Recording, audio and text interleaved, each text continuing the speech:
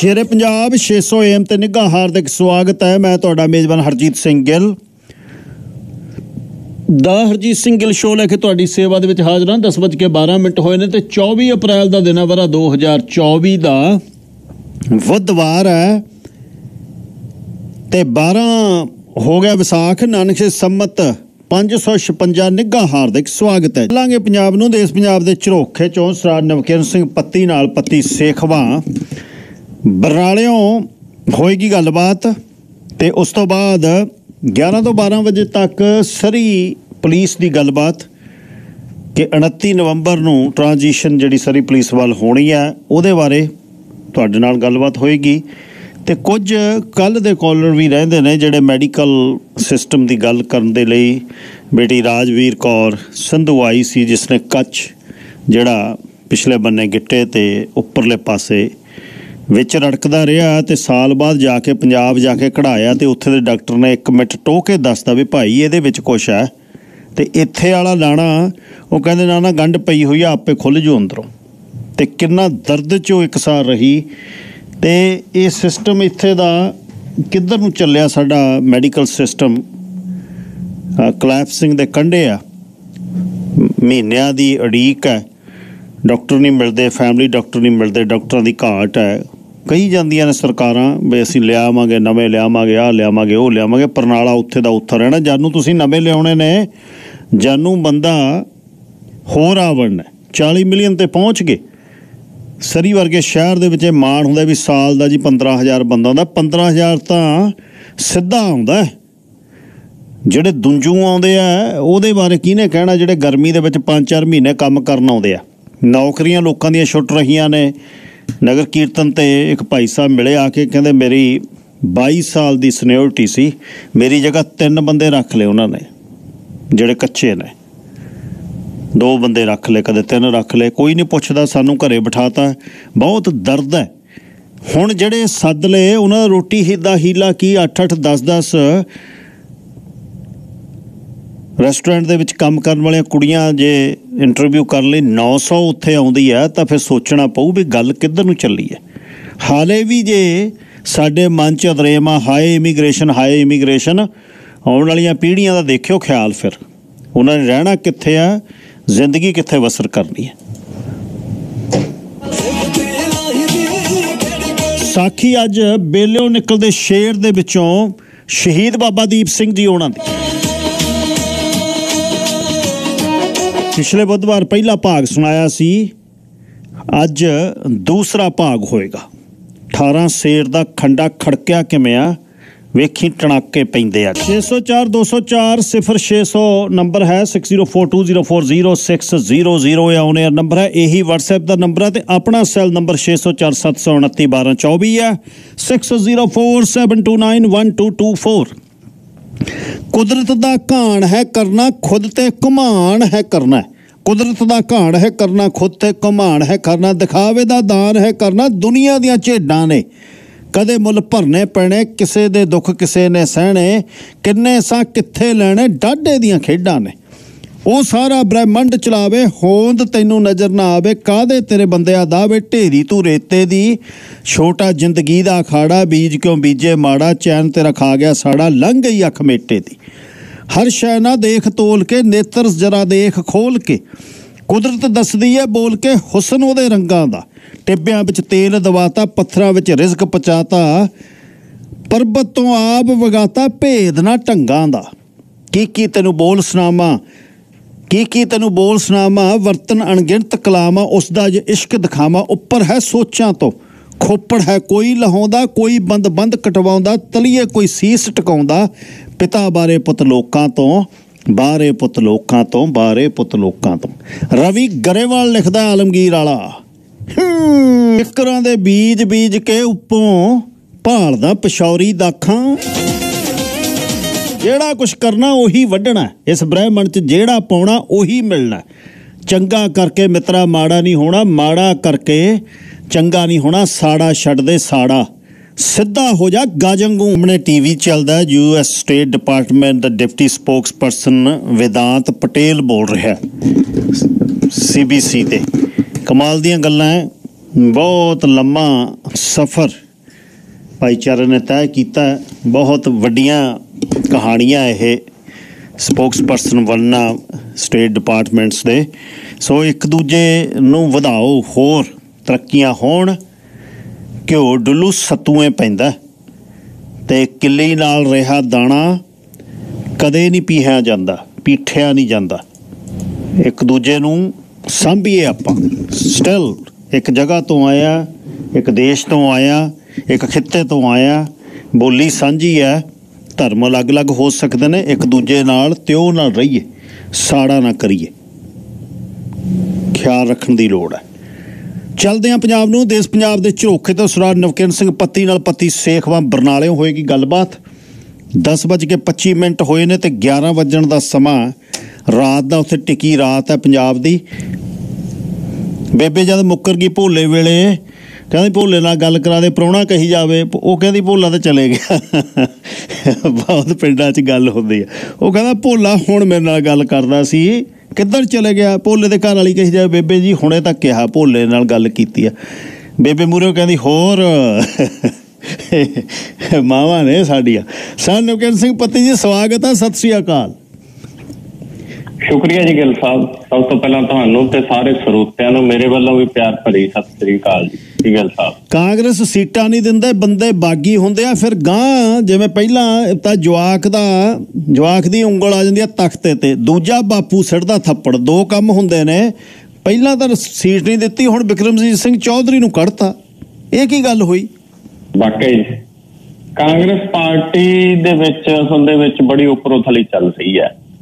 ਆਹ ਰਾਜਾ ਵੜਿੰਗ ਜਿੱਦੇ ਦਾ ਪ੍ਰਧਾਨ ਬਣਿਆ, ਜੇ ਉਹਦੇ ਦਾ ਐਨਾਲਿਸਿਸ ਕਰਨਾ ਹੋਵੇ, ਕਾਂਗਰਸ 'ਚ ਸ਼ਾਮਲ ਘੱਟ ਹੋਇਆ, ਬਾਹਰ ਵੱਧ ਗਏ ਆ। ਇਹ ਤਾਂ ਖੁਸ਼ ਹੋ ਜਾਂਦਾ ਜਦੋਂ ਕੋਈ ਬਾਹਰ ਜਾਂਦਾ ਹੈ। ਹੁਣ ਜਦੋਂ ਸੀਟਾਂ ਦੀ ਵੰਡ ਹੋਈ ਹੈ, ਸੀਟਾਂ ਦੀ ਵੰਡ ਦੇ ਦੌਰਾਨ ਬਹੁਤ ਸਾਰੇ ਉਮੀਦਵਾਰ ਚਾਹਵਾਨ ਹੁੰਦੇ ਨੇ ਇੱਕ ਇੱਕ ਹਲਕੇ 'ਚ, ਚਾਰ ਚਾਰ, ਪੰਜ ਪੰਜ। ਹੁਣ ਦੂਜਿਆਂ ਨੂੰ ਭਰੋਸੇ 'ਚ ਲੈਣਾ ਹੁੰਦਾ। ਭਰੋਸੇ 'ਚ ਤਾਂ ਕਾਂਗਰਸ ਦੀ ਲੀਡਰਸ਼ਿਪ ਨੇ ਲੈਣਾ ਹੁੰਦਾ। ਲੇਕਿਨ ਸਥਿਤੀ ਇਹ ਬਣੀ ਹੋਈ ਹੈ ਕਿ ਜਿੱਥੇ ਜਿੱਥੇ ਵੀ ਬਾਗੀ ਤੇਵਰ ਬਹੁਤਿਆਂ ਨੇ ਦਿਖਾਏ ਨੇ, ਰਾਜੇ ਬੜਿੰਗ ਤੇ ਪ੍ਰਤਾਪ ਸਿੰਘ ਬਾਜਵਾ ਨੇ ਰੋਕਣ ਦੀ ਕੋਸ਼ਿਸ਼ ਨਹੀਂ ਕੀਤੀ। ਜਿਵੇਂ ਬਠਿੰਡੇ ਦੇ ਵਿੱਚ ਜੀਤ ਮਹਿੰਦਰ ਸਿੰਘ ਸਿੱਧੂ ਨੂੰ ਉਮੀਦਵਾਰ ਬਣਾਤਾ, ਪਰ ਉਹਦੇ ਨਾਲ ਕਾਂਗਰਸ ਪਾਰਟੀ ਦੇ ਲੀਡਰ ਤੁਰੇ ਹੀ ਨਹੀਂ। ਹੁਣ ਰਾਜੇ ਬੜਿੰਗ ਨੇ ਜਾ ਕੇ ਕਿਸੇ ਨੂੰ ਨਹੀਂ ਤੋਰਿਆ ਨਾਲ। ਸਭ ਤੋਂ ਮਾੜੀ ਹਾਲਤ ਬਾਗੀ ਪੁਣੇ ਦੀ ਜਿਹੜੀ ਆ, ਉਹ ਕਾਂਗਰਸ ਨੂੰ ਜਲੰਧਰ 'ਚ ਝੱਲਣੀ ਪੈ ਰਹੀ ਹੈ। ਜਲੰਧਰ ਦੇ ਵਿੱਚ ਅਕਾਲੀ ਦਲ ਦਾ ਕੈਂਡੀਡੇਟ ਮਹਿੰਦਰ ਸਿੰਘ ਕੇਪੀ ਉਹ ਵੀ ਕਾਂਗਰਸੀ ਵੈ। ਔਰ ਜੋ ਭਾਜਪਾ ਦਾ ਕੈਂਡੀਡੇਟ ਆ ਸ਼ਸ਼ੀਰ ਰਿੰਕੂ, ਉਹਦਾ ਵੀ ਪਿਛੋਕੜ ਕਾਂਗਰਸੀ ਹੈ ਤੇ ਚਰਨਜੀਤ ਚੰਨੀ ਉੱਥੋਂ ਪਾਰਟੀ ਦਾ ਦਲਿਤ ਚਿਹਰਾ ਚੋਣ ਲੜ ਰਿਹਾ ਹੈ। ਚੌਧਰੀ ਪਰਿਵਾਰ ਨਾਰਾਜ਼ ਹੋਇਆ ਬੈਠਾ ਹੈ। ਜਿਸ ਦਿਨ ਵਿਕਰਮਜੀਤ ਸਿੰਘ ਚੌਧਰੀ ਨੇ ਚੀਫ ਵਿਪ ਦੇ ਅਹੁਦੇ ਤੋਂ ਅਸਤੀਫਾ ਦਿੱਤਾ ਸੀ। ਰਾਜੇ ਵੜਿੰਗ ਦੀ ਜ਼ਿੰਮੇਵਾਰੀ ਬਣਦੀ ਸੀ, ਉਹਦੇ ਨਾਲ ਜਾ ਕੇ ਗੱਲ ਕਰਦਾ, ਚੌਧਰੀ ਪਰਿਵਾਰ ਨੂੰ ਵਿਸ਼ਵਾਸ ਚ ਲੈਂਦਾ। ਪਰ ਅਜਿਹਾ ਨਹੀਂ ਹੋਇਆ ਔਰ ਵਿਕਰਮਜੀਤ ਸਿੰਘ ਚੌਧਰੀ ਨੇ ਪਿਛਲੇ ਦਿਨਾਂ ਦੇ ਵਿੱਚ ਲਗਾਤਾਰ ਬਿਆਨਬਾਜ਼ੀ ਕੀਤੀ, ਜਿਹਦੇ ਕਰਕੇ ਲੋਕ ਸਭਾ ਚੋਣਾਂ ਤੋਂ ਐਨ ਪਹਿਲਾਂ ਕਾਂਗਰਸ ਪਾਰਟੀ ਨੇ ਫਲੌਰ ਤੋਂ ਆਪਦੇ ਐਮਐਲਏ ਵਿਕਰਮ ਚੌਧਰੀ ਨੂੰ ਪਾਰਟੀ ਚੋਂ ਸਸਪੈਂਡ ਕਰ ਦਿੱਤਾ। ਔਰ ਉਸ ਤੋਂ ਬਾਅਦ ਵਿਕਰਮ ਚੌਧਰੀ ਦਾ ਗੁੱਸਾ ਕਾਫੀ ਜ਼ਿਆਦਾ ਭਖਿਆ ਹੋਇਆ ਨਜ਼ਰ ਆ ਰਿਹਾ। ਵਿਕਰਮ ਚੌਧਰੀ ਲਗਾਤਾਰ ਚਰਨਜੀਤ ਚੰਨੀ ਦਾ ਵਿਰੋਧ ਕਰ ਰਿਹਾ ਸੀਗਾ। ਤੇ ਹੁਣ ਉੱਥੇ ਸਥਿਤੀ ਜਿਹੜੀ ਬਣੀ ਹੋਈ ਹੈ ਚੰਨੀ ਨੂੰ ਉਹਦੇ ਆਪਦੀ ਰਾਹ ਰੋਕਦੇ ਨਜ਼ਰ ਆਉਂਦੇ ਨੇ। ਇੱਕ ਤਾਂ ਰਿਸ਼ਤੇਦਾਰੀ ਚੋਂ ਕੁੜਮ ਲੱਗਦਾ, ਮਹਿੰਦਰ ਸਿੰਘ ਕੇਪੀ। ਕਾਲੀ ਦਲ ਵੱਲੋਂ ਖੜਾ ਹੋ ਗਿਆ, ਚੌਧਰੀ ਪਰਿਵਾਰ ਵਿਰੋਧ ਚ ਹੋ ਗਿਆ ਸ਼ਸ਼ੀ ਰਿੰਕੂ ਆਮ ਆਦਮੀ ਪਾਰਟੀ ਚ ਦੀ ਹੁੰਦਾ ਹੋਇਆ ਭਾਜਪਾ ਤੱਕ ਦਾ ਸਫ਼ਰ ਤੈਅ ਕਰ ਗਿਆ। ਇਸ ਕਰਕੇ ਜਲੰਧਰ ਦੇ ਵਿੱਚ ਸਥਿਤੀ ਇਹ ਬਣੀ ਹੋਈ ਹੈ ਜੇ ਪੰਜ ਸੀਟਾਂ ਕਾਂਗਰਸ ਨੇ ਐਲਾਨੀਆਂ ਨੇ, ਲੁਧਿਆਣੇ ਤੋਂ ਅਨੰਦਪੁਰ ਸਾਹਿਬ ਤੋਂ ਕਿਹਨੂੰ ਚੋਣ ਮੈਦਾਨ ਦੇ ਵਿੱਚ ਤਾਰੂ ਇਹ ਅਜੇ ਤੱਕ ਕਾਂਗਰਸ ਦੇ ਲਈ ਸਿਰਦਰਦੀ ਬਣਿਆ ਹੋਇਆ ਹੋਇਆਗਾ। ਰਾਜੇ ਵੜਿੰਗ ਨੇ ਆਪਣੀ ਪਤਨੀ ਨੂੰ ਚੋਣ ਮੈਦਾਨ 'ਚ ਨਹੀਂ ਤਾਰਿਆ ਇਹ ਸਵਾਲ ਵੀ ਜਿਹੜਾ ਉਹ ਖੜਾ ਹੈਗਾ। ਜੀ। ਏਡੀਜੀਪੀ ਗੁਰਿੰਦਰ ਢਿੱਲੋਂ ਨੇ ਨੌਕਰੀ ਛੱਡਤੀ ਮੈਨੂੰ ਇਉਂ ਲੱਗਦਾ ਰਾਜਨੀਤੀ ਜਾਊ। ਇਹੀ ਨਜ਼ਰ ਆ ਰਿਹਾ ਜੀ ਪਿਛਲੇ 34 ਸਾਲ ਤੋਂ ਦੀ ਉਹਨਾਂ ਦੀ ਸਰਵਿਸ ਹੈ। ਆਈਪੀਐਸ ਅਫਸਰ ਰਹੇ ਨੇ ਡੀਐਸਪੀ ਤੋਂ ਉਹਨਾਂ ਨੇ ਆਪਣਾ ਕਾਰਜਕਾਲ ਸ਼ੁਰੂ ਕੀਤਾ ਸੀਗਾ। ਔਰ ਏਡੀਜੀਪੀ ਦੇ ਅਹੁਦੇ ਤੱਕ ਉਹ ਤਾਇਨਾਤ ਰਹੇ।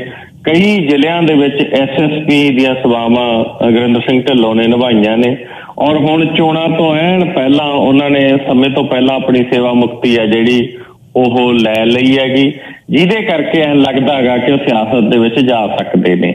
ਉਹਨਾਂ ਨੇ ਇਸ ਗੱਲ ਤੋਂ ਅਜੇ ਤੱਕ ਇਨਕਾਰ ਵੀ ਨਹੀਂ ਕੀਤਾ ਕਿ ਉਹ ਸਿਆਸਤ ਦੇ ਵਿੱਚ ਜਾਣਗੇ ਜਾਂ ਨਹੀਂ ਜਾਣਗੇ। ਬੇਸਿਕਲੀ ਇਹਨਾਂ ਦਾ ਪਿਛੋਕੜ ਗੁਰਦਾਸਪੁਰ ਜ਼ਿਲ੍ਹੇ ਦਾ ਔਰ ਰਹਿੰਦੇ ਪਟਿਆਲੇ ਦੇ ਵਿੱਚ ਨੇ। ਪਿਛਲੇ ਸਮੇਂ ਤੋਂ ਪਟਿਆਲਾ ਹੀ ਇਹਨਾਂ ਨੇ ਆਪਣੀ ਰਹਾਇਸ਼ ਹੈ ਜਿਹੜੀ ਉਹ ਬਣਾਈ ਹੋਈ ਹੈਗੀ। ਸੋ ਕੀ ਸਿਆਸਤ ਬਾਰੇ ਫੈਸਲਾ ਲੈਂਦੇ ਨੇ ਦੇਖਣਾ ਉਹ ਪਰ ਇੱਕ ਸਵਾਲ ਬੜਾ ਵੱਡਾ ਕਿ ਆਈਏਐਸ ਅਫਸਰ ਤੇ ਆਈਪੀਐਸ ਅਫਸਰ ਨੌਕਰੀ ਤੋਂ ਸਮੇਂ ਤੋਂ ਪਹਿਲਾਂ ਸੇਵਾ ਮੁਕਤੀ ਲੈ ਕੇ ਲਗਾਤਾਰ ਸਿਆਸਤ ਦੇ ਵਿੱਚ ਜਾ ਰਹੇ ਨੇ। ਹਾਲਾਂਕਿ ਉਹਨਾਂ ਚੋਂ ਬਹੁਤ ਘੱਟ ਕਾਮਯਾਬ ਹੁੰਦੇ ਨੇ ਕਿਉਂਕਿ ਇਹਨਾਂ ਨੇ ਰੋਹ ਮਾਰਨਾ ਸਿੱਖਿਆ ਹੁੰਦਾ। ਸਾਡੇ ਏਰੀਆ ਦੇ ਸੀ ਦਰਬਾਰਾ ਸਿੰਘ ਗੁਰੂ। ਪ੍ਰਿੰਸੀਪਲ ਸੈਕਟਰੀ ਤੱਕ ਰਹੇ। ਪ੍ਰਕਾਸ਼ ਸਿੰਘ ਬਾਦਲ ਤੋਂ ਟਿਕਟ ਲੈ ਲਈ। ਕਹਿੰਦੇ ਜੀ ਮੈਂ ਤਾਂ ਚੋਣ ਲੜਨੀ ਹੈ। ਔਰ ਚੋਣ ਲੜੀ ਮੁਹੰਮਦ ਸਦੀਕ ਆ ਕੇ ਉਹਨੂੰ ਹਰਾ ਗਿਆ।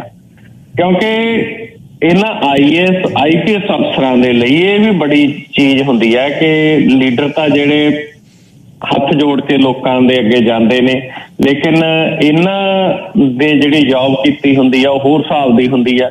ਇਸ ਕਰਕੇ ਇਹ ਹੁਣ ਦੇਖਣਾ ਹੋਵੇਗਾ ਕਿ ਜਿੰਨੇ ਆਈਐਸ ਆਈਪੀਐਸ ਅਫਸਰ ਆ ਰਹੇ ਨੇ ਸਿਆਸਤ ਦੇ ਵਿੱਚ, ਉਹ ਕੀ ਸਥਿਤੀ ਆ।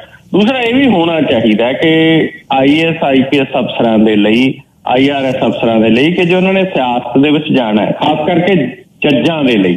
ਹੁਣ ਸੁਪਰੀਮ ਕੋਰਟ ਦੇ ਜੱਜ ਤੱਕ ਪਤਾ ਲੱਗਦਾ ਕਿ ਰਾਜ ਸਭਾ ਦੇ ਲਈ ਚੁਣੇ ਜਾਂਦੇ ਨੇ। ਇਹਦਾ ਮਤਲਬ ਉਹ 4-5 ਸਾਲ 10 ਸਾਲ ਪਹਿਲਾਂ ਹੀ ਡਿਸਾਈਡ ਕਰ ਚੁੱਕੇ ਹੁੰਦੇ ਨੇ ਕਿ ਆਪਣੀ ਓਰੀਐਂਟੇਸ਼ਨ ਕੀ ਹੈ।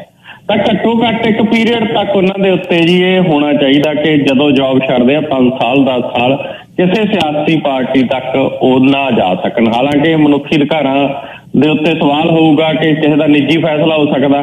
ਪਰ ਇਹ ਉਹਨਾਂ ਦੀ ਜਿਹੜੀ ਸਰਵਿਸ ਦੇ ਦੌਰਾਨ ਕਿਸੇ ਇੱਕ ਪਾਸੜ ਹੋਣ ਦੇ ਚੱਲਦੀ ਹੈ ਗੱਲ ਉਹਦੇ ਤੇ ਜ਼ਰੂਰ ਰੋਕ ਲੱਗੂ। ਜੀ। ਅੱਛਾ ਇਹ ਦੱਸਿਓ ਬਈ ਜੱਸੀ ਖੰਗੂੜੇ ਨੇ ਮੈਨੂੰ ਤਾਂ ਇਹ ਵੀ ਨਹੀਂ ਪਤਾ ਕਦ ਆਪ ਜੁਆਇਨ ਕੀਤੀ ਸੀ ਹੁਣ ਛੱਡਤੀ? ਬਾਕੀ ਜੀ ਜੱਸੀ ਖੰਗੂੜਾ ਨੇ ਆਮ ਆਦਮੀ ਪਾਰਟੀ ਜੁਆਇਨ ਕੀਤੀ ਸੀਗੀ ਔਰ ਹੁਣ ਉਹਨਾਂ ਨੇ ਆਮ ਆਦਮੀ ਪਾਰਟੀ ਤੋਂ ਰਿਜ਼ਾਈਨ ਕਰ ਦਿੱਤਾ। ਰਿਜ਼ਾਈਨ ਕਰਨ ਦਾ ਕਾਰਨ ਇਹ ਹੈ ਕਿ ਜੱਸੀ ਖੰਗੂੜਾ ਲੁਧਿਆਣੇ ਤੋਂ ਟਿਕਟ ਮੰਗਦਾ ਸੀਗਾ ਆਮ ਆਦਮੀ ਪਾਰਟੀ ਤੋਂ। ਔਰ ਟਿਕਟ ਲੁਧਿਆਣਾ ਤੋਂ ਆਮ ਆਦਮੀ ਪਾਰਟੀ ਨੇ ਉਹਨੂੰ ਦਿੱਤੀ ਨਹੀਂ, ਜਿਹਦੇ ਕਰਕੇ ਜੱਸੀ ਖੰਗੂੜਾ ਨੇ ਹੁਣ ਆਮ ਆਦਮੀ ਪਾਰਟੀ ਛੱਡਤੀ। ਕਾਂਗਰਸ ਪਾਰਟੀ ਦਾ ਐਮਐਲਏ ਰਿਹਾ ਜੱਸੀ ਖੰਗੂੜਾ। ਲਗਭਗ 2 ਸਾਲ ਪਹਿਲਾਂ ਉਹ ਆਮ ਆਦਮੀ ਪਾਰਟੀ 'ਚ ਸ਼ਾਮਲ ਹੋਇਆ ਸੀਗਾ। ਔਰ ਲੁਧਿਆਣਾ ਤੋਂ ਪਾਰਟੀ ਨੇ ਟਿਕਟ ਆ ਗਈ ਜਿਹੜੀ ਉਹ ਐਮਐਲਏ ਅਸ਼ੋਕ ਪੱਪੀ ਪ੍ਰਾਸ਼ਰ ਨੂੰ ਦੇ ਦਿੱਤੀ ਹੈ। ਔਰ ਐਮਐਲਏ ਨੂੰ ਚੋਣ ਮੈਦਾਨ 'ਚ ਤਾਰਨ ਤੋਂ ਜੱਸੀ ਖੰਗੂੜਾ ਇੰਨਾ ਔਖਾ ਹੋਇਆ ਵੀ ਉਹ ਪਾਰਟੀ ਅੱਜ ਛੱਡ ਗਿਆ। ਜੀ। ਅਮਰਤਪਾਲ ਸਿੰਘ ਭਾਈ ਸਾਹਿਬ ਭਾਈ ਅਮਰਤਪਾਲ ਸਿੰਘ ਜਾਂ ਸਿੱਧੂ ਮੂਸੇਵਾਲੇ ਦੇ ਪਰਿਵਾਰ ਦੇ ਟੱਬਰ ਦੇ ਵਿੱਚੋਂ ਉਹਨਾਂ ਦੇ ਪਿਤਾ ਜੀ ਕੋਈ ਚੋਣ ਲੜ ਸਕਦੇ ਆ? ਗੱਲ ਹੈ ਜੀ ਕੋਈ? ਗੱਲ ਸਾਹਿਬ ਦੇਖੋ ਇਹ ਨਾ ਚਰਚਾ ਚੱਲ ਰਹੀ ਹੈ ਅੱਜ। ਦੇਖੋ ਚਰਚਾ ਇਹ ਚੱਲ ਰਹੀ ਹੈ ਅਮਰਤਪਾਲ ਸਿੰਘ ਦੇ ਵਕੀਲ ਨੇ ਰਾਜਦੇਵ ਸਿੰਘ ਖਾਲਸਾ ਸਾਡੇ ਬਰਨਾਲੇ ਨਾਲ ਸੰਬੰਧਿਤ ਨੇ। ਰਾਜਦੇਵ ਸਿੰਘ ਖਾਲਸਾ ਦਾ ਪਿਛੋਕੜਾ ਜਿਹੜਾ ਉਹ ਇਹ ਹੈ ਕਿ 1999 ਦੀ ਜਿਹੜੀ ਇਲੈਕਸ਼ਨ ਸਿਮਰਜੀਤ ਸਿੰਘ ਮਾਨ ਦੇ ਨਾਲ ਕੁਝ ਵਿਅਕਤੀਆਂ ਨੇ ਲੜੀ ਉਹਨਾਂ ਚੋਂ ਰਾਜਦੇਵ ਸਿੰਘ ਖਾਲਸਾ ਇੱਕ ਨੇ ਔਰ ਉਹ ਵੀ ਮੈਂਬਰ ਪਾਰਲੀਮੈਂਟ ਉਸ ਵਕਤ ਸੰਗਰੂਰ ਸੀਟ ਤੋਂ ਚੁਣੇ ਗਏ ਸੀ।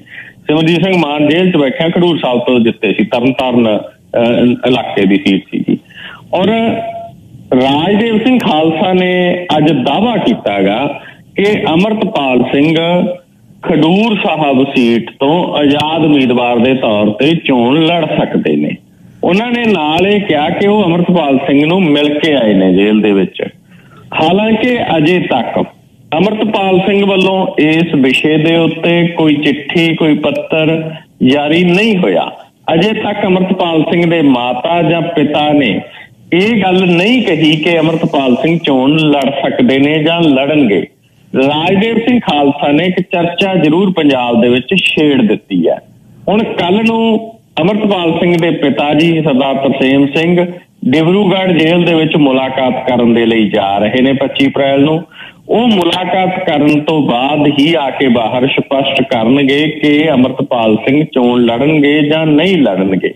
ਉਂਝ ਪਿਛਲੇ ਦਿਨਾਂ ਦੇ ਵਿੱਚ ਚਰਚਾ ਜ਼ਰੂਰ ਚੱਲੀ ਸੀ ਕਿ ਸ਼੍ਰੋਮਣੀ ਅਕਾਲੀ ਦਲ ਨੇ ਪੰਜਾਬ ਦੀਆਂ 12 ਸੀਟਾਂ ਤੇ ਉਮੀਦਵਾਰ ਲਾਣ ਤੇ ਇਕੱਲੀ ਖਡੂਰ ਸਾਹਿਬ ਸੀਟ ਤੇ ਉਮੀਦਵਾਰ ਨਹੀਂ ਲਾਣਿਆ ਉਹਦੇ ਤੋਂ ਇਹ ਸੰਭਾਵਨਾ ਇੱਕ ਜਤਾਈ ਜਾ ਰਹੀ ਸੀ ਕਿ ਅਕਾਲੀ ਦਲ ਅਮਰਪਾਲ ਸਿੰਘ ਦੇ ਨਾਲ ਕਿਸੇ ਰਾਹੀਂ ਗੱਲ ਚਲਾ ਰਿਹਾ ਕਿ ਚੋਣ ਲੜੇ।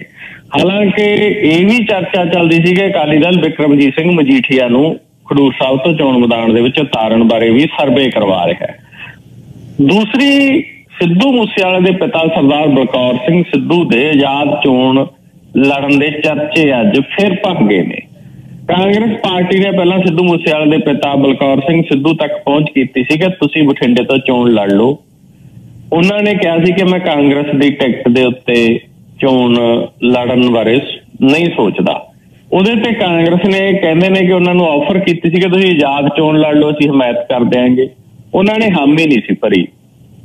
ਕੱਲ ਜੀਤਮਿੰਦਰ ਸਿੰਘ ਸਿੱਧੂ, ਜੋ ਸਿੱਧੂ ਮੂਸੇਵਾਲੇ ਦੇ ਪਿਤਾ ਨੂੰ ਮਿਲੇ ਸੀ, ਤਾਂ ਉਹਨਾਂ ਨੇ ਇੱਕ ਪੱਤਰ ਵੀ ਫੜਾਇਆ ਸੀ, ਜਿਹਦੇ ਵਿੱਚ ਉਹਨਾਂ ਨੇ ਸਿੱਧੂ ਮੂਸੇਵਾਲਾ ਲਈ ਇਨਸਾਫ ਦੀ ਮੰਗ ਆ ਜਿਹੜੀ ਉਹ ਕੀਤੀ ਸੀਗੀ, ਔਰ 9 ਪੁਆਇੰਟ ਸੀ, ਆਪਾਂ ਉਹਨਾਂ ਦਾ ਜ਼ਿਕਰ ਵੀ ਕੀਤਾ ਸੀਗਾ ਪੁਆਇੰਟਸ ਦਾ।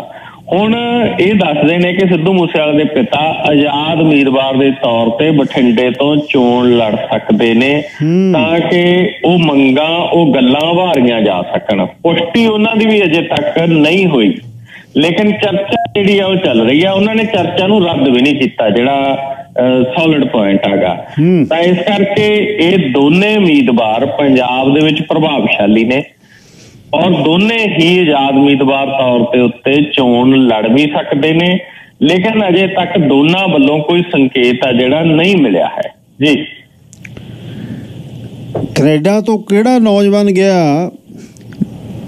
ਜਿਸ ਦੀ ਜਿਸ ਦਾ ਹੀ ਮੌਤ ਹੋ ਗਈ ਤੇ ਉਹਦੀ লাশ ਮਿਲੀ ਆ ਜੀ? ਇਹ ਗੁਰਦਾਸਪੁਰ ਜ਼ਿਲ੍ਹੇ ਦੀ ਘਟਨਾ ਜੀ। ਗੁਰਦਾਸਪੁਰ ਜ਼ਿਲ੍ਹੇ ਦੇ ਵਿੱਚ ਇੱਕ ਨੌਜਵਾਨ ਕੈਨੇਡਾ ਤੋਂ ਆਪਦੀ ਭੈਣ ਦੇ ਵਿਆਹ ਦੇ ਸੰਬੰਧ ਦੇ ਵਿੱਚ ਆਇਆ ਸੀ, ਉਹ ਕੈਨੇਡਾ ਰਹਿੰਦਾ ਮੁੰਡਾ। ਔਰ ਭੈਣ ਦੇ ਵਿਆਹ ਦੇ ਸੰਬੰਧ ਦੇ ਵਿੱਚ ਇੱਥੇ ਆਉਣ ਤੋਂ ਬਾਅਦ ਉਹਨੇ ਆਪਦੇ ਫਾਦਰ ਨੂੰ ਕਿਹਾ ਕਿ ਮੈਂ ਗੁਰਦਾਸਪੁਰ ਜਾਣਾ ਜਾਣਾਗਾ ਕਿਸੇ ਦੋਸਤ ਨੂੰ ਮਿਲਣਾ। ਉਹਦੇ ਪਿਤਾ ਨੇ ਉਹਨੂੰ 4:30 ਵਜੇ ਸ਼ਾਮ ਨੂੰ ਫੋਨ ਕੀਤਾ, ਉਹ ਕਹਿੰਦਾ ਜੀ ਮੈਂ ਗੁਰਦਾਸਪੁਰ ਪਹੁੰਚ ਗਿਆ। 5:30 ਵਜੇ ਫੋਨ ਕੀਤਾ, ਕਹਿੰਦੇ ਉਦੋਂ ਤੱਕ ਗੱਲ ਹੋਈ ਹੈ। 6 ਵਜੇ ਉਸ ਨੌਜਵਾਨ ਦਾ ਫੋਨ ਬੰਦ ਆਉਣ ਲੱਗ ਗਿਆ। ਫਿਰ ਸਵੇਰੇ ਉਸਦੇ ਮਾਪਿਆਂ ਨੂੰ ਪੁਲਿਸ ਨੇ ਖਬਰ ਕੀਤੀ ਕਿ ਤੁਹਾਡੇ ਮੁੰਡੇ ਦੀ ਜਿਹੜੀ ਮੌਤ ਆ ਗਈ, ਉਹ ਹੋ ਚੁੱਕੀ ਹੈਗੀ। ਤਾਂ ਪਰਿਵਾਰ ਹੁਣ ਇਸ ਵਿਸ਼ੇ ਦੇ ਉੱਤੇ ਜਾਂਚ ਦੀ ਮੰਗ ਕਰ ਰਿਹਾ ਔਰ ਪਰਿਵਾਰ ਦੇ ਵੱਲੋਂ ਮੰਗ ਕੀਤੀ ਜਾ ਰਹੀ ਹੈ ਕਿ ਇਸ ਮਸਲੇ ਦੀ ਜਾਂਚ ਹੋਣੀ ਚਾਹੀਦੀ ਹੈ ਕਿ ਉਹਨਾਂ ਦੇ ਪੁੱਤਰ ਦਾ ਕਤਲ ਕੀਤਾ ਹੋ ਸਕਦਾ ਕਿਸੇ ਦੇ ਵੱਲੋਂ। ਜੀ। ਅੱਛਾ, ਗਾਗੇ ਲਹਿਰੇ ਘਰੋਂ ਪੜਨ ਗਈਆਂ ਜਵਾਖੜੀਆਂ ਮੁੜੀਆਂ ਹੀ ਨਹੀਂ। ਵਾਕਈ ਜੀ 14 ਕੁ ਸਾਲਾਂ ਦੀ ਉਮਰ ਹੈ ਦੋਨੇ ਕੁੜੀਆਂ ਦੀ। ਲਹਿਰੇ ਗਾਗੇ ਦੀਆਂ ਦੋਨੇ ਕੁੜੀਆਂ ਨੇ ਘਰੋਂ ਸਵੇਰੇ ਤਿਆਰ ਹੋ ਕੇ ਪੜਨ ਗਈਆਂ ਸੀ। ਉਦੋਂ ਬਾਅਦ ਸ਼ਾਮ ਨੂੰ ਘਰ ਨਹੀਂ ਪਹੁੰਚੀਆਂ ਦੁਪਹਿਰ ਨੂੰ ਜਾਨੀ ਕਿ ਜਦੋਂ ਮਾਪਿਆਂ ਨੇ ਪਤਾ ਕੀਤਾ ਪਤਾ ਲੱਗਿਆ ਕੁੜੀਆਂ ਸਕੂਲ ਪਹੁੰਚੀਆਂ ਹੀ ਨਹੀਂ ਸਵੇਰੇ। ਔਰ ਸਵੇਰੇ ਸਕੂਲ ਪਹੁੰਚਣ ਦੀ ਬਜਾਏ ਉਹ ਪਤਾ ਨਹੀਂ ਕਿਵੇਂ ਕਿਸ ਰੂਪ ਦੇ ਵਿੱਚ ਲਾਪਤਾ ਹੋ ਗਈਆਂ। ਹੁਣ ਸਵੇਰ ਤੋਂ ਲੈ ਕੇ ਰਾਤ ਤੱਕ ਮਾਪਿਆਂ ਦੇ ਵੱਲੋਂ ਰਿਪੋਰਟ ਵੀ ਦਰਜ ਕਰਵਾਈ ਗਈ ਹੈ ਭਾਲ ਵੀ ਕੀਤੀ ਜਾ ਰਹੀ ਹੈ ਪੂਰਾ ਲਗਾਗਾ ਇਲਾਕਾ ਇਸ ਵਿਸ਼ੇ ਨੂੰ ਲੈ ਕੇ ਚਿੰਤਾ ਦੇ ਵਿੱਚ ਹੈ ਕਿ 14 ਸਾਲ ਦੀਆਂ ਉਹ ਬੱਚੀਆਂ ਲਾਪਤਾ ਕਿਵੇਂ ਹੋਈਆਂ। ਸੀਸੀਟੀਵੀ ਖੰਗਾਲੇ ਜਾ ਰਹੇ ਨੇ ਤੇ ਮਸਲੇ ਦੀ ਤਹਿ ਤੱਕ ਜਾਣ ਦੀ ਕੋਸ਼ਿਸ਼ ਹੈ ਜਿਹੜੀ ਕੀਤੀ ਜਾ ਰਹੀ ਹੈ। ਇੱਕ ਮੰਦਭਾਗੀ ਘਟਨਾ ਫਰੀਦਕੋਟ ਦੇ ਵਿੱਚ ਵੀ ਵਾਪਰੀ ਹੈ। ਐਮਬੀਬੀਐਸ ਕੀਤੀ ਹੋਈ ਡਾਕਟਰ ਕੁੜੀ, ਜਿਹੜੀ ਸ਼੍ਰੀ ਗੁਰੂ ਗੋਬਿੰਦ ਸਿੰਘ ਮੈਡੀਕਲ ਕਾਲਜ, ਫਰੀਦਕੋਟ ਦੇ ਵਿੱਚ ਐਮਬੀਬੀਐਸ ਦੀ ਇੰਟਰਨ ਕਰ ਰਹੀ ਸੀ ਔਰ ਐਮਡੀ ਦੀ ਤਿਆਰੀ ਕਰ ਰਹੀ ਸੀ। ਐਮਡੀ ਦੀ ਤਿਆਰੀ ਕਰ ਰਹੀ ਉਹ ਕੁੜੀ ਦੇ ਵੱਲੋਂ ਫਾਹਾ ਲੈ ਕੇ ਖੁਦਕੁਸ਼ੀ ਕਰ ਲਈ ਗਈ ਹੈ ਅੱਜ। ਇਹ ਵੀ ਮੰਦਭਾਗੀ ਘਟਨਾ ਫਰੀਦਕੋਟ ਤੋਂ ਸਾਹਮਣੇ ਆਈ। ਜੀ। ਅੱਛਾ, ਉਧਰ ਹੰਸਰਾਜ, ਹੰਸ ਜਿਹੜਾ ਕਹਿੰਦਾ, ਮੈਂ ਤਾਂ, ਮੈਂ ਮੈਂ ਤਾਂ ਮਿੰਤਰਾਜ ਮਿੰਤਾ ਉਹਦੇ ਮੂਹਰੇ ਕਿਸਾਨ ਫੇਰ ਖੜ ਗਏ? ਵਾਕਈ ਜੀ ਅੱਜ ਕਿਸਾਨਾਂ ਨੇ ਫਰੀਦਕੋਟ ਲੋਕ ਸਭਾ ਹਲਕੇ ਦੇ ਵਿੱਚ ਫਿਰ ਹੰਸਰਾਜ ਹੰਸ ਨੂੰ ਘੇਰ ਲਿਆ। ਕਿਸਾਨਾਂ ਨੇ ਲੰਘਣ ਨਹੀਂ ਦਿੱਤਾ ਅੱਗੇ। ਉਸ ਤੋਂ ਬਾਅਦ ਪੁਲਿਸ ਨੇ ਬੜੀ ਸਖਤੀ ਕੀਤੀ। ਪੁਲਿਸ ਨੇ ਕਿਸਾਨਾਂ ਨੂੰ, ਔਰਤਾਂ ਨੂੰ ਹਿਰਾਸਤ ਦੇ ਵਿੱਚ ਲੈ ਲਿਆ। ਬੱਚਿਆਂ ਤੱਕ ਨੂੰ ਭਜਾਇਆ ਗਿਆ। ਉਹਦੇ ਸਬੰਧ ਦੇ ਵਿੱਚ ਕੱਲ ਨੂੰ 9 ਵਜੇ ਕਿਸਾਨਾਂ ਵੱਲੋਂ ਫਰੀਦਕੋਟ ਖੇਤਰ ਦੇ ਵਿੱਚ ਇਕੱਠ ਵੀ ਸੱਦ ਲਿਆ ਗਿਆ ਕਿ ਪੰਜਾਬ ਪੁਲਿਸ ਦੇ ਵੱਲੋਂ ਕਿਸਾਨਾਂ ਦੇ ਨਾਲ ਧੱਕੇਸ਼ਾਹੀ ਕੀਤੀ ਗਈ ਹੈ। ਉਹ ਸ਼ਾਂਤਮਈ ਤਰੀਕੇ ਦੇ ਨਾਲ ਵਿਰੋਧ ਕਰ ਰਹੇ ਸੀਗੇ। ਅਸਲ 'ਚ ਬੀਜੇਪੀ ਦੇ ਜਿੰਨੇ ਵੀ ਉਮੀਦਵਾਰ ਨੇ ਪੰਜਾਬ ਦੇ ਵਿੱਚ, ਸਾਰੇ ਹੀ ਕਿਸਾਨਾਂ ਦੇ ਵਿਰੋਧ ਦਾ ਸਾਹਮਣਾ ਕਰ ਰਹੇ ਆ। ਹਰਿਆਣੇ ਦੇ ਵਿੱਚ ਵੀ ਐਵੇਂ ਹੀ ਹੋ ਰਿਹਾ ਹੈਗਾ। ਔਰ ਪੰਜਾਬ ਦੇ ਵਿੱਚ ਚਾਹੇ ਉਹ ਹੰਸਰਾਜ ਹੰਸ ਹੋਵੇ, ਚਾਹੇ ਉਹ ਤਰਜੀਤ ਸਿੰਘ ਸੰਧੂ ਹੋਣ, ਚਾਹੇ ਪਰਨੀਤ ਕੌਰ ਹੋਵੇ ਚਾਹੇ ਸਿਕੰਦਰ ਸਿੰਘ ਮਲੂਕਾ ਦੀ ਨੂੰ ਪਰਮਪਾਲ ਕੌਰ ਸਿੱਧੂ ਜਿਹੜੀ ਪਿਛਲੇ ਦਿਨੀ ਬੀਜੇਪੀ ਕੈਂਡੀਡੇਟ ਬਣੀ ਆ, ਉਹ ਹੋਵੇ ਜਾਂ ਹੋਰ ਹੋਣ, ਸਾਰਿਆਂ ਦਾ ਵਿਰੋਧ ਆਗਾ ਜਿਹੜਾ ਉਹ ਕਿਸਾਨਾਂ ਵੱਲੋਂ ਕੀਤਾ ਜਾ ਰਿਹਾ। ਉਧਰ ਸੰਯੁਕਤ ਕਿਸਾਨ ਮੋਰਚਾ, ਗੈਰ ਰਾਜਨੀਤਿਕ ਤੇ ਕਿਸਾਨ ਮਜ਼ਦੂਰ ਸੰਘਰਸ਼ ਕਮੇਟੀ ਦੀ ਅਗਵਾਈ ਦੇ ਵਿੱਚ ਸ਼ੰਭੂ ਬਾਰਡਰ ਤੇ ਖਨੌਰੀ ਬਾਰਡਰ ਦੇ ਉੱਤੇ ਜਿਹੜਾ ਧਰਨਾ ਉਹ ਲਗਾਤਾਰ ਚੱਲ ਰਿਹਾਗਾ ਸ਼ੰਭੂ ਦੇ ਵਿੱਚ ਰੇਲਾਂ ਰੋਕੀਆਂ ਹੋਈਆਂ ਜੀ। ਰੇਲਾਂ ਰੋਕਣ ਦੇ ਨਾਲ ਸੈਂਕੜੇ ਰੇਲਾਂ ਜਿਹੜੀਆਂ ਨੇ ਉਹ ਪ੍ਰਭਾਵਿਤ ਹੋਈਆਂ, ਰੱਦ ਹੋਈਆਂ।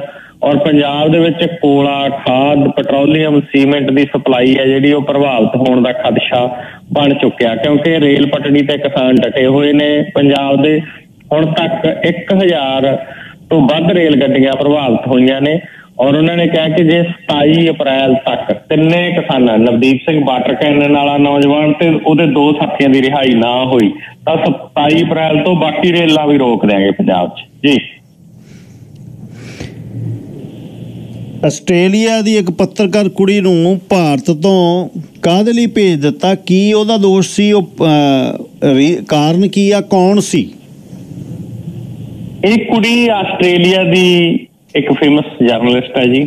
ਔਰ ਇਹ ਪੱਤਰਕਾਰ ਕੁੜੀ ਭਾਰਤ ਆਈ ਹੋਈ ਸੀ। ਭਾਰਤ ਦੇ ਵਿੱਚ ਵਰਕ ਵੀਜ਼ੇ ਦੇ ਉੱਤੇ ਸੀਗੀ। ਲੇਕਿਨ ਭਾਰਤ ਸਰਕਾਰ ਨੇ ਇਹਦਾ ਵਰਕ ਵੀਜ਼ਾ ਵਧਾਉਣ ਤੋਂ ਇਨਕਾਰ ਕਰ ਦਿੱਤਾ, ਜਿਹਦੇ ਕਰਕੇ ਇਹਨੂੰ ਭਾਰਤ ਛੱਡਣ ਦੇ ਲਈ ਮਜਬੂਰ ਹੋਣਾ ਪਿਆ।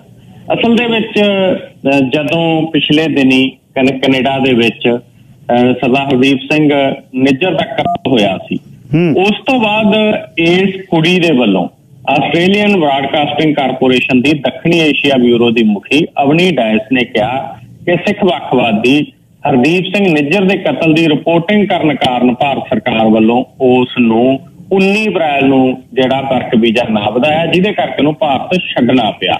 ਇਸ ਕੁੜੀ ਅਵਨੀ ਡਾਇਸ ਨੇ ਜਿਹੜਾਗਾ, ਉਹ ਐਕਸ ਦੇ ਉੱਤੇ ਯਾਨੀ ਕਿ ਟਵਿੱਟਰ ਤੇ ਲਿਖਿਆ ਕਿ ਪਿਛਲੇ ਹਫ਼ਤੇ ਮੈਨੂੰ ਅਚਾਨਕ ਭਾਰਤ ਛੱਡਣਾ ਪਿਆ।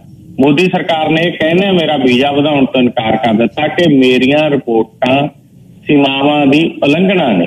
ਔਰ ਉਹ ਕੁੜੀ ਨੇ ਦੱਸਿਆ ਕਿ ਭਾਰਤੀ ਮੰਤਰਾਲੇ ਦੇ ਨਿਰਦੇਸ਼ ਕਾਰਨ 19 ਅਪ੍ਰੈਲ ਨੂੰ ਵੋਟਾਂ ਸੀ ਭਾਰਤ ਦੇ ਵਿੱਚ ਔਰ 19 ਅਪ੍ਰੈਲ ਨੂੰ ਉਹਨੂੰ ਭਾਰਤ ਆ ਜਿਹੜਾ ਉਹ ਛੱਡਣਾ ਪੈ ਗਿਆ। ਸੋ ਇਹ ਕਾਫੀ ਚਰਚਾ ਚੱਲ ਰਹੀ ਹੈ। ਕਿ ਹਰਦੀਪ ਸਿੰਘ ਨਿੱਜਰ ਮਾਮਲੇ ਦੀ ਰਿਪੋਰਟਿੰਗ ਕਰਨ ਕਾਰਨ ਇੱਕ ਪੱਤਰਕਾਰ ਨੂੰ ਜਿਹੜਾ ਭਾਰਤ ਛੱਡਣ ਪਿਆ। ਜੀ। ਅੱਛਾ ਜੀ। ਕੇਜਰੀਵਾਲ ਉਹਨਾਂ ਨਾਲ ਦਿੱਲੀ ਦਾ ਮੰਤਰੀ ਸੌਰਵ ਭਾਰਦਵਾਜ ਮਿਲਿਆ। ਕੀ ਅੰਦਰਲੀ ਖਬਰ ਹੈ? ਸੌਰਵ ਭਾਰਦਵਾਜ ਕਹਿੰਦਾ ਜੀ ਗੱਲ ਜਿਹੜੀ ਮੇਰੀ ਹੋਈ ਆ ਕਹਿੰਦਾ ਅਰਵਿੰਦ ਕੇਜਰੀਵਾਲ ਦੇ ਨਾਲ। ਵਿਚਾਲੇ ਕਹਿੰਦਾ ਸਾਡੇ ਉਹ ਸ਼ੀਸ਼ਾ ਜਾਂ ਜਾਲੀ ਕਹਿ ਲਈਏ ਆਪਾਂ ਉਹ ਲੱਗੀ ਹੋਈ ਸੀ।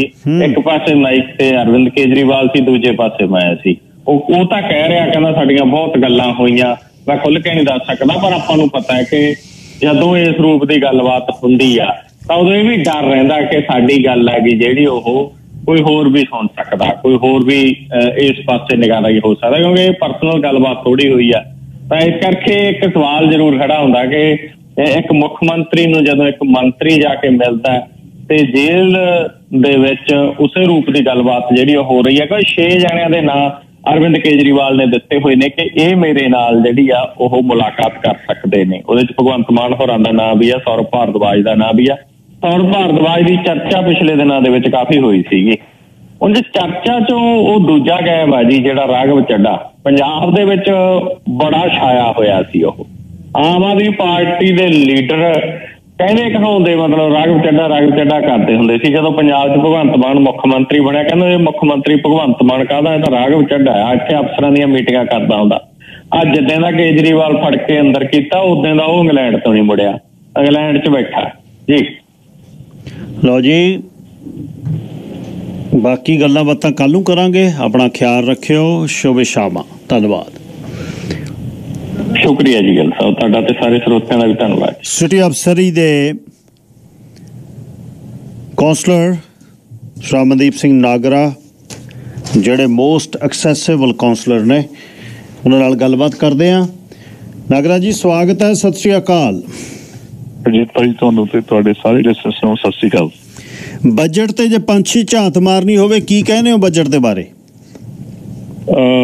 ਜੀ ਬਿਲਕੁਲ ਬਜਟ ਜਿਹੜਾ ਪ੍ਰੈਜ਼ੈਂਟ ਕੀਤਾ ਗਿਆ ਉਹਦੇ ਵਿੱਚ ਜਿਹੜੀ ਨੰਬਰਸ ਜਿਹੜੇ ਯੂਜ਼ ਕੀਤੇ ਗਏ ਨੇ ਉਹ ਡੈਫੀਨਿਟਲੀ ਉਹ ਦਿਖਾਇਆ ਗਿਆ ਕਿ 6% ਇਨਕਰੀਜ਼ ਹੈਗੀ ਆ ਜਨਰਲ ਪ੍ਰਾਪਰਟੀ ਟੈਕਸ ਦੇ ਵਿੱਚ ਤੇ 1% ਇਨਕਰੀਜ਼ ਜਿਹੜੀ ਰੋਡ ਲੈਵੀ ਦੇ ਵਿੱਚ ਹੈਗੀ ਆ ਪਰ ਜਿਹੜੀ ਜਿਹੜੀਆਂ ਚੀਜ਼ਾਂ ਹੋਰ ਐਡ ਕੀਤੀਆਂ ਗਈਆਂ ਜਿਹੜੀਆਂ ਬਹੁਤ ਇੰਪੋਰਟੈਂਟ ਹੈਗੀਆਂ ਸਪੈਸ਼ਲੀ ਆਪਣੀ ਕਮਿਊਨਿਟੀ ਲਈ। ਜਿਹੜੇ ਆਪਾਂ ਜਦੋਂ ਬੇਸਮੈਂਟ ਸਵੀਟਸ ਰੈਂਟ ਕਰਦੇ ਆ ਤੇ ਆਪਣੇ ਘਰਾਂ ਦੇ ਵਿੱਚ ਸਵੀਟਸ ਹੈਗੀਆਂ ਮੌਰਗੇਜ ਹੈਲਪਰ ਦੇ ਤੌਰ ਤੇ।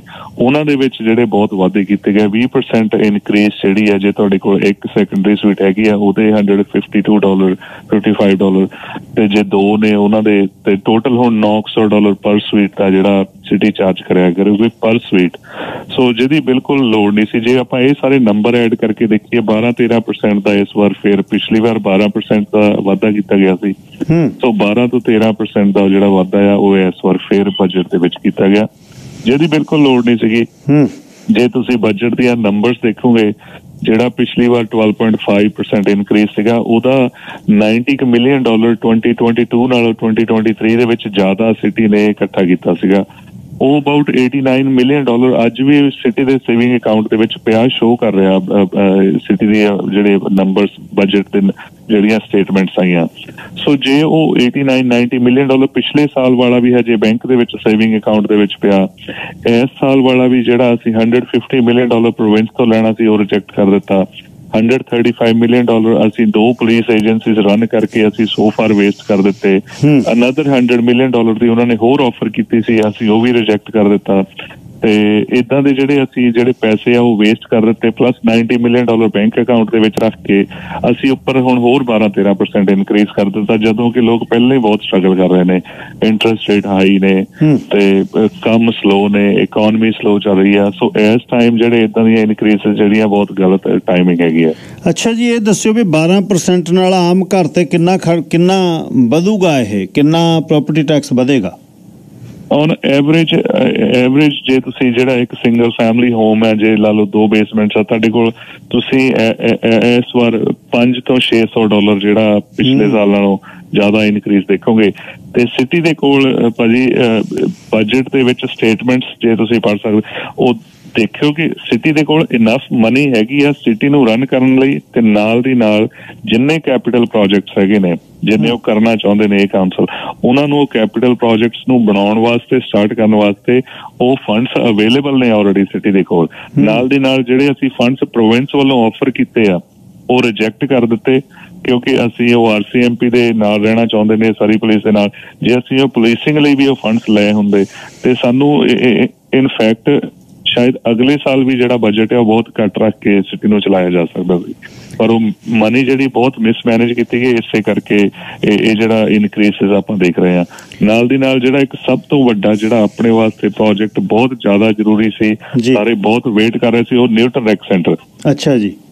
ਸੋ ਨਿਊਟਨ ਰੈਕ ਸੈਂਟਰ ਨੂੰ ਬਿਲਕੁਲ ਕੈਨਸਲ ਕਰ ਦਿੱਤਾ ਗਿਆ ਉਹ ਪ੍ਰੋਜੈਕਟ ਜਿਹੜਾ ਜਿਹੜੀ ਸਾਈਟ ਲਈ ਸੀ ਪਿਛਲੀ ਕਾਉਂਸਲ ਨੇ 7 ਏਕੜ ਦੀ ਲੈਂਡ ਪੁਰਾਣੀ ਰੋਨਾ ਸਾਈਟ ਤੇ 70 ਐਂਡ ਕਿੰਗ ਜਾਰਜ ਦੇ ਉੱਪਰ। ਉਹ ਬਿਲਕੁਲ ਕੈਨਸਲ ਕਰ ਦਿੱਤਾ ਗਿਆ। ਉਹ ਪ੍ਰੋਜੈਕਟ ਵਾਸਤੇ ਬਿਲਕੁਲ ਕੋਈ ਵੀ ਮਨੀ 2024 ਦੇ ਵਿੱਚ ਨਹੀਂ ਹੈਗੀ। ਇਹ ਕਹਿ ਰਹੇ ਨੇ ਕਿ ਨਿਊਟਨ ਰੈਕ ਸੈਂਟਰ ਜਿਹੜਾ ਬਜਟ ਦੇ ਵਿੱਚ ਉਹ east of King King George ਉੱਥੇ ਕੋਈ ਸਾਈਟ ਮੈਨੂੰ ਅੱਜ ਤੱਕ ਕੋਈ ਦੇਖਣ ਨੂੰ ਨਹੀਂ ਮਿਲੀ ਜਿਹੜੀ ਕਿ ਰੈਡੀ ਹੋਵੇ ਕਿ ਨਿਊਟਨ ਰੈਕ ਸੈਂਟਰ ਬਣਨ ਵਾਸਤੇ। ਇਹ ਸਾਈਟ ਹੈਗੀ ਆ। ਕੋਈ ਐਡਰੈਸ ਨਹੀਂ ਦਿੱਤਾ ਗਿਆ। ਪਰ ਜਿਹੜੀ ਸਾਈਟ ਰੈਡੀ ਸੀ ਸ਼ਵਲ ਰੈਡੀ ਉਹਨੂੰ ਕੈਨਸਲ ਕਰ ਦਿੱਤਾ ਗਿਆ ਹੈ।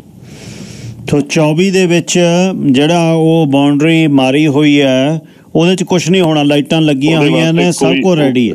ਉਹਦੇ ਵਾਸਤੇ ਬਜਟ ਦੇ ਵਿੱਚ ਕੋਈ ਵੀ ਪੈਸਾ ਨਹੀਂ ਹੈਗਾ ਬਿਲਕੁਲ ਵੀ ਨਹੀਂ ਜ਼ੀਰੋ ਅੱਛਾ ਜੀ ਕ੍ਰਾਈਮ ਪ੍ਰੀਵੈਂਸ਼ਨ ਦਾ ਤੇ ਪੁਲਿਸ ਟ੍ਰਾਂਜੀਸ਼ਨ ਬਾਰੇ ਇਹਦੇ ਚ ਕੀ ਕਹਿਣਾ ਚਾਹੁੰਦੇ ਹੋ? ਵੈਲ ਕ੍ਰਾਈਮ ਪ੍ਰੀਵੈਂਸ਼ਨ ਨੂੰ ਬਹੁਤ 1982 ਤੋਂ ਇਹ ਸੁਸਾਇਟੀ ਚੱਲ ਰਹੀ ਹੈ। ਇਸ ਟਾਈਮ ਇਹਦੇ ਕੋਲ 500 ਐਕਟਿਵ ਵੋਲੰਟੀਅਰਸ ਨੇ ਤੇ ਓਵਰ 5 ਤੋਂ 6000 ਜਿਹੜੇ ਯੂਥ ਵੋਲੰਟੀਅਰਸ ਉਹ ਇਥੋਂ, ਇੱਥੇ ਕੰਮ ਕਰਕੇ ਵੋਲੰਟੀਅਰ ਕਰਕੇ ਉਹ ਚੰਗੀ ਪੋਜੀਸ਼ਨ ਤੇ ਨੇ ਚਾਹੇ ਉਹ ਪੁਲਿਸ ਆਫੀਸਰਸ ਨੇ ਚਾਹੇ ਹੋਰ ਇਦਾਂ ਸੇਫਟੀ ਨੂੰ ਲੈ ਕੇ ਹੋਰ ਕਿਸੇ ਹੋਰ ਫੀਲਡਸ ਦੇ ਵਿੱਚ ਬਹੁਤ ਐਕਸਪਰਟਸ ਨੇ। ਸੋ ਉਹਨਾਂ ਨੂੰ ਚੰਗੀ ਇੱਕ ਗਾਈਡੈਂਸ ਮਿਲੀ ਇਸ ਸੋਸਾਇਟੀ ਵੱਲੋਂ ਵੋਲੰਟੀਅਰ ਕਰਨ ਦੀ ਕਰਨ ਦੀ ਓਪਰਚ्युनिटी ਮਿਲੀ ਚੰਗੀ ਸੋਸਾਇਟੀ ਮਿਲੀ ਚੰਗੇ ਫਰੈਂਡਸ ਮਿਲੇ। ਚੰਗੀ ਸਕਿੱਲ ਡਿਵੈਲਪਮੈਂਟ ਮਿਲੀ।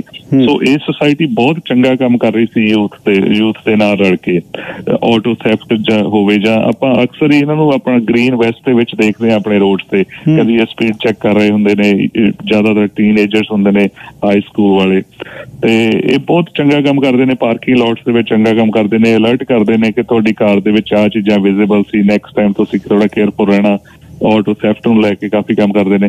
ਸੋ ਇਹ ਸੁਸਾਇਟੀ ਦੀ ਫੰਡਿੰਗ ਬਿਲਕੁਲ ਰੋਕ ਦਿੱਤੀ ਗਈ ਹੈ ਬਿਲਕੁਲ ਬੰਦ ਕਰ ਦਿੱਤੀ ਗਈ ਹੈ ਵਿਦਆਊਟ ਕੋਈ ਰੀਜ਼ਨ ਦਿੱਤਿਆਂ ਹੂੰ। ਕੋਈ ਡਿਸਕਸ਼ਨ ਬਜਟ ਮੀਟਿੰਗ ਤੋਂ ਪਹਿਲੇ ਅੱਜ ਤੱਕ ਕੋਈ ਡਿਸਕਸ਼ਨ ਨਹੀਂ ਹੋਈ ਕੋਈ ਇੰਡੀਕੇਸ਼ਨ ਨਹੀਂ ਦਿੱਤੀ ਗਈ। ਬਾਕੀ ਦੇ ਜਿਹੜੇ ਕਾਉਂਸਲ ਮੈਂਬਰਸ ਨੇ ਕਿ ਉਹ ਕਿਉਂ ਕਰਨਾ ਚਾਹੁੰਦੇ ਨੇ? ਉਹਨਾਂ ਦਾ ਮੇਅਰ ਲੌਕ ਤੇ ਉਹਨਾਂ ਦੀ ਟੀਮ ਦਾ ਇਹ ਪਲਾਨ ਹੈ। ਸੋ ਈਵਨ ਬਜਟ ਦੀ ਮੀਟਿੰਗ ਦੇ ਵਿੱਚ ਵੀ ਉਹਨਾਂ ਨੂੰ ਪੁੱਛਿਆ ਗਿਆ ਕਿ ਇਹਦੀ ਰੀਜ਼ਨ ਕੀ ਹੈ ਉਹਨਾਂ ਦੇ ਕੋਲ ਕੋਈ ਵੀ ਰੀਜ਼ਨ ਨਹੀਂ ਸੀਗੀ। ਸੋ ਸੋ ਵਿਦਆਊਟ ਕੋਈ ਰੀਜ਼ਨ ਦਿੱਤਾ crime stoppers Surrey crime prevention ਵਰਗੀਆਂ ਜਿਹੜੀਆਂ ਸੁਸਾਇਟੀਆਂ ਹੈ ਜਿਹੜੀਆਂ ਕ੍ਰਾਈਮ ਨੂੰ ਪ੍ਰੀਵੈਂਟ ਕਰਦੀਆਂ ਨੇ ਪੁਲਿਸ ਦੇ ਨਾਲ ਰਲ ਕੇ। ਇਦਾਂ ਦੀਆਂ ਜਿਹੜੀਆਂ ਏਜੰਸੀਜ਼ ਹੈ ਉਹਨਾਂ ਦੀ ਜਿਹੜੀ ਇਹ ਫੰਡਿੰਗ ਰੋਕ ਦੇਣੀ ਬਹੁਤ ਗਲਤ ਡਿਸੀਜਨ ਹੈਗਾ। ਸੋ ਇਹ ਇੱਕ ਸ਼ੋਅ ਕਰਦਾ ਕਿ ਇੱਕ ਇਹ ਜਿਹੜਾ ਬਜਟ ਸੀਗਾ ਇਹ ਇੱਕ ਆਰਸੀਐਮਪੀ ਨੂੰ ਰੱਖਣ ਵਾਸਤੇ ਤੇ ਜਿਹੜੀ ਪੁਰਾਣੀ ਕਾਉਂਸਲ ਆ ਉਹਦੇ ਤੋਂ ਜਿਹੜੇ ਵੀ ਚੱਲਦੇ ਪ੍ਰੋਜੈਕਟ ਆ ਉਹਨਾਂ ਦੇ ਚੱਲਦੇ ਪ੍ਰੋਜੈਕਟ ਰੋਕਣ ਤੋਂ ਬਿਨਾ ਹੋਰ ਇਸ ਬਜਟ ਦੇ ਵਿੱਚ ਕੁਝ ਨਹੀਂ ਸੀਗਾ। ਅੱਛਾ ਜੀ ਪੁਲਿਸ ਟ੍ਰਾਂਜੀਸ਼ਨ ਨੂੰ ਕਿਉਂਕਿ ਤੁਸੀਂ ਤੇ ਮੇਅਰ ਮਕਲਮ ਨੇ ਇਨੀਸ਼ੀਏਟਿਵ ਲਿਆ ਸੀ ਸਰੀ ਪੁਲਿਸ ਦਾ ਤੇ ਉਸ ਤੋਂ ਬਾਅਦ ਮਰਿੰਡਾ ਲਾਅ ਕੋਣੀ ਆ ਗਏ ਉਹਨਾਂ ਨੇ। ਜਿਹੜਾ ਇਨੀਸ਼ੀਏਟਿਵ ਲਿਆ ਸੀ ਮੈਂ ਪੁਲਿਸ ਰੱਖੂੰਗੀ ਆਰਸੀਐਮਪੀ ਸੋ ਹੁਣ ਗੱਲ ਸਾਡੇ ਸੋਲਿਸਟਰ ਜਨਰਲ ਉਹਨਾਂ ਨੇ ਕਹਿ ਦਿੱਤਾ ਵੀ 29 ਨਵੰਬਰ ਤੋਂ ਬਾਅਦ ਆਰਸੀਐਮਪੀ ਦੀ ਜਗ੍ਹਾ ਸਰੀ ਪੁਲਿਸ ਟੇਕ ਓਵਰ ਕਰੇਗੀ। ਇਹਦੇ ਬਾਰੇ ਕੀ ਕਹਿਣਾ ਚਾਹੁੰਦੇ ਹੋ? ਜੀ, ਬਿਲਕੁਲ। ਇਹ ਦੇਖੋ, ਜਦੋਂ ਇਹ ਸਾਰੀ ਗੱਲ ਸਟਾਰਟ ਹੋਈ, ਮੇਅਰ ਲੋਕ ਵੀ ਉਸ ਚੀਜ਼ ਦਾ ਪਾਰਟ ਸੀਗੇ। ਉਹਨਾਂ ਨੇ ਵੀ ਦਿਨ ਰਾਤ ਕੈਂਪੇਨ ਲੋਕਾਂ ਦੇ ਘਰਾਂ ਦੇ ਵਿੱਚ ਜਾ ਜਾ ਕੇ ਦੱਸਿਆ ਕਿ ਕਿੰਨੀ ਕੁ ਵਧੀਆ ਇਫੈਕਟਿਵ ਜਿਹੜੀ ਮਿਊਨਿਸਪਲ ਪੁਲਿਸ ਹੁੰਦੀ ਆ। ਤੇ ਦਿਨ ਰਾਤ ਉਹਨਾਂ ਨੇ ਇਹ ਰੇਡੀਓਸ ਤੇ ਵੀ ਮੀਡੀਆ ਤੇ ਸੋਸ਼ਲ ਮੀਡੀਆ ਤੇ ਦੱਸਿਆ ਲੋਕਾਂ ਨੂੰ। ਕਿ ਕਿੰਨਾ ਇਫੈਕਟਿਵ ਹੈ ਜਿਹੜੀ ਮਿਊਨਿਸਪਲ ਪੁਲਿਸ ਹੁੰਦੀ। ਉਸ ਤੋਂ ਬਾਅਦ ਇਹ ਸਾਰਾ ਕੁਝ ਚੱਲਿਆ। ਜਦੋਂ ਜਿਹੜਾ ਆਪਣਾ ਸਰੀ ਪੁਲਿਸ ਡਿਪਾਰਟਮੈਂਟ ਐਡਾ ਵੱਡਾ ਡਿਪਾਰਟਮੈਂਟ ਬਣ ਗਿਆ ਕਿ ਵੈਨਕੂਵਰ ਤੋਂ ਬਾਅਦ ਆ ਸੈਕੰਡ ਬਿਗੇਸਟ ਬੀਸੀ ਦਾ ਹੋ ਗਿਆ ਫਿਰ ਉਹਨਾਂ ਨੇ ਮਾਈਂਡ ਬਦਲ ਲਿਆ ਉਹ ਕਹਿੰਦੇ ਮੇਬੀ ਨਹੀਂ ਹੁਣ ਮੇਰਾ ਮਾਈਂਡ ਚੇਂਜ ਹੋ ਗਿਆ। ਹੁਣ ਆਰਸੀਐਮਪੀ ਰੱਖਣ ਦੀ ਜ਼ਰੂਰਤ ਹੈਗੀ ਆ। ਗੋਡ ਨੂੰ ਸਤੇ ਕਿਉਂ ਹੋਇਆ ਉਹਨਾਂ ਨੇ ਡਿਸੀਜਨ ਕਿਉਂ ਬਣਾਇਆ। ਬਟ ਫਾਈਨਲੀ ਇਹ ਜਿਹੜੀ ਬਾਲ ਸੀ ਇਹ ਪ੍ਰੋਵਿੰਸ਼ੀਅਲ ਗਵਰਨਮੈਂਟ ਦੇ ਕੋਰਟ ਦੇ ਵਿੱਚ ਸੀ। ਸੋ ਉਹਨਾਂ ਨੇ ਇਹ ਜਿਹੜੇ ਸੋਲਿਡ ਡਿਸੀਜਨਸ ਲੈ ਨੇ ਉਹਨਾਂ ਦਾ ਕਰਕੇ ਇਹ ਜਿਹੜੀ ਪੁਲਿਸ ਟ੍ਰਾਂਜੈਕਸ਼ਨ ਹੈ, ਇਹ ਕੰਟੀਨਿਊ ਹੋ ਰਿਹਾ। ਉਹਨਾਂ ਨੇ ਜਿਹੜਾ 150 million dollar city of Surrey ਨੂੰ ਦਿੱਤਾ ਸੀਗਾ। ਉਹ ਕਹਿੰਦੇ ਕਿ ਅਸੀਂ 150 ਮਿਲੀਅਨ ਡਾਲਰ ਆਪ ਯੂਜ਼ ਕਰਾਂਗੇ ਤੇ ਜਿਹੜਾ ਟ੍ਰਾਂਜੈਕਸ਼ਨ ਆ ਇਹਨੂੰ ਕੰਪਲੀਟ ਕਰਾਂਗੇ ਤੇ ਨਵੰਬਰ 29 ਨੂੰ ਸਰੀ ਪੁਲਿਸ ਜਿਹੜੀ ਆ ਉਹ ਟੇਕ ਓਵਰ ਕਰ ਲੇਗੀ ਪੁਲਿਸ ਆਫ ਜੂਰਿਸਡਿਕਸ਼ਨ ਬਣ ਜਾਏਗੀ ਸਰੀ ਪੁਲਿਸ ਆਰਸੀਐਮਪੀ ਤੋਂ ਟੇਕ ਓਵਰ ਕਰ ਲੇਗੀ ਆਰਸੀਐਮਪੀ ਡੈਫੀਨਿਟਲੀ ਨਾਲ ਕੰਮ ਕਰਨਗੇ ਸਰੀ ਪੁਲਿਸ ਦੇ ਜਿੰਨਾ ਚਿਰ ਟ੍ਰਾਂਜੈਕਸ਼ਨ ਫੁੱਲੀ ਕੰਪਲੀਟ ਨਹੀਂ ਹੁੰਦਾ ਸ਼ਾਇਦ 2 ਸਾਲ ਲੱਗ ਜਾਣ। ਸੋ ਫੁੱਲੀ ਕੰਪਲੀਟ ਕਰਨ ਤੱਕ ਆਰਸੀਐਮਪੀ ਨਾਲ ਕੰਮ ਕਰੇਗੀ ਬਟ ਨਵੰਬਰ ਦੇ ਵਿੱਚ ਇਸ ਸਾਲ ਸਰੀ ਜਿਹੜੀ ਐਸਪੀਐਸ ਆ ਉਹ ਸਰੀ ਪੁਲਿਸ ਆਫ ਜੂਰਿਸਡਿਕਸ਼ਨ ਬਣ ਜਾਏਗਾ। ਸੋ ਅ, ਬਹੁਤ ਹਰਡਲਸ ਬਹੁਤ ਇਹਨਾਂ ਨੇ ਰੋਕਣ ਦੀ ਟਰਾਈ ਕੀਤੀ। ਪਿਛਲੇ ਅ, 18 ਮਹੀਨੇ ਹੋ ਗਏ ਨੇ ਇਲੈਕਸ਼ਨ ਹੋਈ ਨੂੰ। ਐਵਰੇਜ ਔਨ ਐਵਰੇਜ 5 ਤੋਂ 6 ਮਿਲੀਅਨ ਡਾਲਰ ਪਰ ਮੰਥ ਦੀ ਕਾਸਟ ਆ ਰਹੀ ਹੈ ਪਰ ਮੰਥ ਦੀ ਕਾਸਟ। ਤੁਸੀਂ ਦੇਖੋ ਕਿੰਨੇ ਪ੍ਰੋਜੈਕਟਸ ਇਦਾਂ ਦੇ ਇਸ ਪੈਸੇ ਨਾਲ ਆਪਾਂ ਕਰ ਸਕਦੇ ਸੀਗੇ। ਕਿੰਨੇ ਆਪਾਂ ਸ਼ੈਲਟਰਸ ਬਣਾ ਸਕਦੇ ਸੀ ਆਪਣੇ ਪਾਰਕਸ ਦੇ ਵਿੱਚ ਸੀਨੀਅਰਸ ਵਾਸਤੇ। ਕਿੰਨੇ ਆਪਾਂ ਵਾਕਿੰਗ ਟਰੈਕਸ ਬਣਾ ਸਕਦੇ ਸੀਗੇ। ਮੈਨੂੰ ਲੱਗਦਾ ਕਿ ਹਰ ਇੱਕ ਮਹੀਨੇ ਇੱਕ ਨਵਾਂ ਪ੍ਰੋਜੈਕਟ ਇੱਕ ਨਵੇਂ ਨੇਬਰਹੁੱਡ ਦੇ ਵਿੱਚ ਵਿੱਚ ਕੀਤਾ ਜਾ ਸਕਦਾ ਸੀ। ਪਰ ਉਹ ਕਰ- ਉਹ ਨਹੀਂ ਕੀਤਾ ਗਿਆ। ਇਹ ਜਿਹੜੀ ਮਨੀ ਵੇਸਟ ਕੀਤੀ ਗਈ ਹੈ, ਇਹਨੂੰ ਇਹਨੂੰ ਰੋਕਣ ਵਾਸਤੇ। ਸੋ ਫਾਈਨਲੀ ਹੋ ਰਿਹਾ। ਇੱਕ ਰਿਲੀਫ ਆ, ਮੈਨੂੰ ਲੱਗਦਾ ਕਿ ਚਲੋ, ਜੇ 2 ਸਾਲ ਦੇ 2 ਸਾਲ 24 ਮਹੀਨਿਆਂ ਦੇ ਵਿੱਚ 5 ਤੋਂ 6 million dollar per month waste ਹੋਇਆ ਬਟ ਐਟ ਲੀਸਟ ਉਹਦਾ ਐਂਡ ਹੁਣ ਜਲਦੀ ਦਿਸ ਰਿਹਾ ਕਿ ਨਵੰਬਰ ਦੇ ਵਿੱਚ ਇਹ ਸਾਰੀ ਜਿਹੜੀ ਮਨੀ ਵੇਸਟ ਹੋ ਰਹੀ ਹੈ ਨਵੰਬਰ ਤੱਕ ਇਹਦਾ ਐਂਡ ਹੋ ਜਾਏਗਾ ਅੱਛਾ ਜੀ ਇਹ ਦੱਸਿਓ ਅਖੀਰ ਦੇ ਵਿੱਚ ਮੈਂ ਉੱਪਰ ਚਲੇ ਗਿਆ ਖਬਰਾਂ ਤੋਂ ਇੱਕ ਮਿੰਟ ਜਾਂਦੇ ਜਾਂਦੇ ਦੱਸਿਓ ਸੈਕੰਡਰੀ ਸੂਈਟ ਦੇ ਬਾਰੇ ਕੀ। ਕਹਾਣੀਆਂ ਹੁਣ ਦੂਸਰੀ ਬੇਸਮੈਂਟ ਬਣ ਸਕਦੀ ਹੈ ਇੱਕ ਤੋਂ ਬਾਅਦ ਜਾਂ ਦੂਜੀ ਜਾਂ ਕੀ ਹੈ ਇਹ ਨਹੀਂ ਬਿਲਕੁਲ। ਜਿਹੜੀਆਂ ਪਹਿਲੇ ਬਣੀਆਂ ਹੋਈਆਂ ਜਿਹੜੀਆਂ ਰਜਿਸਟਰਡ ਨੇ ਆਲਰੇਡੀ ਸਵੀਟਸ ਬਣੀਆਂ ਹੋਈਆਂ ਨੇ ਉਹ ਇਦਾਂ ਨਹੀਂ ਕਹਿ ਰਹੇ ਕਿ ਤੁਸੀਂ ਹੁਣ ਬਾਈ ਆਲ ਮੀਨਸ ਬਣਾ ਸਕਦੇ ਹੋ। ਉਹ ਕਹਿੰਦੇ ਜਿਹੜੀਆਂ ਬਣੀਆਂ ਹੋਈਆਂ ਨੇ ਉਹਨਾਂ ਨੂੰ ਤੁਸੀਂ ਰਜਿਸਟਰ ਕਰਾ ਸਕਦੇ ਹੋ। ਤੇ ਜਿਹੜਾ ਹੁਣ ਰਜਿਸਟਰ ਕਰਾਉਂਗੇ ਉਹਦੀ ਇੱਕ ਦੀ ਜਿਹੜੀ ਫੀਸ ਆ ਉਹ 890 ਡਾਲਰਸ ਹੋਏਗੀ। ਜੇ ਦੋ ਨੇ ਤੇ ਉਹਦੀ ਵੀ ਦੂਸਰੀ ਦੀ ਵੀ 890 ਹੋਏਗੀ ਤੇ ਜੇ ਤਿੰਨ ਰਜਿਸਟਰਡ ਨੇ ਜਿਹੜੀਆਂ ਕਿ ਇਲੀਗਲ ਤੇ ਹੈ ਪਰ ਜੇ ਤੁਹਾਡੀਆਂ ਜੇ ਤੀਜੀ ਵੀ ਰਜਿਸਟਰ ਹੁੰਦੀ ਆ ਸੋ ਪਰ ਸਵੀਟ 890 ਡਾਲਰਸ ਲੱਗਿਆ ਕਰਨਗੇ ਸਾਲ ਦੇ। ਅੱਛਾ। ਜੀ।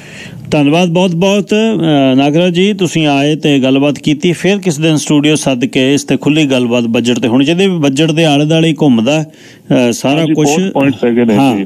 ਬਹੁਤ ਪੁਆਇੰਟਸ ਹੈਗੇ ਨੇ ਜਿਹੜੇ ਆਪਾਂ ਨੂੰ ਮੈਨੂੰ ਲੱਗਦਾ ਕਿ ਬਾਹਰ ਆਪਾਂ ਨੂੰ ਕਮਿਊਨਿਟੀ ਨੂੰ ਦੱਸਣ ਦੀ ਜ਼ਰੂਰਤ ਆ ਅਵੇਅਰ ਕਰਨ ਦੀ ਜ਼ਰੂਰਤ ਆ। ਤੇ ਇੱਕ ਬਹੁਤ ਵੱਡੀ ਗੱਲ ਆ ਕਿ ਨਿਊਟਨ ਰੈਕ ਸੈਂਟਰ ਵਰਗਾ ਜਿਹੜਾ ਆਪਣੀ ਫੈਸਿਲਿਟੀ ਬਣ ਰਹੀ ਸੀ ਉਹਨੂੰ ਕੈਨਸਲ ਕਰ ਦਿੱਤਾ ਗਿਆ। ਪਰ ਫਾਈਨੈਂਸ ਕਮੇਟੀ ਦੇ ਵਿੱਚ ਜਦੋਂ ਪਬਲਿਕ ਹੀਅਰਿੰਗ ਹੋਈ ਉਦੋਂ ਸਿਰਫ ਤਿੰਨ ਸਪੀਕਰ ਸੀਗੇ ਇੱਕ Surrey board Surrey board of trade ਤੋਂ ਸੀਗੇ এনवायरमेंटਲ ਪਾਰਟਨਰ ਗਰੁੱਪਸ ਤੋਂ ਦੋ ਸਪੀਕਰ ਸੀਗੇ ਹੋਰ ਕੋਈ ਵੀ ਉੱਥੇ ਪਹੁੰਚਿਆ ਨਹੀਂ। ਸੋ ਇਦਾਂ ਦੇ ਆ ਬਹੁਤ ਆਪਣੇ ਜਿਹੜੇ ਟਾਪਿਕਸ ਹੈ ਮੈਨੂੰ ਲੱਗਦਾ ਡਿਸਕਸ ਕਰਨੇ ਚਾਹੀਦੇ। ਸੋ ਨੈਕਸਟ ਟਾਈਮ ਥੋੜਾ ਜਿਹਾ ਆਪਾਂ ਵੱਧ ਟਾਈਮ ਤੁਸੀਂ ਦਿਓ ਤੇ ਫਿਰ ਡੈਫਲੀ ਇਹ ਗੱਲਾਂ ਡਿਸਕਸ ਕਰਾਂਗੇ। ਸ਼ੋਰ ਜੀ ਤੁਹਾਨੂੰ ਸਟੂਡੀਓ ਸੱਦਾਂਗਾ ਮੈਂ ਬੈਠ ਕੇ ਫਿਰ ਗੱਲਬਾਤ ਹੋਏਗੀ। Thank you thank you so much thank you councillor Mandeep Singh Nagra city of Surrey ਦੇ ਗੱਲਬਾਤ ਕਰ ਰਹੇ ਸੀ ਕਿ ਇਸ ਬਜਟ ਦੇ ਵਿੱਚ ਕੀ ਹੈ।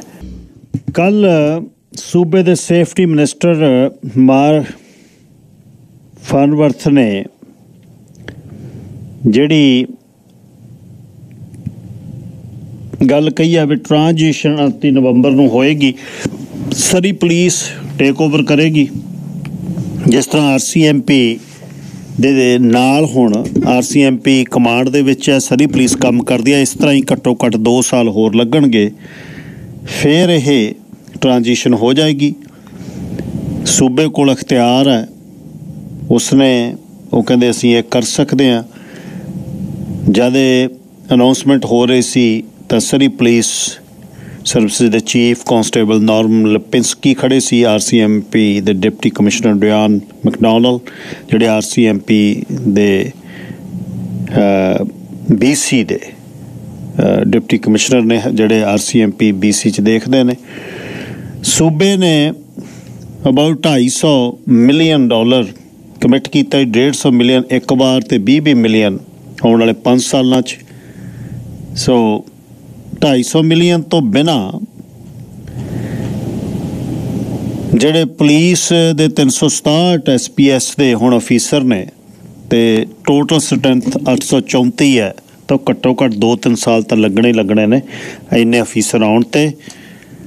ਹੁਣੇ ਟਵੀਟ ਜਿਹੜਾ ਇੱਕ ਰੌਬ ਸ਼ਾਹ ਦਾ ਜਰਨਲਿਸਟ ਨੇ ਜਿਹੜੇ ਰੌਬ ਸ਼ਾਹ, ਉਹਨਾਂ ਦਾ ਮੈਂ ਪੜਿਆ ਪੜ ਰਿਹਾ, ਜਿਹਦੇ ਵਿੱਚ ਸਰੀ ਨੇ ਆਪਣੀ ਜਿਹੜੀ ਪੁਲਿਸ ਸਰੀ ਸਿਟੀ ਹਾਲ ਨੇ ਰਿਲੀਜ਼ ਕੀਤੀ ਇੱਕ ਰਿਪੋਰਟ ਬਈ ਆਰਸੀਐਮਪੀ ਤੋਂ ਐਸਪੀਐਸ ਦੀ ਟ੍ਰਾਂਜੀਸ਼ਨ ਤੇ 750 ਮਿਲੀਅਨ ਖਰਚਾ ਆਉਣਾ ਆਉਣ ਵਾਲੇ 10 ਸਾਲਾਂ 'ਚ। ਤੇ ਮੇਅਰ ਇਹ ਕਹਿ ਰਹੇ ਨੇ ਬ੍ਰਿੰਡਾ ਲੌਕ ਕੇ ਬੀਸੀਐਨਡੀਪੀ ਇਹ ਇਨਫੋਰਮੇਸ਼ਨ ਪਬਲਿਕ ਨਹੀਂ ਹੋਣ ਦੇਣਾ ਚਾਹੁੰਦੀ ਤੇ ਇਲੀਗਲ ਐਕਸ਼ਨ ਜਿਸ ਦੀ ਡੇਟ ਚੱਲਣੀ ਸ਼ੁਰੂ ਹੋਣੀ ਹੈ ਸੁਪਰੀਮ ਕੋਰਟ ਦੇ ਵਿੱਚ, ਉਹਦੇ ਵਿੱਚ ਇਹ ਚੀਜ਼ ਬਾਹਰ ਆਏਗੀ। ਮੇਅਰ ਦਾ ਬ੍ਰਿੰਡਾ ਲੌਕ ਦਾ ਇਹੀ ਕਹਿਣਾ ਕਿ ਖਰਚਾ ਬਹੁਤ ਆਉਣਾ ਹੈ, ਮੁੜ ਕੇ ਲੋਕਾਂ ਤੇ ਖਰਚਾ ਪੈਣਾ। ਸੂਬਾ ਇਹ ਸਾਨੂੰ ਖਰਚਾ ਨਹੀਂ ਦਿੰਦਾ। ਸੂਬਾ ਕਹਿ ਰਿਹਾ ਵੀ ਅਸੀਂ 300 ਮਿਲੀਅਨ ਡਾਲਰ ਦੇ ਰਹੇ ਹਾਂ। ਸੁਪਰੀਮ ਕੋਰਟ ਦੇ ਵਿੱਚ ਡੇਟ ਇਹ ਸਹੀ ਸਿੱਧ ਹੋਣੀ ਹੈ। ਇਹ ਚੱਲਣੀ ਆ ਪੁਲਿਸ ਟ੍ਰਾਂਜੀਸ਼ਨ ਦੇ ਲਈ ਜਿਹੜਾ ਸਿਟੀ ਆਫ ਸਰੀ ਨੇ ਇਹ ਕੇਸ ਕੀਤਾ ਹੈ ਉਹ ਵੀ ਆਉਣ ਵਾਲੇ ਦਿਨਾਂ ਦੇ ਵਿੱਚ ਸ਼ੁਰੂ ਹੋਣ ਜਾ ਰਿਹਾ ਨੈਕਸਟ ਵੀਕ ਸ਼ਾਇਦ।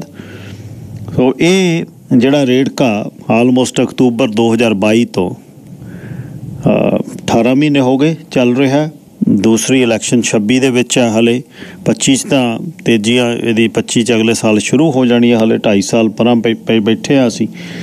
ਸੋ ਤੁਸੀਂ ਇਸ ਟ੍ਰਾਂਜੀਸ਼ਨ ਬਾਰੇ, ਇਹ ਸਿਟੀ ਆਫ ਸਰੀ ਦੇ ਬਜਟ ਦੇ ਬਾਰੇ, ਜਿਹੜਾ 12% ਦਾ ਵਾਧਾ ਹੋਰ 6-700 ਡਾਲਰ ਪਰ ਘਰ ਹੋਰ ਵੱਧ ਜਾਣਾ ਹੈ। ਤੇ ਇਹਦੇ ਬਾਰੇ ਕੀ ਸੋਚਦੇ ਹੋ? ਜਾਂ ਪੁਲਿਸ ਦੀ ਟ੍ਰਾਂਜੀਸ਼ਨ ਦੇ ਬਾਰੇ, ਹੁਣ ਦੋਨੇ ਪੁਲਿਸ ਸਰਵਿਸਿਜ਼ ਖੈਰ ਟ੍ਰਾਂਜੀਸ਼ਨ ਤਾਂ ਇਸ ਤਰ੍ਹਾਂ ਹੀ ਹੋਣੀ ਜਿਵੇਂ ਹੋ ਰਹੀ ਹੈ।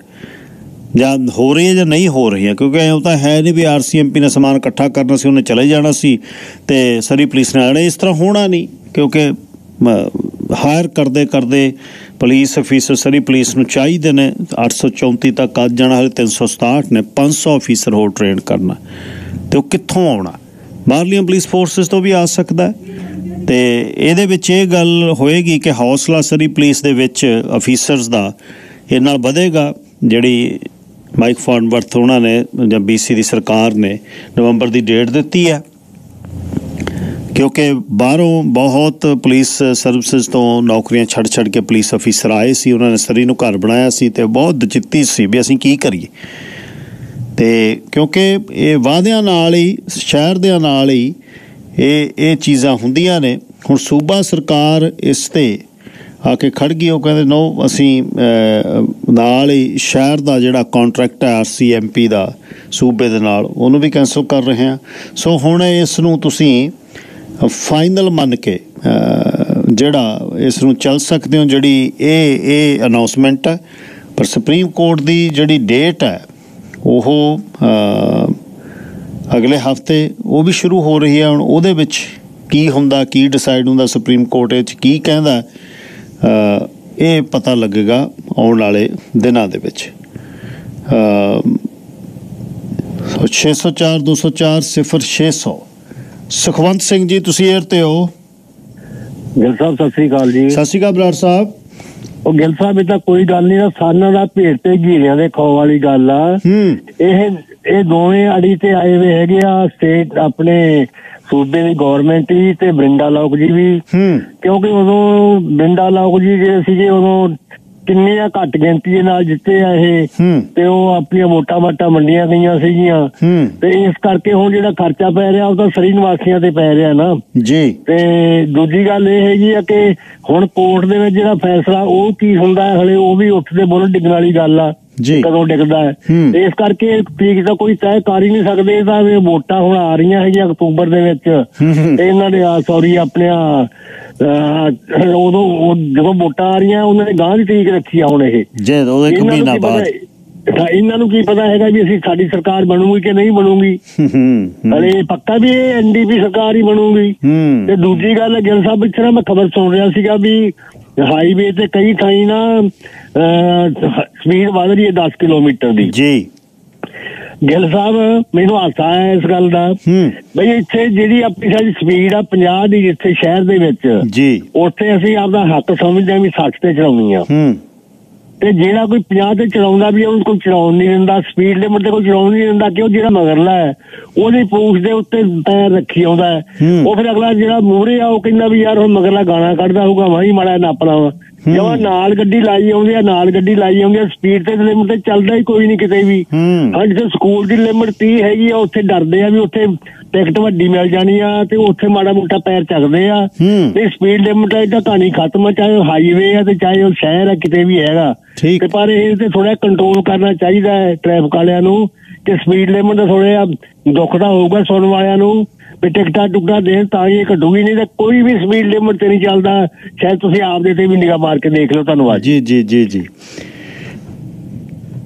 ਮਾਈਕ ਫਾਨਵਰਥ ਉਹਨਾਂ ਨੇ ਕਿਹਾ ਵੀ ਉਹ ਆਉਣ ਵਾਲੇ ਦਿਨਾਂ ਦੇ ਵਿੱਚ ਇੱਕ ਨੋਟਿਸ ਭੇਜ ਰਹੇ ਨੇ ਸਿਟੀ ਆਫ ਨੂੰ, ਜਿਹਦੇ ਵਿੱਚੋਂ ਟਰਮੀਨੇਟ ਕਰ ਰਹੇ ਨੇ ਸਿਟੀ ਦਾ ਪੁਲਿਸ ਯੂਨਿਟ ਦਾ ਐਗਰੀਮੈਂਟ ਸੂਬੇ ਨਾਲ, ਜਿਹਦੇ ਵਿੱਚ RCMP as a police of jurisdiction so jurisdiction ਜਿਹੜਾ ਆਰਸੀਐਮਪੀ ਦੀ ਉਹ ਕੈਨਸਲ ਕਰ ਰਹੇ ਨੇ ਤੇ ਇਸੇ ਤਰ੍ਹਾਂ ਹੀ ਸਰੀ ਆਰਸੀਐਮਪੀ ਜਿਹੜੀ ਆ will be removed from the province policing agreement with the federal government ਉਹਨਾਂ ਨੇ ਕੱਢ ਦੇਣਾ ਕਾਗਜ਼ ਪੱਤਰ ਉਹ ਕਹਿੰਦੇ ਮੈਂ ਹਫ਼ਤੇ 'ਚ ਇਹ ਪੂਰੇ ਕਰ ਦੇਣੇ। ਨਵੰਬਰ ਦੀ ਡੇਟ ਹੈ ਬਾਕੀ ਸਮਾਂ ਦੱਸੇਗਾ। ਸਰਾ ਕੁਲਦੀਪ ਸਿੰਘ ਤੁਸੀਂ 에ਅਰ ਤੇ ਹੋ ਲਾਈਨ ਨੰਬਰ 2 ਸਤਿ ਸ਼੍ਰੀ ਅਕਾਲ ਭਾਜੀ। ਸਤਿ ਸ਼੍ਰੀ ਅਕਾਲ ਸਿੰਘੜਾ ਸਾਹਿਬ। ਭਾਜੀ ਗੱਲ ਇਦਾਂ ਆ ਵੀ ਜਿਹੜਾ ਕੰਮ ਕਰੀ ਜਾਂਦੇ ਲੇਟ ਬਹੁਤ ਕਰੀ ਜਾਂਦੇ ਰਗੜ ਆਪਾਂ ਹੋ ਰਹੇ ਆ। ਹੂੰ। ਆਪਾਂ ਉਖਲੀ ਦੇ ਵਿੱਚ ਆਉਣਾ ਇਸ ਵੇਲੇ ਕਹਿ ਦਈਏ ਬੈਠੇ ਆ ਉਤੋਂ ਪਈ ਜਾਂਦੀ ਸੱਟ ਪਈ ਜਾਂਦੀ ਆ। ਹੁਣ 1200 ਡਾਲਰ ਕਿੱਥੋਂ ਤੁਸੀਂ ਪੇ ਕਰੋਗੇ? ਕਿ 11 11000 ਤੇ ਇੱਕ ਇੱਕ ਘਰ ਦਾ ਅੱਗੇ ਰੈਂਟ ਹੋਇਆ ਹੈ ਉਹਦੀ ਪ੍ਰਾਪਰਟੀ ਟੈਕਸ ਪ੍ਰਾਪਰਟੀ ਟੈਕਸ ਹੋਇਆ ਜੀ ਬਿਲਕੁਲ ਠੀਕ ਹੈ। ਕਿੱਥੋਂ 1200 ਡਾਲਰ ਤੁਸੀਂ ਕੱਢੋਗੇ? 2-2 ਡਾਲਰ ਕਰਕੇ ਵੀ ਆਪਾਂ ਜੇ 100-100 ਵੀ ਪਾਈਏ ਜੇ ਆਪਾਂ ਰੈਂਟ ਚੱਕਦੇ ਆ ਤਾਂ ਅਗਲੇ ਰੈਂਟ ਵਾਲੇ ਵਿਚਾਰੇ ਕਿੱਥੋਂ ਲਿਆਉਣਗੇ? ਜੇ ਆਪਾਂ ਬਾਹਰੋਂ ਕਮਾਉਂਦੇ ਬਾਹਰ ਕੰਮ ਹੈ ਨਹੀਂਗਾ ਹੂੰ। ਇਹ ਤਾਂ ਬੈਠੇ ਕੁਰਸੀਆਂ ਦੇ ਉੱਤੇ ਮੂੰਹ ਹਲਾਈ ਜਾਂਦੇ ਆ ਬਸ ਠੀਕ ਹੈ ਜਿੱਧਰ ਨੂੰ ਮਰਜ਼ੀ ਇਹਨਾਂ ਦੀ ਘੁੱਗੀ ਘਮਾਈ ਜਾਂਦੇ ਆ। ਨਾ ਇਹਨਾਂ ਨੂੰ ਨੌਲੇਜ ਹੈ ਇਸ ਚੀਜ਼ ਦੀ ਨਾ ਵਾਸਤਾ ਵੀ ਬੰਦਾ ਕਿੱਥੋਂ ਕਮਾ ਕੇ ਲਿਆ ਇਹਨੂੰ ਮੈਂ ਸਵੇਰ ਤੋਂ ਸ਼ਾਮ ਤੱਕ ਮੇਰੇ ਨਾਲ ਇੱਕ ਜਣੇ ਨੂੰ ਤੋਰ ਕੌਂਸਲਰ ਨੂੰ ਮੈਂ ਦੇਖੀ ਦੇਣਾ ਮਿੱਟੀ 'ਚ ਕਿੱਦਾਂ ਰੋਲਦਾ। ਹੂੰ। ਮੈਨੂੰ ਪਤਾ ਲੱਗਿਆ ਵੀ ਕਮਾ ਕੇ ਕਿੱਦਾਂ ਲਿਆਉਣੇ ਸਵੇਰ ਤੋਂ ਸ਼ਾਮ ਤਾਈਂ। ਇਹਨਾਂ ਨੇ 1200 ਡਾਲਰ ਭਾਜੀ ਬਹੁਤ ਹੋ ਜਾਂਦਾ ਸਾਲ ਦਾ। ਹਰ ਮੰਥ ਦਾ 200 ਡਾਲਰ ਆ। ਮੇਅਰ ਮੇਅਰ ਕਹਿ ਰਹੇ ਨੇ ਵੀ ਇਹ ਟ੍ਰਾਂਜੀਸ਼ਨ ਤੇ ਖਰਚਾ ਬਹੁਤ ਆਉਣਾ ਹੈ। ਉਹ ਕਹਿੰਦੇ ਮੇਰੀ ਜਿਹੜੀ ਜਿਹੜਾ ਸਾਡਾ ਕੇਸ ਹੈ ਉਹਦੇ ਵਿੱਚ ਅਸੀਂ ਦਿਖਾਉਣਾ ਵੀ 750 ਮਿਲੀਅਨ ਡਾਲਰ ਦੀ ਟ੍ਰਾਂਜੀਸ਼ਨ ਦਾ ਖਰਚਾ ਹੈ। ਸੂਬਾ ਕਹਿ ਰਿਹਾ ਘੱਟ ਆਉਣਾ ਹੈ। ਨਾਨਕਜੀਤ ਸਿੰਘ ਜੀ ਲਾਈਨ ਨੰਬਰ 3 ਗੱਲ ਸਾਹਿਬ ਜੀ ਸਤਿ ਸ੍ਰੀ ਅਕਾਲ। ਜੀ ਸਤਿ ਸ੍ਰੀ ਅਕਾਲ ਵੀਰ ਜੀ। ਦੇਖੋ ਜੀ ਇਹ ਜਿਹੜੀ ਐਨਡੀਪੀ ਆ ਜਾਂ ਆਪਣੀ ਸਾਡੀ ਸ਼ਹਿਰੀ ਦੀ ਮਿਹਰ ਹੈ ਪੋਲਿਟਿਕਸ ਹੋ ਰਹੀ ਆ। ਹੂੰ। ਜੇ ਐਨਡੀਪੀ ਦੇ ਹੱਥ ਵਿੱਚ ਇੰਨਾ ਸੀਗਾ ਤੇ ਇਹਨੀ ਆਹ ਡੇਟ ਕਿਉਂ ਨਵੰਬਰ ਦੀ ਰੱਖੀ ਆ? ਜਦ ਕਿ ਇਲੈਕਸ਼ਨ ਅਕਤੂਬਰ ਵਿੱਚ ਆ। ਇਹ ਆਪਣੀਆਂ ਵੋਟਾਂ ਹਰੀਆਂ ਕਰ ਰਹੇ ਨੇ ਕਿ ਅਸੀਂ ਆਹ ਕਰ ਦੇਣਾ ਉਹ ਕਰ ਦੇਣਾ। ਮਾਈਕ ਫਾਰਮਰ ਤੇ ਆ ਜ਼ਿਆਦਾ ਰੇਟ ਕਾ ਚੱਲਿਆ ਕਿੰਨੇ ਬਿਆਨ ਦੇ ਚੁੱਕਾ ਮੈਂ ਆਹ ਕਰਤਾ ਮੈਂ ਉਹ ਕਰਤਾ। ਉਹ ਤਾਂ ਮਿਹਰ ਤਾਂ ਇਹਨੂੰ ਟੱਚ ਨਹੀਂ ਸਮਝਦੀ। ਹੂੰ। ਰਾਈਟ ਜੀ ਉਹ ਨਵੀਂ ਨਵੀਂ ਹੁਣ ਵੀ ਉਹ ਹੈ ਜੇ ਕਹਿੰਦੀ ਉਹਦਾ ਵਿਆਹ ਆਇਆ ਉਹ ਕਹਿੰਦੀ ਮੈਂ ਕੁਛ ਵੀ ਨਹੀਂ ਹੈਗਾ ਇਹ ਜਿੱਦਾਂ ਦਾ ਹੈਗਾ ਪਹਿਲਾਂ ਉਹ ਇਹਦਾ ਉਹੀ ਆ। ਕਿਉਂਕਿ ਮੇਰੇ ਨਾਲ ਜਦ ਤੱਕ ਕੋਰਟ ਦਾ ਫੈਸਲਾ ਨਹੀਂ ਆਉਂਦਾ, ਉਦ ਤੱਕ ਹੋਣੇ ਨਹੀਂ ਮਣਾ ਕੋਰਟ ਦਾ ਫੈਸਲਾ ਦੇਖੋ ਕੀ ਆਉਂਦਾ। ਦੂਜਾ ਜਿਹੜਾ ਪ੍ਰੋਪਰਟੀ ਟੈਕਸ ਵਧੀ ਜਾਂਦਾ, ਪਿਛਲੇ ਸਾਲ ਇਹ ਕਿਹਾ ਸੀਗਾ 18 19% ਵਧਾਉਣਾ। ਉਦੋਂ ਚਲੋ ਫੰਡਿੰਗ ਮਿਲ ਗਈ ਹੈ, ਇਹਨਾਂ ਨੂੰ ਗਵਰਨਮੈਂਟ ਤੋਂ ਇਹ 12% ਵਧਾਤਾ ਹੁਣ ਜਿਹੜੇ ਆਪਣੇ ਆ ਇਸਦੇ ਕੌਂਸਲਰ ਨਾਗਰਾ ਜੀ, ਉਹ ਕਹਿੰਦੇ ਆ, ਜੋ ਹਿਸਾਬ ਦਾ ਲਾ ਕੇ ਉਹ ਨਹੀਂ ਦੱਸਿਆ, ਉਹ ਕਹਿੰਦੇ 11 12% ਇਹ ਫੇਰ ਅੱਗੇ ਵੱਧ ਗਿਆ। ਨੰਬਰਾਂ ਵਿੱਚ ਇਹ 6-7% ਕਹਿੰਦੇ ਆ ਵੀ 6% ਜਾਂ 7% ਇਨਕਰੀਜ਼ ਹੋ ਗਿਆ ਟੈਕਸ ਉਹ ਕਿੱਥੋਂ ਦਈਏ? ਤੀਜੀ ਗੱਲ ਇਹ ਨਹੀਂ ਆਪਣੇ ਨਿਊਟਰਲ ਦਾ ਇੱਕ ਸੈਂਟਰ ਕੈਂਸਲ ਕਰ ਦਿੱਤਾ। ਟੈਕਸ ਟੈਕਸ ਭਈ ਆਈ ਤਾਂ ਦਿੰਦੇ ਸਾਨੂੰ ਕੁਛ ਨਹੀਂ ਤੇ ਨਾਲੇ ਜਿਹੜਾ ਪੁਲਿਸ ਦਾ ਰੇਟ ਆ ਉਹਦੇ ਵਿੱਚ ਨੰਬਰਾਂ ਹੀ ਤਾਂ ਕੋਈ ਕਲੈਰਿਟੀ ਨਹੀਂ ਐਨਟੀਪੀ ਕੁਛ ਕਹਿੰਦੀ ਆ ਇਹ ਕੁਛ ਕਹਿੰਦੇ ਜਦ ਤੱਕ ਨੰਬਰਾਂ 'ਚ ਨਹੀਂ ਕਲੈਰਿਟੀ ਉਹਦੀ ਵੀ ਕਿੰਨਾ ਖਰਚਾ ਕੀ ਹੋਣਾ ਉਦ ਤੱਕ ਤਾਂ ਇਹ ਛੋਛੋ ਪੰਚ ਹੀ ਆ। ਬਿਲਕੁਲ ਜੀ ਸ- ਮੇਅਰ 750 ਮਿਲੀਅਨ ਕਹਿ ਰਿਹਾ ਮੈਂ ਹੁਣੇ ਰੌਬ ਸ਼ਾਹ ਦਾ ਜਿਹੜਾ ਟਵੀਟ ਪੜਿਆ। ਪ੍ਰਹਾਰ ਜੀ ਤੁਸੀਂ 에ਅਰ ਤੇ ਹੋ ਲਾਈਨ ਨੰਬਰ 4 ਸਤਿ ਸ਼੍ਰੀ ਅਕਾਲ ਜੀ। ਜੀ ਸਤਿ ਸ੍ਰੀ ਅਕਾਲ। ਮੇਰਾ ਇੱਕ ਸੈਕਿੰਡ ਇੱਕੋ ਕੁਐਸਚਨ ਹੈ ਜੀ ਕਿ ਜਦ ਗਵਰਨਮੈਂਟ ਚੇਂਜ ਹੁੰਦੀ ਹੈ ਜੈਸੇ ਐਨਡੀਪੀ ਹਾਰ ਗਈ ਤਾਂ ਦੂਸਰੀ ਕੋਈ ਗਵਰਨਮੈਂਟ ਆਂਦੀ ਹੈਗੀ ਆ। ਕੰਜ਼ਰਵੇਟਿਵ ਜਾਂ ਦੂਸਰੀ। ਉਹ ਉਹ- ਉਹਦੇ ਤੇ ਕਿੰਨਾ ਖਰਚਾ ਆਉਂਦਾ ਉਹ ਕਿੰਨੇ ਦਿਨਾਂ ਚ ਚੇਂਜ ਹੋ ਜਾਂਦੀ ਆ ਟ੍ਰਾਂਜੀਸ਼ਨ ਤਾਂ ਉਹਦਾ ਤਾਂ ਕੋਈ ਟ੍ਰਾਂਜੀਸ਼ਨ ਨਹੀਂ ਜੀ ਹੁੰਦਾ ਉਹੀ ਦਫ਼ਤਰ ਨੇ ਉਹੀ ਚੀਜ਼ਾਂ ਨੇ ਉਹੀ ਤਨਖਾਹ ਹੈ ਉਹਦਾ ਤਾਂ ਕੋਈ ਫ਼ਰਕ ਨਹੀਂ ਹੋਣਾ ਜੀ ਇੱਥੇ ਵੀ ਤਾਂ ਇੱਥੇ ਵੀ ਤਾਂ ਆਫਿਸਰ ਕਹੂਗਾ ਵੀ ਠੀਕ ਹੈ ਤੂੰ ਜਾ ਵੀ ਦੂਸਰਾ ਅਫਸਰ ਤੇਰੀ ਚੇਅਰ ਤੇ ਬਹਿ ਜਾਂਦਾ।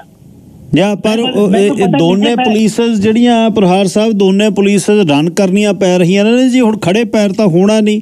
ਜਿਹੜੇ ਜਿੰਨੇ ਅਫਸਰ ਅਰਸਰੀ ਪੁਲਿਸ ਦੇ ਆਈ ਜਾਣੇ ਨੇ ਆਰਸੀਐਮਪੀ ਦੇ ਜਾਈ ਜਾਂਦੇ ਨੇ ਉਹ ਕਿੰਨੇ ਜਾਂਦੇ ਆ ਨਹੀਂ ਜਾਂਦੇ ਖਰਚਾ ਇਸ ਸਮੇਂ ਤਾਂ ਵੱਧ ਪੈ ਰਿਹਾ। ਸਰ ਕਿਸੇ ਤੋਂ ਹਾਇਰ ਕਰ ਲਓ ਕਿਸੇ ਸਟੇਟ ਤੋਂ ਕਿ ਵੀ ਕੁਝ ਕੁਝ ਪੁਲਿਸ ਅਫਸਰ ਮੈਨੂੰ ਕੋ 20 50 ਸਾਰਾ ਤੋਂ ਮੰਗ ਕੇ ਇੱਥੇ ਥੋੜੀ ਦੇਰ ਲਈ ਕੰਮ ਕਰਾ ਲਓ ਤਾਂ ਤੋਤਾ ਟ੍ਰਾਂਜੈਕਸ਼ਨ ਵਿਦਆਊਟ ਮਿਲੀਅਨ ਫਿਲੀਅਨ ਤੋਂ ਹੋ ਜਾਏ ਤਾਂ ਕੀ ਹਰਜ ਹੈ? ਜੀ ਬਿਲਕੁਲ ਜੀ ਪਰ ਉਹ ਹੁਣ ਪੁਲਿਸ ਅਫੀਸਰ ਲਿਮਟਿਡ ਹੀ ਨੇ ਤਿਆਰ ਹੁੰਦੇ ਹੁੰਦੇ ਹੀ ਆਉਣਾ ਜੀ। ਉਹ ਕਰਨ ਬਸਰਾਂ ਜੀ ਕੀ ਕਹਿਣਾ ਚਾਹੁੰਦੇ ਹੋ? ਗਿੱਲ ਸਾਹਿਬ ਮੈਨੂੰ ਤਾਂ ਲੱਗਦਾ ਕਹਿਣੇ ਨੂੰ ਕੁਝ ਬਚਿਆ ਹੀ ਨਹੀਂ ਹੈਗਾ। ਹੂੰ। ਕੱਲ ਦਾ ਭਚਾਲ ਆਇਆ ਪਿਆ। ਹੂੰ। ਸਰੀ ਦੇ ਵਿੱਚ। ਹੂੰ। ਇੱਕ ਕਹਾਵਤ ਹੁੰਦੀ ਕਹਿੰਦੇ ਖਾਣ ਪੀਣ ਨੂੰ ਬਾਂਦਰੀ ਤੇ ਡੰਡੇ ਖਾਣ ਨੂੰ ਰਛ ਹੂੰ। ਆਮ ਸੌਰੀ ਮੈਂ ਕਿਸੇ ਨੂੰ ਲਾ ਕੇ ਨਹੀਂ ਕਹਿ ਰਿਹਾ ਹੈਗਾ ਨਾ ਹੀ ਮੈਂ ਕਿਸੇ ਅਹੁਦੇ ਦੀ ਜਿਹੜੀ ਹੈਗੀ ਆ ਮਾਨ ਮਰਿਆਦਾ ਨੂੰ ਮੈਂ ਜੀ। ਠੇਸ ਪਹੁੰਚਾਉਣੀ ਚਾਹੁੰਦਾ ਇਹਦਾ ਕਹਾਵਤ ਬਣੀ ਹੋਈ ਆ ਆਪਣਾ ਟੈਕਸ ਦੀ ਗੱਲ ਕਰਦੇ ਸੀਗੇ। ਜੀ। ਬਾਈ ਜੀ ਸੋ ਟੈਕਸ ਤਾਂ ਭਾਈ ਦੇਣਾ ਹੀ ਪੈਣੇ ਹੁਣ ਉਖਲੀ ਜੇ ਸਿਰ ਦੇਤਾ ਤਾਂ ਕਹਿੰਦੇ ਮੋਹਲਿਆਂ ਦਾ ਕੀ ਡਰ ਆ? ਹੂੰ। ਸੋ ਗੱਲ ਹੈਗੀ ਇਹ ਗੱਲ ਸਾਹਿਬ ਕਿ ਪੋਲਿਟਿਕਸ ਨਾਨਕ ਜੀ ਜੀ ਕਹਿੰਦੇ ਸੀਗੇ ਪੋਲਿਟਿਕਸ ਤਾਂ ਹੋਣੀ ਆ ਹੋਣੀ ਆ ਇੱਕ ਜਗ੍ਹਾ ਹੀ ਹੁੰਦੀ ਆ। ਹੂੰ। ਔਰ ਜੇ ਆਪਾਂ ਕਹੀਏ ਕਿ ਇਸ ਵੇਲੇ ਮਾਈਕ ਫਾਰਨਬਰਗ ਸਾਹਿਬ ਦੀ ਜਿਹੜੇ ਉਹਨਾਂ ਦਾ ਜਿਹੜਾ ਹੈਗਾ ਆ ਉਹਨੂੰ ਥੋੜਾ ਜਿਹਾ ਲੋਕੀ ਕ੍ਰਿਟਿਸਾਈਜ਼ ਕਰ ਰਹੇ ਆ ਕੁਝ ਦੇਖੋ ਮੈਂ ਇੱਕ ਬੇਨਤੀ ਕਰ ਦਵਾਂ। ਸਾਨੂੰ ਹੁਣ ਤਾਂ ਮਨ ਬਣ ਗਿਆ ਸੀਗਾ ਕਿ ਸਾਨੂੰ ਜਿਹੜਾ ਹੈਗਾ ਆ ਸੇਫਟੀ ਸਿਕਿਉਰਿਟੀ ਪਹਿਲਾਂ ਚਾਹੀਦੀ ਆ। ਹੂੰ। ਪਲੀਜ਼ ਕੋਈ ਜਿਹੜੀ ਮਰਜ਼ੀ ਹੋਵੇ ਕਿਉਂਕਿ ਇਹ ਗੰਦਲਾ ਹੀ ਇੰਨਾ ਪੈ ਗਿਆ ਸੀਗਾ। ਹੂੰ। ਪਹਿਲਾਂ ਤਾਂ ਡਗ ਮਗਲਮ ਸਾਹਿਬ ਨੇ 4 ਸਾਲਾਂ ਦੇ ਵਿੱਚ ਵਿੱਚ ਜਾਂ ਤਾਂ ਇਹਨੂੰ ਪੂਰਾ ਕੰਪਲੀਟ ਕਰਕੇ ਜਾਂਦੇ ਕੰਪਲੀਟ ਕਰਕੇ ਜਾਂਦੇ ਆਪਣਾ ਜਿਹੜਾ ਉਹਨੇ ਇਨੀਸ਼ੀਏਟਿਵ ਲਿਆ ਸੀਗਾ ਹਨਾ। ਹੂੰ ਹੂੰ। ਔਰ ਜੇ ਹੁਣ ਆਪਾਂ ਇਹ ਕਹੀਏ ਵੀ ਸੂਬਾ ਸਰਕਾਰ ਦੇ ਹੱਥ ਵਿੱਚ ਕੁਛ ਨਹੀਂ ਗੱਲ ਸਾਹਿਬ ਦੇਖੋ ਇਹ ਬੇਰ ਜਾਣਕਾਰੀ ਦੇ ਗੱਲਾਂ ਆ। ਜੇ ਸੂਬਾ ਸਰਕਾਰ ਦੇ ਹੱਥ ਵਿੱਚ ਕੁਛ ਨਾ ਹੁੰਦਾ ਤਾਂ ਡਗ ਮਗਲਮ ਤਾਂ ਦੂਏ ਦਿਨ ਹੀ ਕਹਿ ਦਿੰਦਾ ਵੀ ਠੀਕ ਹੈ ਜੀ ਆਰਸੀਐਮਪੀ ਗਈ ਤੇ ਸਰੀ ਦੀ ਜਿਹੜੀ ਸਰੀ ਐਸਪੀਐਸ ਆ ਗਈ। ਨਹੀਂ ਸੂਬੇ ਦੇ ਬਹੁਤ ਹੱਥ ਸਰਕਾਰ ਦੀ ਮਰਜ਼ੀ ਦੇ ਬਗੈਰ ਕੁਝ ਨਹੀਂ ਹੋ ਸਕਦਾ। ਔਰ ਜਿਸ ਵੇਲੇ ਕੰਮ ਸ਼ੁਰੂ ਹੋਇਆ ਆ ਜਿਸ ਇਹਦਾ ਹੈ ਕਿ ਇਹਦੇ ਵਿੱਚ ਰੋੜੇ ਅਟਕਾਏ ਗਏ ਹੈਗੇ ਆ ਇਸ ਵੇਲੇ ਦੀ ਮੌਜੂਦਾ ਜਿਹੜੇ ਹੈਗੇ ਆ ਸਾਡੇ ਮੇਅਰ ਸਾਹਿਬਾ ਮੈਂ ਬਰਿੰਡਾ ਨੂੰ ਗਲਤ ਨਹੀਂ ਕਹਿੰਦਾ। ਉਹਨਾਂ ਨੇ ਇਲੈਕਸ਼ਨ ਲੜੀ ਸੀਗੀ ਕਿ ਮੈਂ ਸਰੀ ਪੁਲਿਸ ਇੱਥੇ ਰੱਖੂੰਗੀ। ਲੋਕਾਂ ਦੀ ਜਿਹੜੀ ਆਪਣੇ ਆਮ ਲੋਕਾਂ ਦੀ ਆਵਾਮ ਦੀ ਜਿਹੜੀ ਡਿਮਾਂਡ ਸੀਗੀ ਜਿਸ ਵੇਲੇ 2018 ਦੇ ਵਿੱਚ ਬਹੁਤ ਹੀ ਜ਼ਿਆਦਾ ਮੰਦਭਾਗੀਆਂ ਘਟਨਾਵਾਂ ਹੋਈਆਂ ਸੀਗੀਆਂ। ਜੀ। ਉਸ ਵੇਲੇ ਇੱਕ ਮੰਗ ਉੱਠੀ ਸੀਗੀ। ਉਸ ਵੇਲੇ ਗੱਲ ਇਹ ਸੀਗੀ ਕਿ ਸਿਰ ਤੇ ਨਹੀਂ ਕੁੰਡਾ ਤੇ ਹਾਥੀ ਫਿਰੇ ਲੁੰਡਾ ਕਿਉਂਕਿ ਆਰਸੀਐਮਪੀ ਦੇ ਉੱਤੇ ਕੋਈ ਵੀ ਜਿਹੜਾ ਸੀਗਾ ਚੈੱਕ ਬੈਲੈਂਸ ਨਹੀਂ ਹੈਗਾ। ਸਿਟੀ ਆਫ ਸਰੀ ਦਾ ਸਿਵਕ ਜਿਹੜੀ ਸਰਕਾਰ ਸੀਗੀ ਉਹਦਾ ਕੋਈ ਚੈੱਕ ਬੈਲੈਂਸ ਨਹੀਂ। ਸੋ। ਇਸ ਵੇਲੇ ਉਸ ਵੇਲੇ ਡਿਸਾਈਡ ਹੋਇਆ ਸੀਗਾ ਉਹਦੇ ਵਿੱਚ ਤੁਸੀਂ ਸਾਰੇ ਲੋਕਾਂ ਨੇ ਜਿੱਤੇ ਉਸ ਵੇਸ ਤੇ ਜਿੱਤੇ ਆਪਣੇ ਆਪਣੇ ਆ ਕੇ ਮਕਲਮ। ਹਾਂ ਹਾਂ। ਔਰ ਉਹਨੂੰ ਖੜੇ ਕਰਨੇ ਵਾਲੇ ਜਿਹੜੇ ਸੀਗੇ ਕੁਝ ਚੁਣਿੰਦਾ ਆਪਣੇ ਮੀਡੀਆ ਵਿੱਚ ਸੀਗੇ ਜਿਹੜੇ ਬਹੁਤ ਜ਼ਿਆਦਾ ਸਰਗਰਮ ਸੀਗੇ। ਔਰ ਤੁਸੀਂ ਇਨੀਸ਼ੀਏਟਿਵ ਲਿਆ ਸੀਗਾ ਹੋਰ ਵੀ। ਜਿੰਨੇ ਵੀ ਮੀਡੀਆ ਅਦਾਰੇ ਸੀਗੇ ਸੋ ਉਹ ਸੀਗੇ ਸਾਰੇ ਸੋ ਇਹ ਟ੍ਰਾਂਜੀਸ਼ਨ ਨੂੰ ਗਿਲ ਸਾਹਿਬ ਟਾਈਮ ਤਾਂ ਲੱਗਣਾ ਹੈਗਾ। ਹੁਣ ਆਪਾਂ ਇਹ ਕਹੀਏ ਜੀ ਇਲੈਕਸ਼ਨ ਦਾ ਅਕਤੂਬਰ ਵਿੱਚ ਮੁੱਕ ਜਾਣੀ ਨੇ ਨਵੰਬਰ ਦਾ ਟਾਈਮ ਕਿਉਂ ਦਿੱਤਾ? ਇਹਦਾ ਗੱਲ ਉਹ ਹੋ ਗਈ ਬ- ਕਿ ਵੀ ਰੋਟੀ ਖਾਂਦੇ ਤਾਂ ਹੁਣ ਤੇਰਾ ਕੀ ਕਹਿੰਦੇ ਹੁੰਦੇ ਆ ਆਟਾ ਗੁੰਦੀ ਦਾ ਕਿ ਸਿਰ ਹਿਲਦਾ ਆ। ਸੋ ਇਹ ਇਹਨਾਂ ਗੱਲਾਂ ਤੋਂ ਸਾਨੂੰ ਬਚ ਕੇ ਰਹਿਣਾ ਚਾਹੀਦਾ। ਪੋਲਿਟਿਕਸ ਆ ਲੀਡਰਾਂ ਨੂੰ ਕਰਨ ਦੇਈਏ ਆਪਾਂ। ਇੱਕ ਤਾਂ ਆਪਾਂ ਸਿਟੀਜ਼ਨ ਬਣੀਏ ਆਪਣੇ ਪਿੰਡਾਂ ਦੇ ਵਧੀਏ। ਸੋ ਹਰੇਕ ਗੱਲ ਦੇ ਵਿੱਚੋਂ ਬਾਲ ਕੀ ਖਾਲ ਨਹੀਂ ਉਤਾਰਨੀ ਚਾਹੀਦੀ। ਕਿਸੇ ਕੈਂਡੀਡੇਟ ਨੂੰ ਅੱਜ ਹਾਲੇ ਆਪਣਾ ਕੈਂਡੀਡੇਟ ਐਲਾਨਿਆ ਗਿਆ ਉਹਦੇ ਉੱਤੇ ਲੋਕੀ ਤਰ੍ਹਾਂ ਤਰ੍ਹਾਂ ਦੀਆਂ ਗੱਲਾਂ ਕਰਨ ਲੱਗ ਪਣ ਸਾਨੂੰ ਕੋਈ ਹੱਕ ਨਹੀਂ ਹੈਗਾ ਕਿਸੇ ਦੀ ਵੀ ਪਹੁੰਚਾਣ ਕਰਨੇ ਦਾ। ਹਾਂ ਦੂਸਰੀ ਗੱਲ ਇਹ ਹੈਗੀ ਆ ਕਿ ਜਿਹੜੇ ਟੈਕਸਸ ਵਗੈਰਾ ਹੈਗੇ ਆ ਗਿੱਲ ਸਾਹਿਬ ਹੁਣ ਆਪਣੇ ਨਾਗਰਾ ਸਾਹਿਬ ਆਏ ਸੀਗੇ। ਹੁਣ ਉਹ ਜਿਹੜਾ ਹੈਗਾ ਆ ਬਣ ਰਿਹਾ ਹੈਗਾ ਆਪਣਾ ਕਿ ਜੀ ਸਾਡਾ ਬਣਿਆ ਬਣਾਇਆ ਸੀਗਾ ਸ਼ਬਦ ਸੀਗੀ ਜਿਹੜਾ ਨਿਊਟਨ ਬੇ ਪੂਲ ਆ ਉਹ ਤੋਂ ਕਿੰਨੀ ਕੁ ਦੂਰ ਸੀਗੀ ਉਹ ਜਗ੍ਹਾ ਜੇ ਦੇਖਿਆ ਜਾਵੇ ਤਾਂ। ਹੂੰ ਬਟ ਉਹ ਉਹ ਜਿਹੜੇ ਦੂਸਰਾ ਪੱਖ ਆ ਉਹ ਕਹਿੰਦਾ ਕਿ ਇਹ ਜਗ੍ਹਾ ਬਹੁਤ ਥੋੜੀ ਸੀਗੀ ਅਸੀਂ ਥੋੜਾ ਜਿਹਾ ਹੋਰ ਵੱਡਾ ਕਰਨਾ ਹੈਗਾ ਆ ਸੋ ਇਸ ਤਰ੍ਹਾਂ ਹੁੰਦੇ ਰਹਿੰਦੇ ਮੈਂ ਤੁਹਾਨੂੰ ਇੱਕ ਹੋਰ ਐਗਜ਼ਾਮਪਲ ਦਿੰਦਾ ਜਿਸ ਵੇਲੇ 2010 ਦੇ ਵਿੱਚ ਇੱਥੇ ਵਿੰਟਰ 올림픽 ਹੋਈਆਂ ਸੀਗੀਆਂ ਜੀ ਜਿਹੜੇ ਅੱਜ ਦੀ ਡੇਟ ਵਿੱਚ ਸਾਡੇ ਮਿਨਿਸਟਰ ਸਾਹਿਬ ਹੈਗੇ ਆ ਹੈਰੀ ਬੈਂਸ ਸਾਹਿਬ ਉਹ ਕਹਿੰਦੇ ਜੀ, ਇਹ ਜਿਹੜੀ ਸੀਗੀ ਸਰਕਾਰ, ਇਹਨਾਂ ਨੇ ਪਿਛਲੀ ਸਰਕਾਰ ਨੇ ਜਿਸ ਵੇਲੇ ਕੰਟੈਕਟ ਕੀਤੇ ਆ, ਇਹਨੇ ਯੂਐਸ ਡਾਲਰ ਵਿੱਚ ਕਰ ਲਏ ਉਹ ਜਿੰਨੇ ਵੀ ਮੀਡੀਆ ਵਗੈਰਾ ਨਾਲ ਹੁੰਦੇ ਆ, ਜਿਹੜੇ ਕਿ ਬੈਨੀਫਿਟ ਹੁੰਦੇ ਹੈਗੇ ਆ, ਕਰੇ- ਆਪਣਾ ਕਮੇਟੀ ਨੂੰ ਜਾਂ ਕੰਟਰੀ ਨੂੰ ਕਹਿ ਲਈਏ। ਤੇ ਕਹਿੰਦੇ ਜੀ ਉਦੋਂ ਤਾਂ ਯੂਐਸ ਡਾਲਰ ਹੁਣ ਤਾਂ ਸਾਡੇ ਤੋਂ ਵੀ ਬਹੁਤ ਥੱਲੇ ਚਲੇ ਗਿਆ ਕਿਉਂ? ਉਸ ਵੇਲੇ ਆਪਣਾ ਆਇਲ ਦਾ ਪ੍ਰਾਈਸ ਉੱਪਰ ਜਾਣੇ ਕਰਕੇ ਕਰੂਡ ਆਇਲ ਦਾ ਯੂਐਸ ਡਾਲਰ ਸੀ ਤਾਂ ਕੈਨੇਡੀਅਨ ਡਾਲਰ ਸੀ ਤਕਰੀਬਨ ਕੈਨੇਡੀਅਨ ਡਾਲਰ ਥੋੜਾ ਜਿਹਾ ਉੱਤੇ ਸੀਗਾ। ਸੋ ਉਹ ਐਗਜ਼ਾਮਪਲ ਇਹ ਦਿੰਦੇ ਸੀ ਹੈਰੀ ਵੈਨ ਸਾਹਿਬ ਦਾ ਮੈਨੂੰ ਚੇਤਾ ਅਜੇ ਵੀ। ਮੈਂ ਉਹਨਾਂ ਦੇ ਉੱਤੇ ਕੋਈ ਕਟਾਕਸ਼ ਨਹੀਂ ਕਰ ਰਿਹਾ। ਸੋ ਲੀਡਰਾਂ ਨੇ ਤਾਂ ਹਰੇਕ ਗੱਲ ਦੇ ਵਿੱਚੋਂ ਕੋਈ ਨਾ ਕੋਈ ਨੁਕਤਾਚੀਨੀ ਕਰਨੀ ਹੁੰਦੀ ਆ thank ਵਿੱਚ ਨੁਕਤਾਚੀਨੀ ਕਰਨੀ ਹੁੰਦੀ ਆ। ਸੋ ਸਾਨੂੰ ਥੋੜਾ ਜਿਹਾ ਇਹੀ ਆ ਭਈ ਸੁਹਿਰਦਾ ਦੇ ਨਾਲ ਜੋ ਕੁਝ ਵੀ ਹੋ ਰਿਹਾ ਹੈਗਾ ਇਹਨੂੰ ਜੀ ਆਇਆਂ ਕਹੀਏ ਅਸੀਂ। ਥੈਂਕ ਯੂ ਤੁਹਾਡਾ ਬਹੁਤ ਥੈਂਕ ਯੂ ਵੀਰ ਜੀ ਥੈਂਕ ਯੂ ਸਾਹਿਬ ਬਲਜਿੰਦਰ ਸਿੰਘ ਜੀ। ਬਾਈ ਜੀ ਸਤਿ ਸ੍ਰੀ ਅਕਾਲ। ਸਤਿ ਸ਼੍ਰੀ ਅਕਾਲ ਸੰਗਾ ਸਾਹਿਬ। ਹਾਂਜੀ ਬਾਈ ਜੀ ਦੇਖੋ ਜਿਹੜੀ ਸਰੀ ਦੀ ਆਪਣੀ ਲੋਕਲ ਪੁਲਿਸ ਆ ਉਹਦਾ ਬਹੁਤ ਵਧੀਆ ਸਮੂਥ ਚੱਲ ਰਿਹਾ ਸੀ। ਡੱਗ ਮੇਅਰ ਸਾਹਿਬ ਜਦੋਂ ਡੱਗ ਮੁਕੱਲਮ ਸਾਹਿਬ ਸੀਗੇ।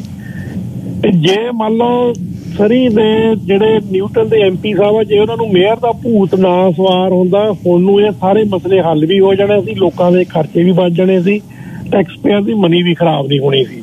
ਉਹ ਐਸਾ ਇਹਦੇ ਵਿੱਚ ਬਰਿੰਡਾ ਲੋਕ ਨੇ ਚਲਦੇ ਚਲਦੇ ਦੇ ਵਿੱਚ ਰੈਂਚ ਸਿੱਟਿਆ ਉਹ ਸਾਰਾ ਕੁਝ ਤੁਹਾਡੇ ਸਾਹਮਣੇ ਹੀ ਜੋ ਕੁਝ ਹੋ ਰਿਹਾ। ਸਿਰਫ ਇੱਕ ਡੱਗ ਦੇ ਹਾਰਨ ਕਰਕੇ ਹੀ ਸਾਰਾ ਲੋਕਾਂ ਨੂੰ ਟੈਕਸ ਵੀ ਵਾਧੂ ਦੇਣਾ ਪੈ ਰਿਹਾ ਇਹ ਖੱਜਲ ਖਰਾਬੀ ਵੀ ਵਾਧੇ ਵੀ ਹੋਈ ਆ ਤੇ ਮੁੜ ਕੇ ਪੁਲਿਸ ਆਪਣੀ ਆਣੀ ਆਣੀ ਸੀ ਸਾਰੀ ਵੀ ਜਿਹੜੀ ਲੋਕਲ ਪੁਲਿਸ ਆ। ਪਰ ਉਹਦੇ ਵਿੱਚ ਜੇ ਹੁਣ ਨੇਤਾ ਜੀ ਨੂੰ ਨਾ ਭੂਤ ਸਵਾਰ ਹੁੰਦਾ ਮੇਅਰ ਬਣਨੇ ਦਾ ਫਿਰ ਹੁਣ ਤੱਕ ਇਹ ਸਮੂਥ ਸਾਰਾ ਕੁਝ ਹੋ ਜਾਣਾ ਸੀ ਲੋਕਾਂ ਦੇ ਪੈਸੇ ਹੀ ਬਚ ਜਾਣੇ ਸੀ। ਹੁਣ ਇਹ ਲੋਕਾਂ ਦੀਆਂ ਜੇਬਾਂ ਦੇ ਉੱਪਰ ਹੀ ਡਾਕਾ ਤੇ ਬਣ ਤਾਂ ਜਾਣੀ ਆ ਲੋਕਲ ਫੀਸ ਆ ਜਾਣੀ ਆ। ਪਰ ਜਿਹੜੀਆਂ ਇਹਨਾਂ ਦੀਆਂ ਗਲਤੀਆਂ ਕਰਕੇ ਆ ਸਰੀ ਦੇ ਲੋਕ ਭੁਗਤ ਰਹੇ ਆ ਟੈਕਸ ਪੇ ਕਰ ਰਹੇ ਆ ਇਹਨਾਂ ਵਿਚਾਰਿਆਂ ਦਾ ਕੀ ਕਸੂਰ ਆ? ਸੋ ਸਾਨੂੰ ਇਦਾਂ ਦੇ ਬੰਦਿਆਂ ਤੋਂ ਵੀ ਸੁਚੇਤ ਰਹਿਣਾ ਚਾਹੀਦਾ। ਇਹਨਾਂ ਨੂੰ ਸਿਰਫ ਪਾਵਰ ਦੀ ਭੁੱਖ ਹੁੰਦੀ ਆ। ਜੇ ਬੰਦਾ ਐਮਪੀ ਬਣ ਕੇ ਨਹੀਂ ਮੇਅਰ ਬਣ ਕੇ ਕੀ ਕਰ ਲੈਣ ਸੀ? ਇਹਦਾ ਕੱਲ ਨੂੰ ਐਮਐਲਏ ਦੀ ਵੀ ਚੋਣ ਲੜ ਲਓਗੇ ਕਾਉਂਸਲਰ ਦੀ ਵੀ ਲੜ ਲਓਗੇ ਸੋ ਇਦਾਂ ਦੇ ਜਿਹੜੇ ਆਪਣੇ ਪੋਲੀਟੀਕਲ ਬੰਦੇ ਆ ਉਹਨਾਂ ਤੋਂ ਸਾਨੂੰ ਸਾਰਿਆਂ ਨੂੰ ਸੁਚੇਤ ਰਹਿਣ ਦੀ ਲੋੜ ਵਾ। ਗਾਹਾਂ ਤੋਂ ਆਪਣੇ ਜਿਹੜੇ ਵਧੀਆ ਬੰਦੇ ਉਹ ਚੁਣ ਕੇ ਭੇਜੋ। ਇਹਨਾਂ ਦੀਆਂ ਕੀਤੀਆਂ ਕਰਕੇ ਹੀ ਸਰੀ ਦੇ ਲੋਕ ਆ ਜਿਹੜੇ ਉਹ ਟੈਕਸ ਪੇ ਕਰ ਰਹੇ ਆ ਜ਼ਿਆਦਾ ਤੋਂ ਜ਼ਿਆਦਾ। ਸੋ. ਪਤਾ ਨਹੀਂ ਤੁਹਾਡਾ ਟਾਈਮ ਲੈਣਾ ਤੇ ਆਪਾਂ ਨੂੰ ਸਾਰਿਆਂ ਨੂੰ ਸੋਚਣ ਦੀ ਲੋੜ ਵਾ। ਸੋ ਪਲੀਜ਼ ਨਵੇਂ ਵਧੀਆ ਬੰਦੇ ਲੈ ਕੇ ਆਓ। ਮੋਰੇ ਵਧੀਆ ਜਿਹੜੇ ਆਪਣੇ ਸ਼ਹਿਰ ਦੀ ਗੱਲ ਕਰਨ ਆਪਣੇ ਸੂਬੇ ਦੀ ਗੱਲ ਕਰਨ ਆਪਣੇ ਦੇਸ਼ ਦੀ ਗੱਲ ਕਰਨ। ਧੰਨਵਾਦ ਜੀ। ਥੈਂਕ ਯੂ ਵੀਰ ਜੀ। ਨਿਕ ਜੀ ਲਾਈਨ ਨੰਬਰ 1 ਸਰ ਮੇਰਾ ਮੇਰਾ ਕੁਐਸਚਨ ਹੈ ਥੋੜਾ ਜਿਹਾ separate ਜੀ, ਦੱਸੋ। ਜੇ ਤੁਸੀਂ ਮਾਈਂਡ ਨਾ ਕਰੋ ਜੀ। ਜਿਹੜੀ ਫੈਡਰਲ ਇਲੈਕਸ਼ਨ ਜਿਹੜੇ ਹੋਣੇ ਆ ਜੀ। ਉਹ ਉਹਦੇ ਤੋਂ ਬਾਅਦ ਤੁਹਾਡਾ ਕੌਣ ਕਰੇਗਾ? ਹੈਲੋ। ਹਾਂਜੀ। ਹਾਂਜੀ ਨਿਕ ਸਾਹਿਬ ਕੀ ਕਹਿੰਦੇ ਫੈਡਰਲ ਇਲੈਕਸ਼ਨ ਜੋ ਫੈਡਰਲ ਇਲੈਕਸ਼ਨ ਹੋਣੀ ਆ ਹਾਂਜੀ। ਤੇ ਤੁਹਾਨੂੰ ਮਿਲ ਗਈ ਨੋਮੀਨੇਸ਼ਨ ਹਾਂਜੀ। ਅੱਛਾ। ਤੁਹਾਡਾ ਸ਼ੋਅ ਜਿਹੜਾ ਵੇ ਬਾਅਦ ਚ ਕੌਣ ਕਰੇਗਾ?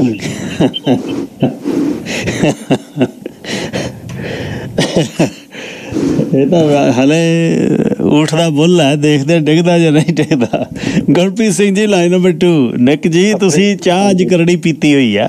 ਗੁਰਪ੍ਰੀਤ ਸਿੰਘ ਜੀ ਲਾਈਨ ਨੰਬਰ 2 ਸਤਿ ਸ੍ਰੀ ਅਕਾਲ ਗੱਲ ਸਾਹਿਬ ਮੈਂ ਸ੍ਰੀ ਤਾਂ ਇਹੀ ਤੋਂ- ਇਹੀ ਕੱਲ ਤਾਂ ਗੱਲ ਸੋਚਦਾ ਸੀ ਵੀ ਜੇ ਤੁਸੀਂ ਹੁਣ ਜਿੱਤਣਾ ਤਾਂ ਹੈਗਾ ਹੀ ਆ 100% ਚ ਜਿੱਤ ਕੇ ਤਾਂ ਫਿਰ ਨਵਾਂ ਬੰਦਾ ਕੌਣ ਆਊਗਾ? ਦੇਖੋ ਜੀ ਸਰੀ ਦੇ ਲੋਕ ਹੈਗੇ ਬਹੁਤ ਮਿਹਨਤੀ ਸਦਕਾਲੇ ਤੇ ਭੋਲੇ ਵਾਲੇ ਹੁਣ ਦੇਖੋ ਇਹਨਾਂ ਨੇ ਟੈਕਸ ਟੁਕਸ ਵਧਾਈ ਜਾਣੇ ਆਪਣੇ ਬੰਦੇ ਨੇ ਕੁਝ ਬੋਲਣਾ ਨਹੀਂ ਵਿਚਾਰਿਆਂ ਨੇ। ਉਹਨਾਂ ਨੇ ਇੱਕ ਸ਼ਿਫਟ ਹੋਰ ਫੜ ਲੈਣੀ ਆ। ਹੂੰ ਬਿਲਕੁਲ ਠੀਕ ਹੈ ਹੁਣ ਤਾਂ 7 7 ਦਿਨ ਕਰ ਰਹੇ ਨੇ ਹੁਣ ਇਦੋਂ ਵੱਧ ਕੀ ਕਰਨਗੇ? ਦੇਖੋ ਜੀ ਸੱਤਾਂ ਚੋਂ ਵੀ 8 ਦਿਨ ਨਿਕਲ ਜਾਂਦੇ ਆ। ਦੇਖੋ ਹੁਣ ਨਾ ਤਾਂ ਹਸਪਤਾਲ ਬਣੇ ਮੈਂ ਮੈਂ ਮੈਂ ਨਿਰਾਸ਼ਾਵਾਦੀ ਨਹੀਂ ਹੈਗਾ ਪਰ ਤਾਂ ਦੱਸਦਾ ਮੈਂ ਮੈਂ ਤਾਂ ਲੈਂਗਲੀ ਦਾ ਵਸਨੀਕ ਆ। ਹੂੰ। ਸਾਡੇ ਤਾਂ ਅਸੀਂ ਪੁਲਿਸ ਦਾ ਮੈਂ ਤਾਂ ਕਦੇ ਪੁਲਿਸ ਦੇਖੀ ਨਹੀਂ ਆਪਣੇ ਸ਼ਹਿਰ 'ਚ ਕਦੇ ਤਾਂ ਤੁਸੀਂ ਆਰਾਮ ਨਾਲ ਰਹਿੰਦੇ ਹੋ ਜੀ ਤੁਹਾਡੇ ਟੈਕਸ ਵੀ ਨਹੀਂ ਵੱਧਦੇ ਤੁਸੀਂ ਸੂਤ ਆ ਤੁਹਾਡਾ ਕੰਮ। ਤੇ ਮੈਂ ਦੇਖਿਆ ਵੀ ਹੁਣ ਵੀ ਆਪਣੇ ਨਾ ਤਾਂ ਹਸਪਤਾਲ ਬਣੇ ਨਾ ਪੁਲਿਸ ਦਾ ਰੇਡ ਹਟੇ। ਕੰਜ਼ਰਵੇਟਿਵ ਵੀ ਆਉਣੀਆਂ ਇੱਥੇ ਦੇਖ ਲਈਏ ਲੋਕਲ ਜਿਹੜੀ ਆਪਣੀ ਪ੍ਰੋਵਿੰਸ ਵੀ ਕੰਜ਼ਰਵੇਟਿਵ ਵੀ ਆ ਜਾਣੀਆਂ। ਉਸ ਤੋਂ ਬਾਅਦ ਫਿਰ ਰੇੜਕਾ ਪੁਲਿਸ ਦਾ ਇੰਜ ਚੱਲਦਾ ਰਹਿਣਾ ਨਾ ਹਸਪਤਾਲ ਦਾ ਹਟੇ। ਇਹ ਤਾਂ ਹੁਣ ਜਿੱਦਣ ਤੁਸੀਂ ਐਮਪੀ ਬਣ ਗਏ ਫਿਰ ਤੁਹਾਨੂੰ ਅਸੀਂ ਬੁਲਾਇਆ ਕਰਾਂਗੇ ਰੇਡੀਓ ਸ਼ੋਅ ਤੇ ਵੀ ਆਓ ਜੀ ਤੁਸੀਂ। ਹਰਜੀਤ ਸਿੰਘ ਜੀ ਲਾਈਨ ਨੰਬਰ 3 ਤੁਸੀਂ 에ਅਰ ਤੇ ਹੋ। ਹੈਲੋ ਜੀ ਸਤਿ ਸ਼੍ਰੀ ਅਕਾਲ। ਸਤਿ ਸ੍ਰੀ ਅਕਾਲ ਜੀ। ਜੀ ਮੈਂ ਜੀ ਡਿਫਰੈਂਟ ਪੁਆਇੰਟ ਆਫ View ਤੋਂ ਦੇਖਦਾ ਤੁਹਾਨੂੰ ਮੈਂ ਦੋ ਤਿੰਨ ਨੁਕਤੇ ਦੱਸਣ ਲੋਕਾਂ ਜੀ ਨੂੰ ਜੀ ਰਾਏ ਸਾਹਿਬ ਜੀ।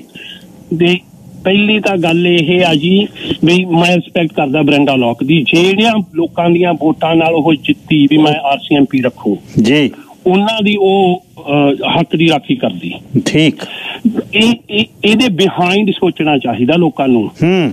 ਜਿਹੜੇ ਦੋ ਬੰਦੇ ਇੱਕ ਐਨਡੀਪੀ ਵਾਲੀ ਬੀਬੀ ਇੱਕ ਐਮਪੀ ਇਲੈਕਸ਼ਨ ਲੜੇ ਉਹਦੇ ਪਿੱਛੇ ਦੇਖੋ ਵੀ ਉਹ ਕਿੰਗ ਮੇਕਰ ਕੌਣ ਸੀ ਉਹਦੇ ਬ੍ਰੈਂਡਾ ਲੋਕ ਨਾਲ ਕੀ ਸੈਟਿੰਗ ਕਰੀ ਉਹਨਾਂ ਨੇ।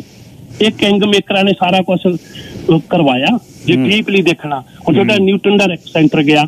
ਇਹ ਇਹਦੇ ਡੀਪਲੀ ਗੱਲ ਹੋਣ ਨਹੀਂ ਮੈਨੂੰ ਤਾਂ ਐਗਜ਼ੈਕਟਲੀ ਪਤਾ ਕੀ ਹੈਪਨ ਹੋਇਆ। ਕਿੱਥੇ ਡੀਲਾਂ ਹੋਈਆਂ ਕਿੱਥੇ ਇਹ ਖਾਣਾ ਖਾਣੇ ਬਾਅਦ ਜਿੱਤ ਕੇ ਲੈ ਕੇ ਗਿਆ ਤਿੰਨਾਂ ਨੂੰ। ਬ੍ਰੈਂਡਾ ਲੋਕ ਦੂਜੀ ਬੀਬੀ ਤੇ ਦੂਜਾ ਐਮਪੀ ਸਾਹਿਬ। ਇਹ ਸਾਰਾ ਕੁਝ ਜਣੀ ਪ੍ਰੀ ਪਲਾਨ ਕਰਕੇ ਡੱਗ ਨੂੰ ਹਰਾਉਣੇ ਲਈ ਕਰਿਆ ਪਰ ਇਹ ਲੋਕਾਂ ਨੂੰ ਜਿਹੜੇ ਵੋਟਾਂ ਵਾਲੇ ਉਹਨਾਂ ਨੂੰ ਦਿਮਾਗ ਵਰਤਣਾ ਚਾਹੀਦਾ। ਉਹ ਬਿਹਾਈਂਡ ਦਾ ਸੀਨ ਵੀ ਕਈ ਵਾਰੀ ਸੋਚਣਾ ਚਾਹੀਦਾ ਕੀ ਹੋਇਆ ਜੀ। ਜਿਹੜਾ ਹੁਣ ਇਹ ਨੁਕਸਾਨ ਹੋਇਆ ਇਹ ਮੇਰੇ ਖਿਆਲ ਤੇ ਇਹ ਉਹਨਾਂ ਨੂੰ ਵੀ ਇਹਦੇ ਲਈ ਰਿਸਪੌਂਸਿਬਲ ਬਣਾਉਣਾ ਚਾਹੀਦਾ। ਹੂੰ। ਜਿਹੜੇ ਬੰਦਿਆਂ ਨੇ ਇਹ ਸਿਚੁਏਸ਼ਨ ਕ੍ਰੀਏਟ ਕਰਾਈ ਆ। ਕਿਉਂਕਿ ਜਿੱਦਾਂ ਕਿੰਗ ਮੇਕਰਾਂ ਨੇ ਇਹ ਦੋ ਨੂੰ ਰਹਿ- ਸਾਰੀ ਫੈਸਲਾ ਕਰਕੇ ਤੁਸੀਂ ਮਾਈਂਡ ਨਾ ਕਰੋ ਤੁਸੀਂ ਅੱਗੇ ਇਲੈਕਸ਼ਨ ਲੜ ਹਟੇ ਹੋ। ਤੁਹਾਨੂੰ ਪਤਾ ਅਸਲੀਅਤ ਅੰਦਰ ਕੀ ਆ ਵੀ ਕਿਹਨੇ ਐਨਡੀਪੀ ਵਾਲੇ ਨੇ ਤੁਹਾਡੀ ਮਦਦ ਕਰੀ ਕਿਹਨੇ ਨਹੀਂ ਕਰੀ। ਤੇ ਦੋ ਉੱਤੋਂ ਕੋਈ ਜਿੱਥੇ ਮਰਜ਼ੀ ਤੁਰਿਆ ਕਰੇ ਥੈਂਕ ਯੂ ਜੀ। ਥੈਂਕ ਯੂ ਰਾਏ ਸਾਹਿਬ। ਮੈਂ ਸਦਾ ਇਹ ਕੁਐਸਚਨ ਬਾਹਰ ਲਿਆਉਂਦਾ ਰਿਹਾ ਰਾਜਨੀਤੀ ਹੈ। ਵੀ ਟੂ ਟੀਅਰ ਤਾਂ ਹੈ ਨਹੀਂ ਐਨਡੀਪੀ ਐਨਡੀਪੀ ਹੈ। ਤਿੰਨ ਕੰਸਟੀਚੁਐਂਸੀਆਂ ਆਉਂਦੀਆਂ ਨੇ ਨਿਊਟਨ ਦੇ ਵਿੱਚ ਤਿੰਨ ਹੀ ਐਨਡੀਪੀ ਦੇ ਐਮਐਲਏ ਤਿੰਨਾਂ ਨੂੰ 11 11 12 12 ਹਜ਼ਾਰ ਵੋਟ ਪੈਂਦੀ ਹੈ 35 36 ਹਜ਼ਾਰ ਟੋਟਲ ਵੋਟ ਹੈ। ਐਨਡੀਪੀ ਵਾਲੇ ਨੂੰ 10 11 ਹਜ਼ਾਰ ਐਮਪੀ ਨੂੰ 10 ਹਜ਼ਾਰ 11 ਹਜ਼ਾਰ ਕਿਉਂ ਰਹਿ ਜਾਂਦੀ ਹੈ? ਇਹ ਇੱਕ ਸਵਾਲ ਹੈ ਬਹੁਤ। ਵੀ ਕਿਉਂ? ਇਹ 20 25 ਹਜ਼ਾਰ ਕਿੱਧਰ ਚਲੇ ਜਾਂਦੀ ਆ? ਹਾਂ, ਜਾਂ ਤਾਂ ਲੋਕ ਪ੍ਰੋਵਿੰਸ਼ਲੀ ਅਲੱਗ ਪਾਉਂਦੇ ਆ, ਫੈਡਰਲੀ ਅਲੱਗ ਪਾਉਂਦੇ ਆ, ਇਸ ਤਰ੍ਹਾਂ ਵੀ ਹੋ ਸਕਦਾ ਹੈ। ਬੈਨੀਫਿਟ ਆਫ ਡਾਊਟ ਹੈ। ਤੇ ਕੋਈ ਸੁਲ੍ਹਾ ਵੀ ਹੋ ਸਕਦੀ ਹੈ, ਜਿਹੜੀ ਆਮ ਅਕਸਰ ਲੋਕਾਂ ਦੀ ਜ਼ੁਬਾਨ ਤੇ ਹੈ। ਡਾਕਟਰ ਪਾਲ ਸਿੰਘ ਜੀ, ਤੁਸੀਂ 에ਅਰ ਤੇ ਹੋ? ਹੈਲੋ। ਜੀ ਡਾਕਟਰ ਸਾਹਿਬ। ਹਾਂਜੀ ਗੱਲ ਸਾਹਿਬ ਇਦਾਂ ਮੈਂ ਸੁਣ ਰਿਹਾ ਸਾਰਿਆਂ ਦੀਆਂ ਗੱਲਾਂ। ਜੀ। ਕਿ ਮੈਂ ਮੈਂ ਦੋ ਤਿੰਨਾਂ ਦਿਨਾਂ ਤੋਂ ਰੇਡੀਓ ਦੇ ਨਾਲ ਆਪਣੇ ਸ਼ੇਰ ਪੰਜਾਬ ਨਾਲ ਜੁੜਿਆ। ਧੰਨਵਾਦ ਜੀ। ਕਿਉਂਕਿ ਬਹੁਤ ਲੋਕ ਜਿੰਨੇ ਵੀ ਕਾਲ ਰਿਆ ਕਰਦੇ ਗੱਲਾਂ ਤੁਸੀਂ ਉਹਨਾਂ ਨੂੰ ਬੜੇ ਹੀ ਧਿਆਨਪੂਰਵਕ ਅਹ, ਸੁਣਦੇ ਆ। ਜੀ। ਸਾਡੀ ਤੇ ਇਹ ਜਿਹੜੀ ਗੱਲ ਕਰਨੀ ਨਾ ਕਾਲ ਨੇ ਉਹਨੂੰ ਬਰੀਫ ਟੂ ਦੀ ਪੁਆਇੰਟ ਘੱਟ ਤੋਂ ਘੱਟ ਕਰੋ ਹੋਰਨਾਂ ਨੂੰ ਵੀ ਸਮਾਂ ਮਿਲੇ। ਜੀ ਜੀ। ਓਕੇ ਗੱਲ ਸਾਹਿਬ ਥੈਂਕ ਯੂ ਜੀ doctor Sahib. Thank you so much sir Amrik Singh ji line number 5 ਸਤਿ ਸ਼੍ਰੀ ਅਕਾਲ ਭਾਈ। ਜੀ ਸਤਿ ਸ੍ਰੀ ਅਕਾਲ ਥਿੰਨ ਸਾਹਿਬ। ਭਾਈ ਗੱਲ ਤਾਂ ਇਹ ਹੈ ਜਿੱਦਾਂ ਪਿਛਲੇ ਕਾਲਰ ਕਹਿ ਕੇ ਗਏ ਸੀ ਕਿ ਬਈ 7 ਦਿਨ ਤਾਂ ਕੰਮ ਕਰਦੇ ਹੀ ਆ ਨਾ। ਭਈ ਹੂੰ। ਜੇ ਨਹੀਂ ਟੈਕਸ ਹੋਰ ਵਧਾ ਦਿੱਤੇ ਤਾਂ ਸ਼ਿਫਟਾਂ ਹੋਰ ਲਾਣ ਲਾਉਣੀਆਂ ਪੈਣੀਆਂ। ਸਰੀ ਦੇ ਵਸਨੀਕ ਹੂੰ। ਪਰ ਚੱਕਰ ਇਹ ਆ ਜਿਹੜੀ ਹੁਣ ਪੁਲਿਸ ਦਾ ਘਮਾਸਾਨ ਹੋਇਆ ਸੀਗਾ ਸ਼ੁਰੂ ਉਹ ਸ਼ੁਰੂ ਤਾਂ ਇਸ ਗੱਲੋਂ ਹੋਇਆ ਸੀ ਕਿ ਆਪਣੀ ਨਿਊ ਜਨਰੇਸ਼ਨ ਨੂੰ ਬਚਾ ਲਈਏ ਬੱਚਿਆਂ ਨੂੰ ਬਚਾ ਲਈਏ ਨਾ। ਤੇ ਗਲਤ ਪਾਸੇ ਤੁਰ ਪਏ ਸਜੀ ਦੀ ਪੁਲਿਸ ਕੁਛ ਕਰ ਨਹੀਂ ਰਹੀ ਜੀ ਪਰ ਹੁਣ ਜਿੰਨਾ ਸਾਡੇ ਤੇ ਇਹ ਦੋਨੇ ਪੁਲਿਸਾਂ ਨੇ ਭਾਰ ਪਾਤਾ ਆ ਆਖਿਰ ਨੂੰ ਜੇ ਮਤਲਬ ਹੁਣ ਸਿਟੀ ਇਲੈਕਸ਼ਨ ਤੇ ਕੋਈ ਹੋਰ ਜਾਂ ਜਾਂ ਮਤਲਬ ਜਾਂ ਫੈਡਰਲ ਵੀ ਚੇਂਜ ਹੋ ਜਾਂਦੀ ਗਵਰਨਮੈਂਟ ਜਾਂ।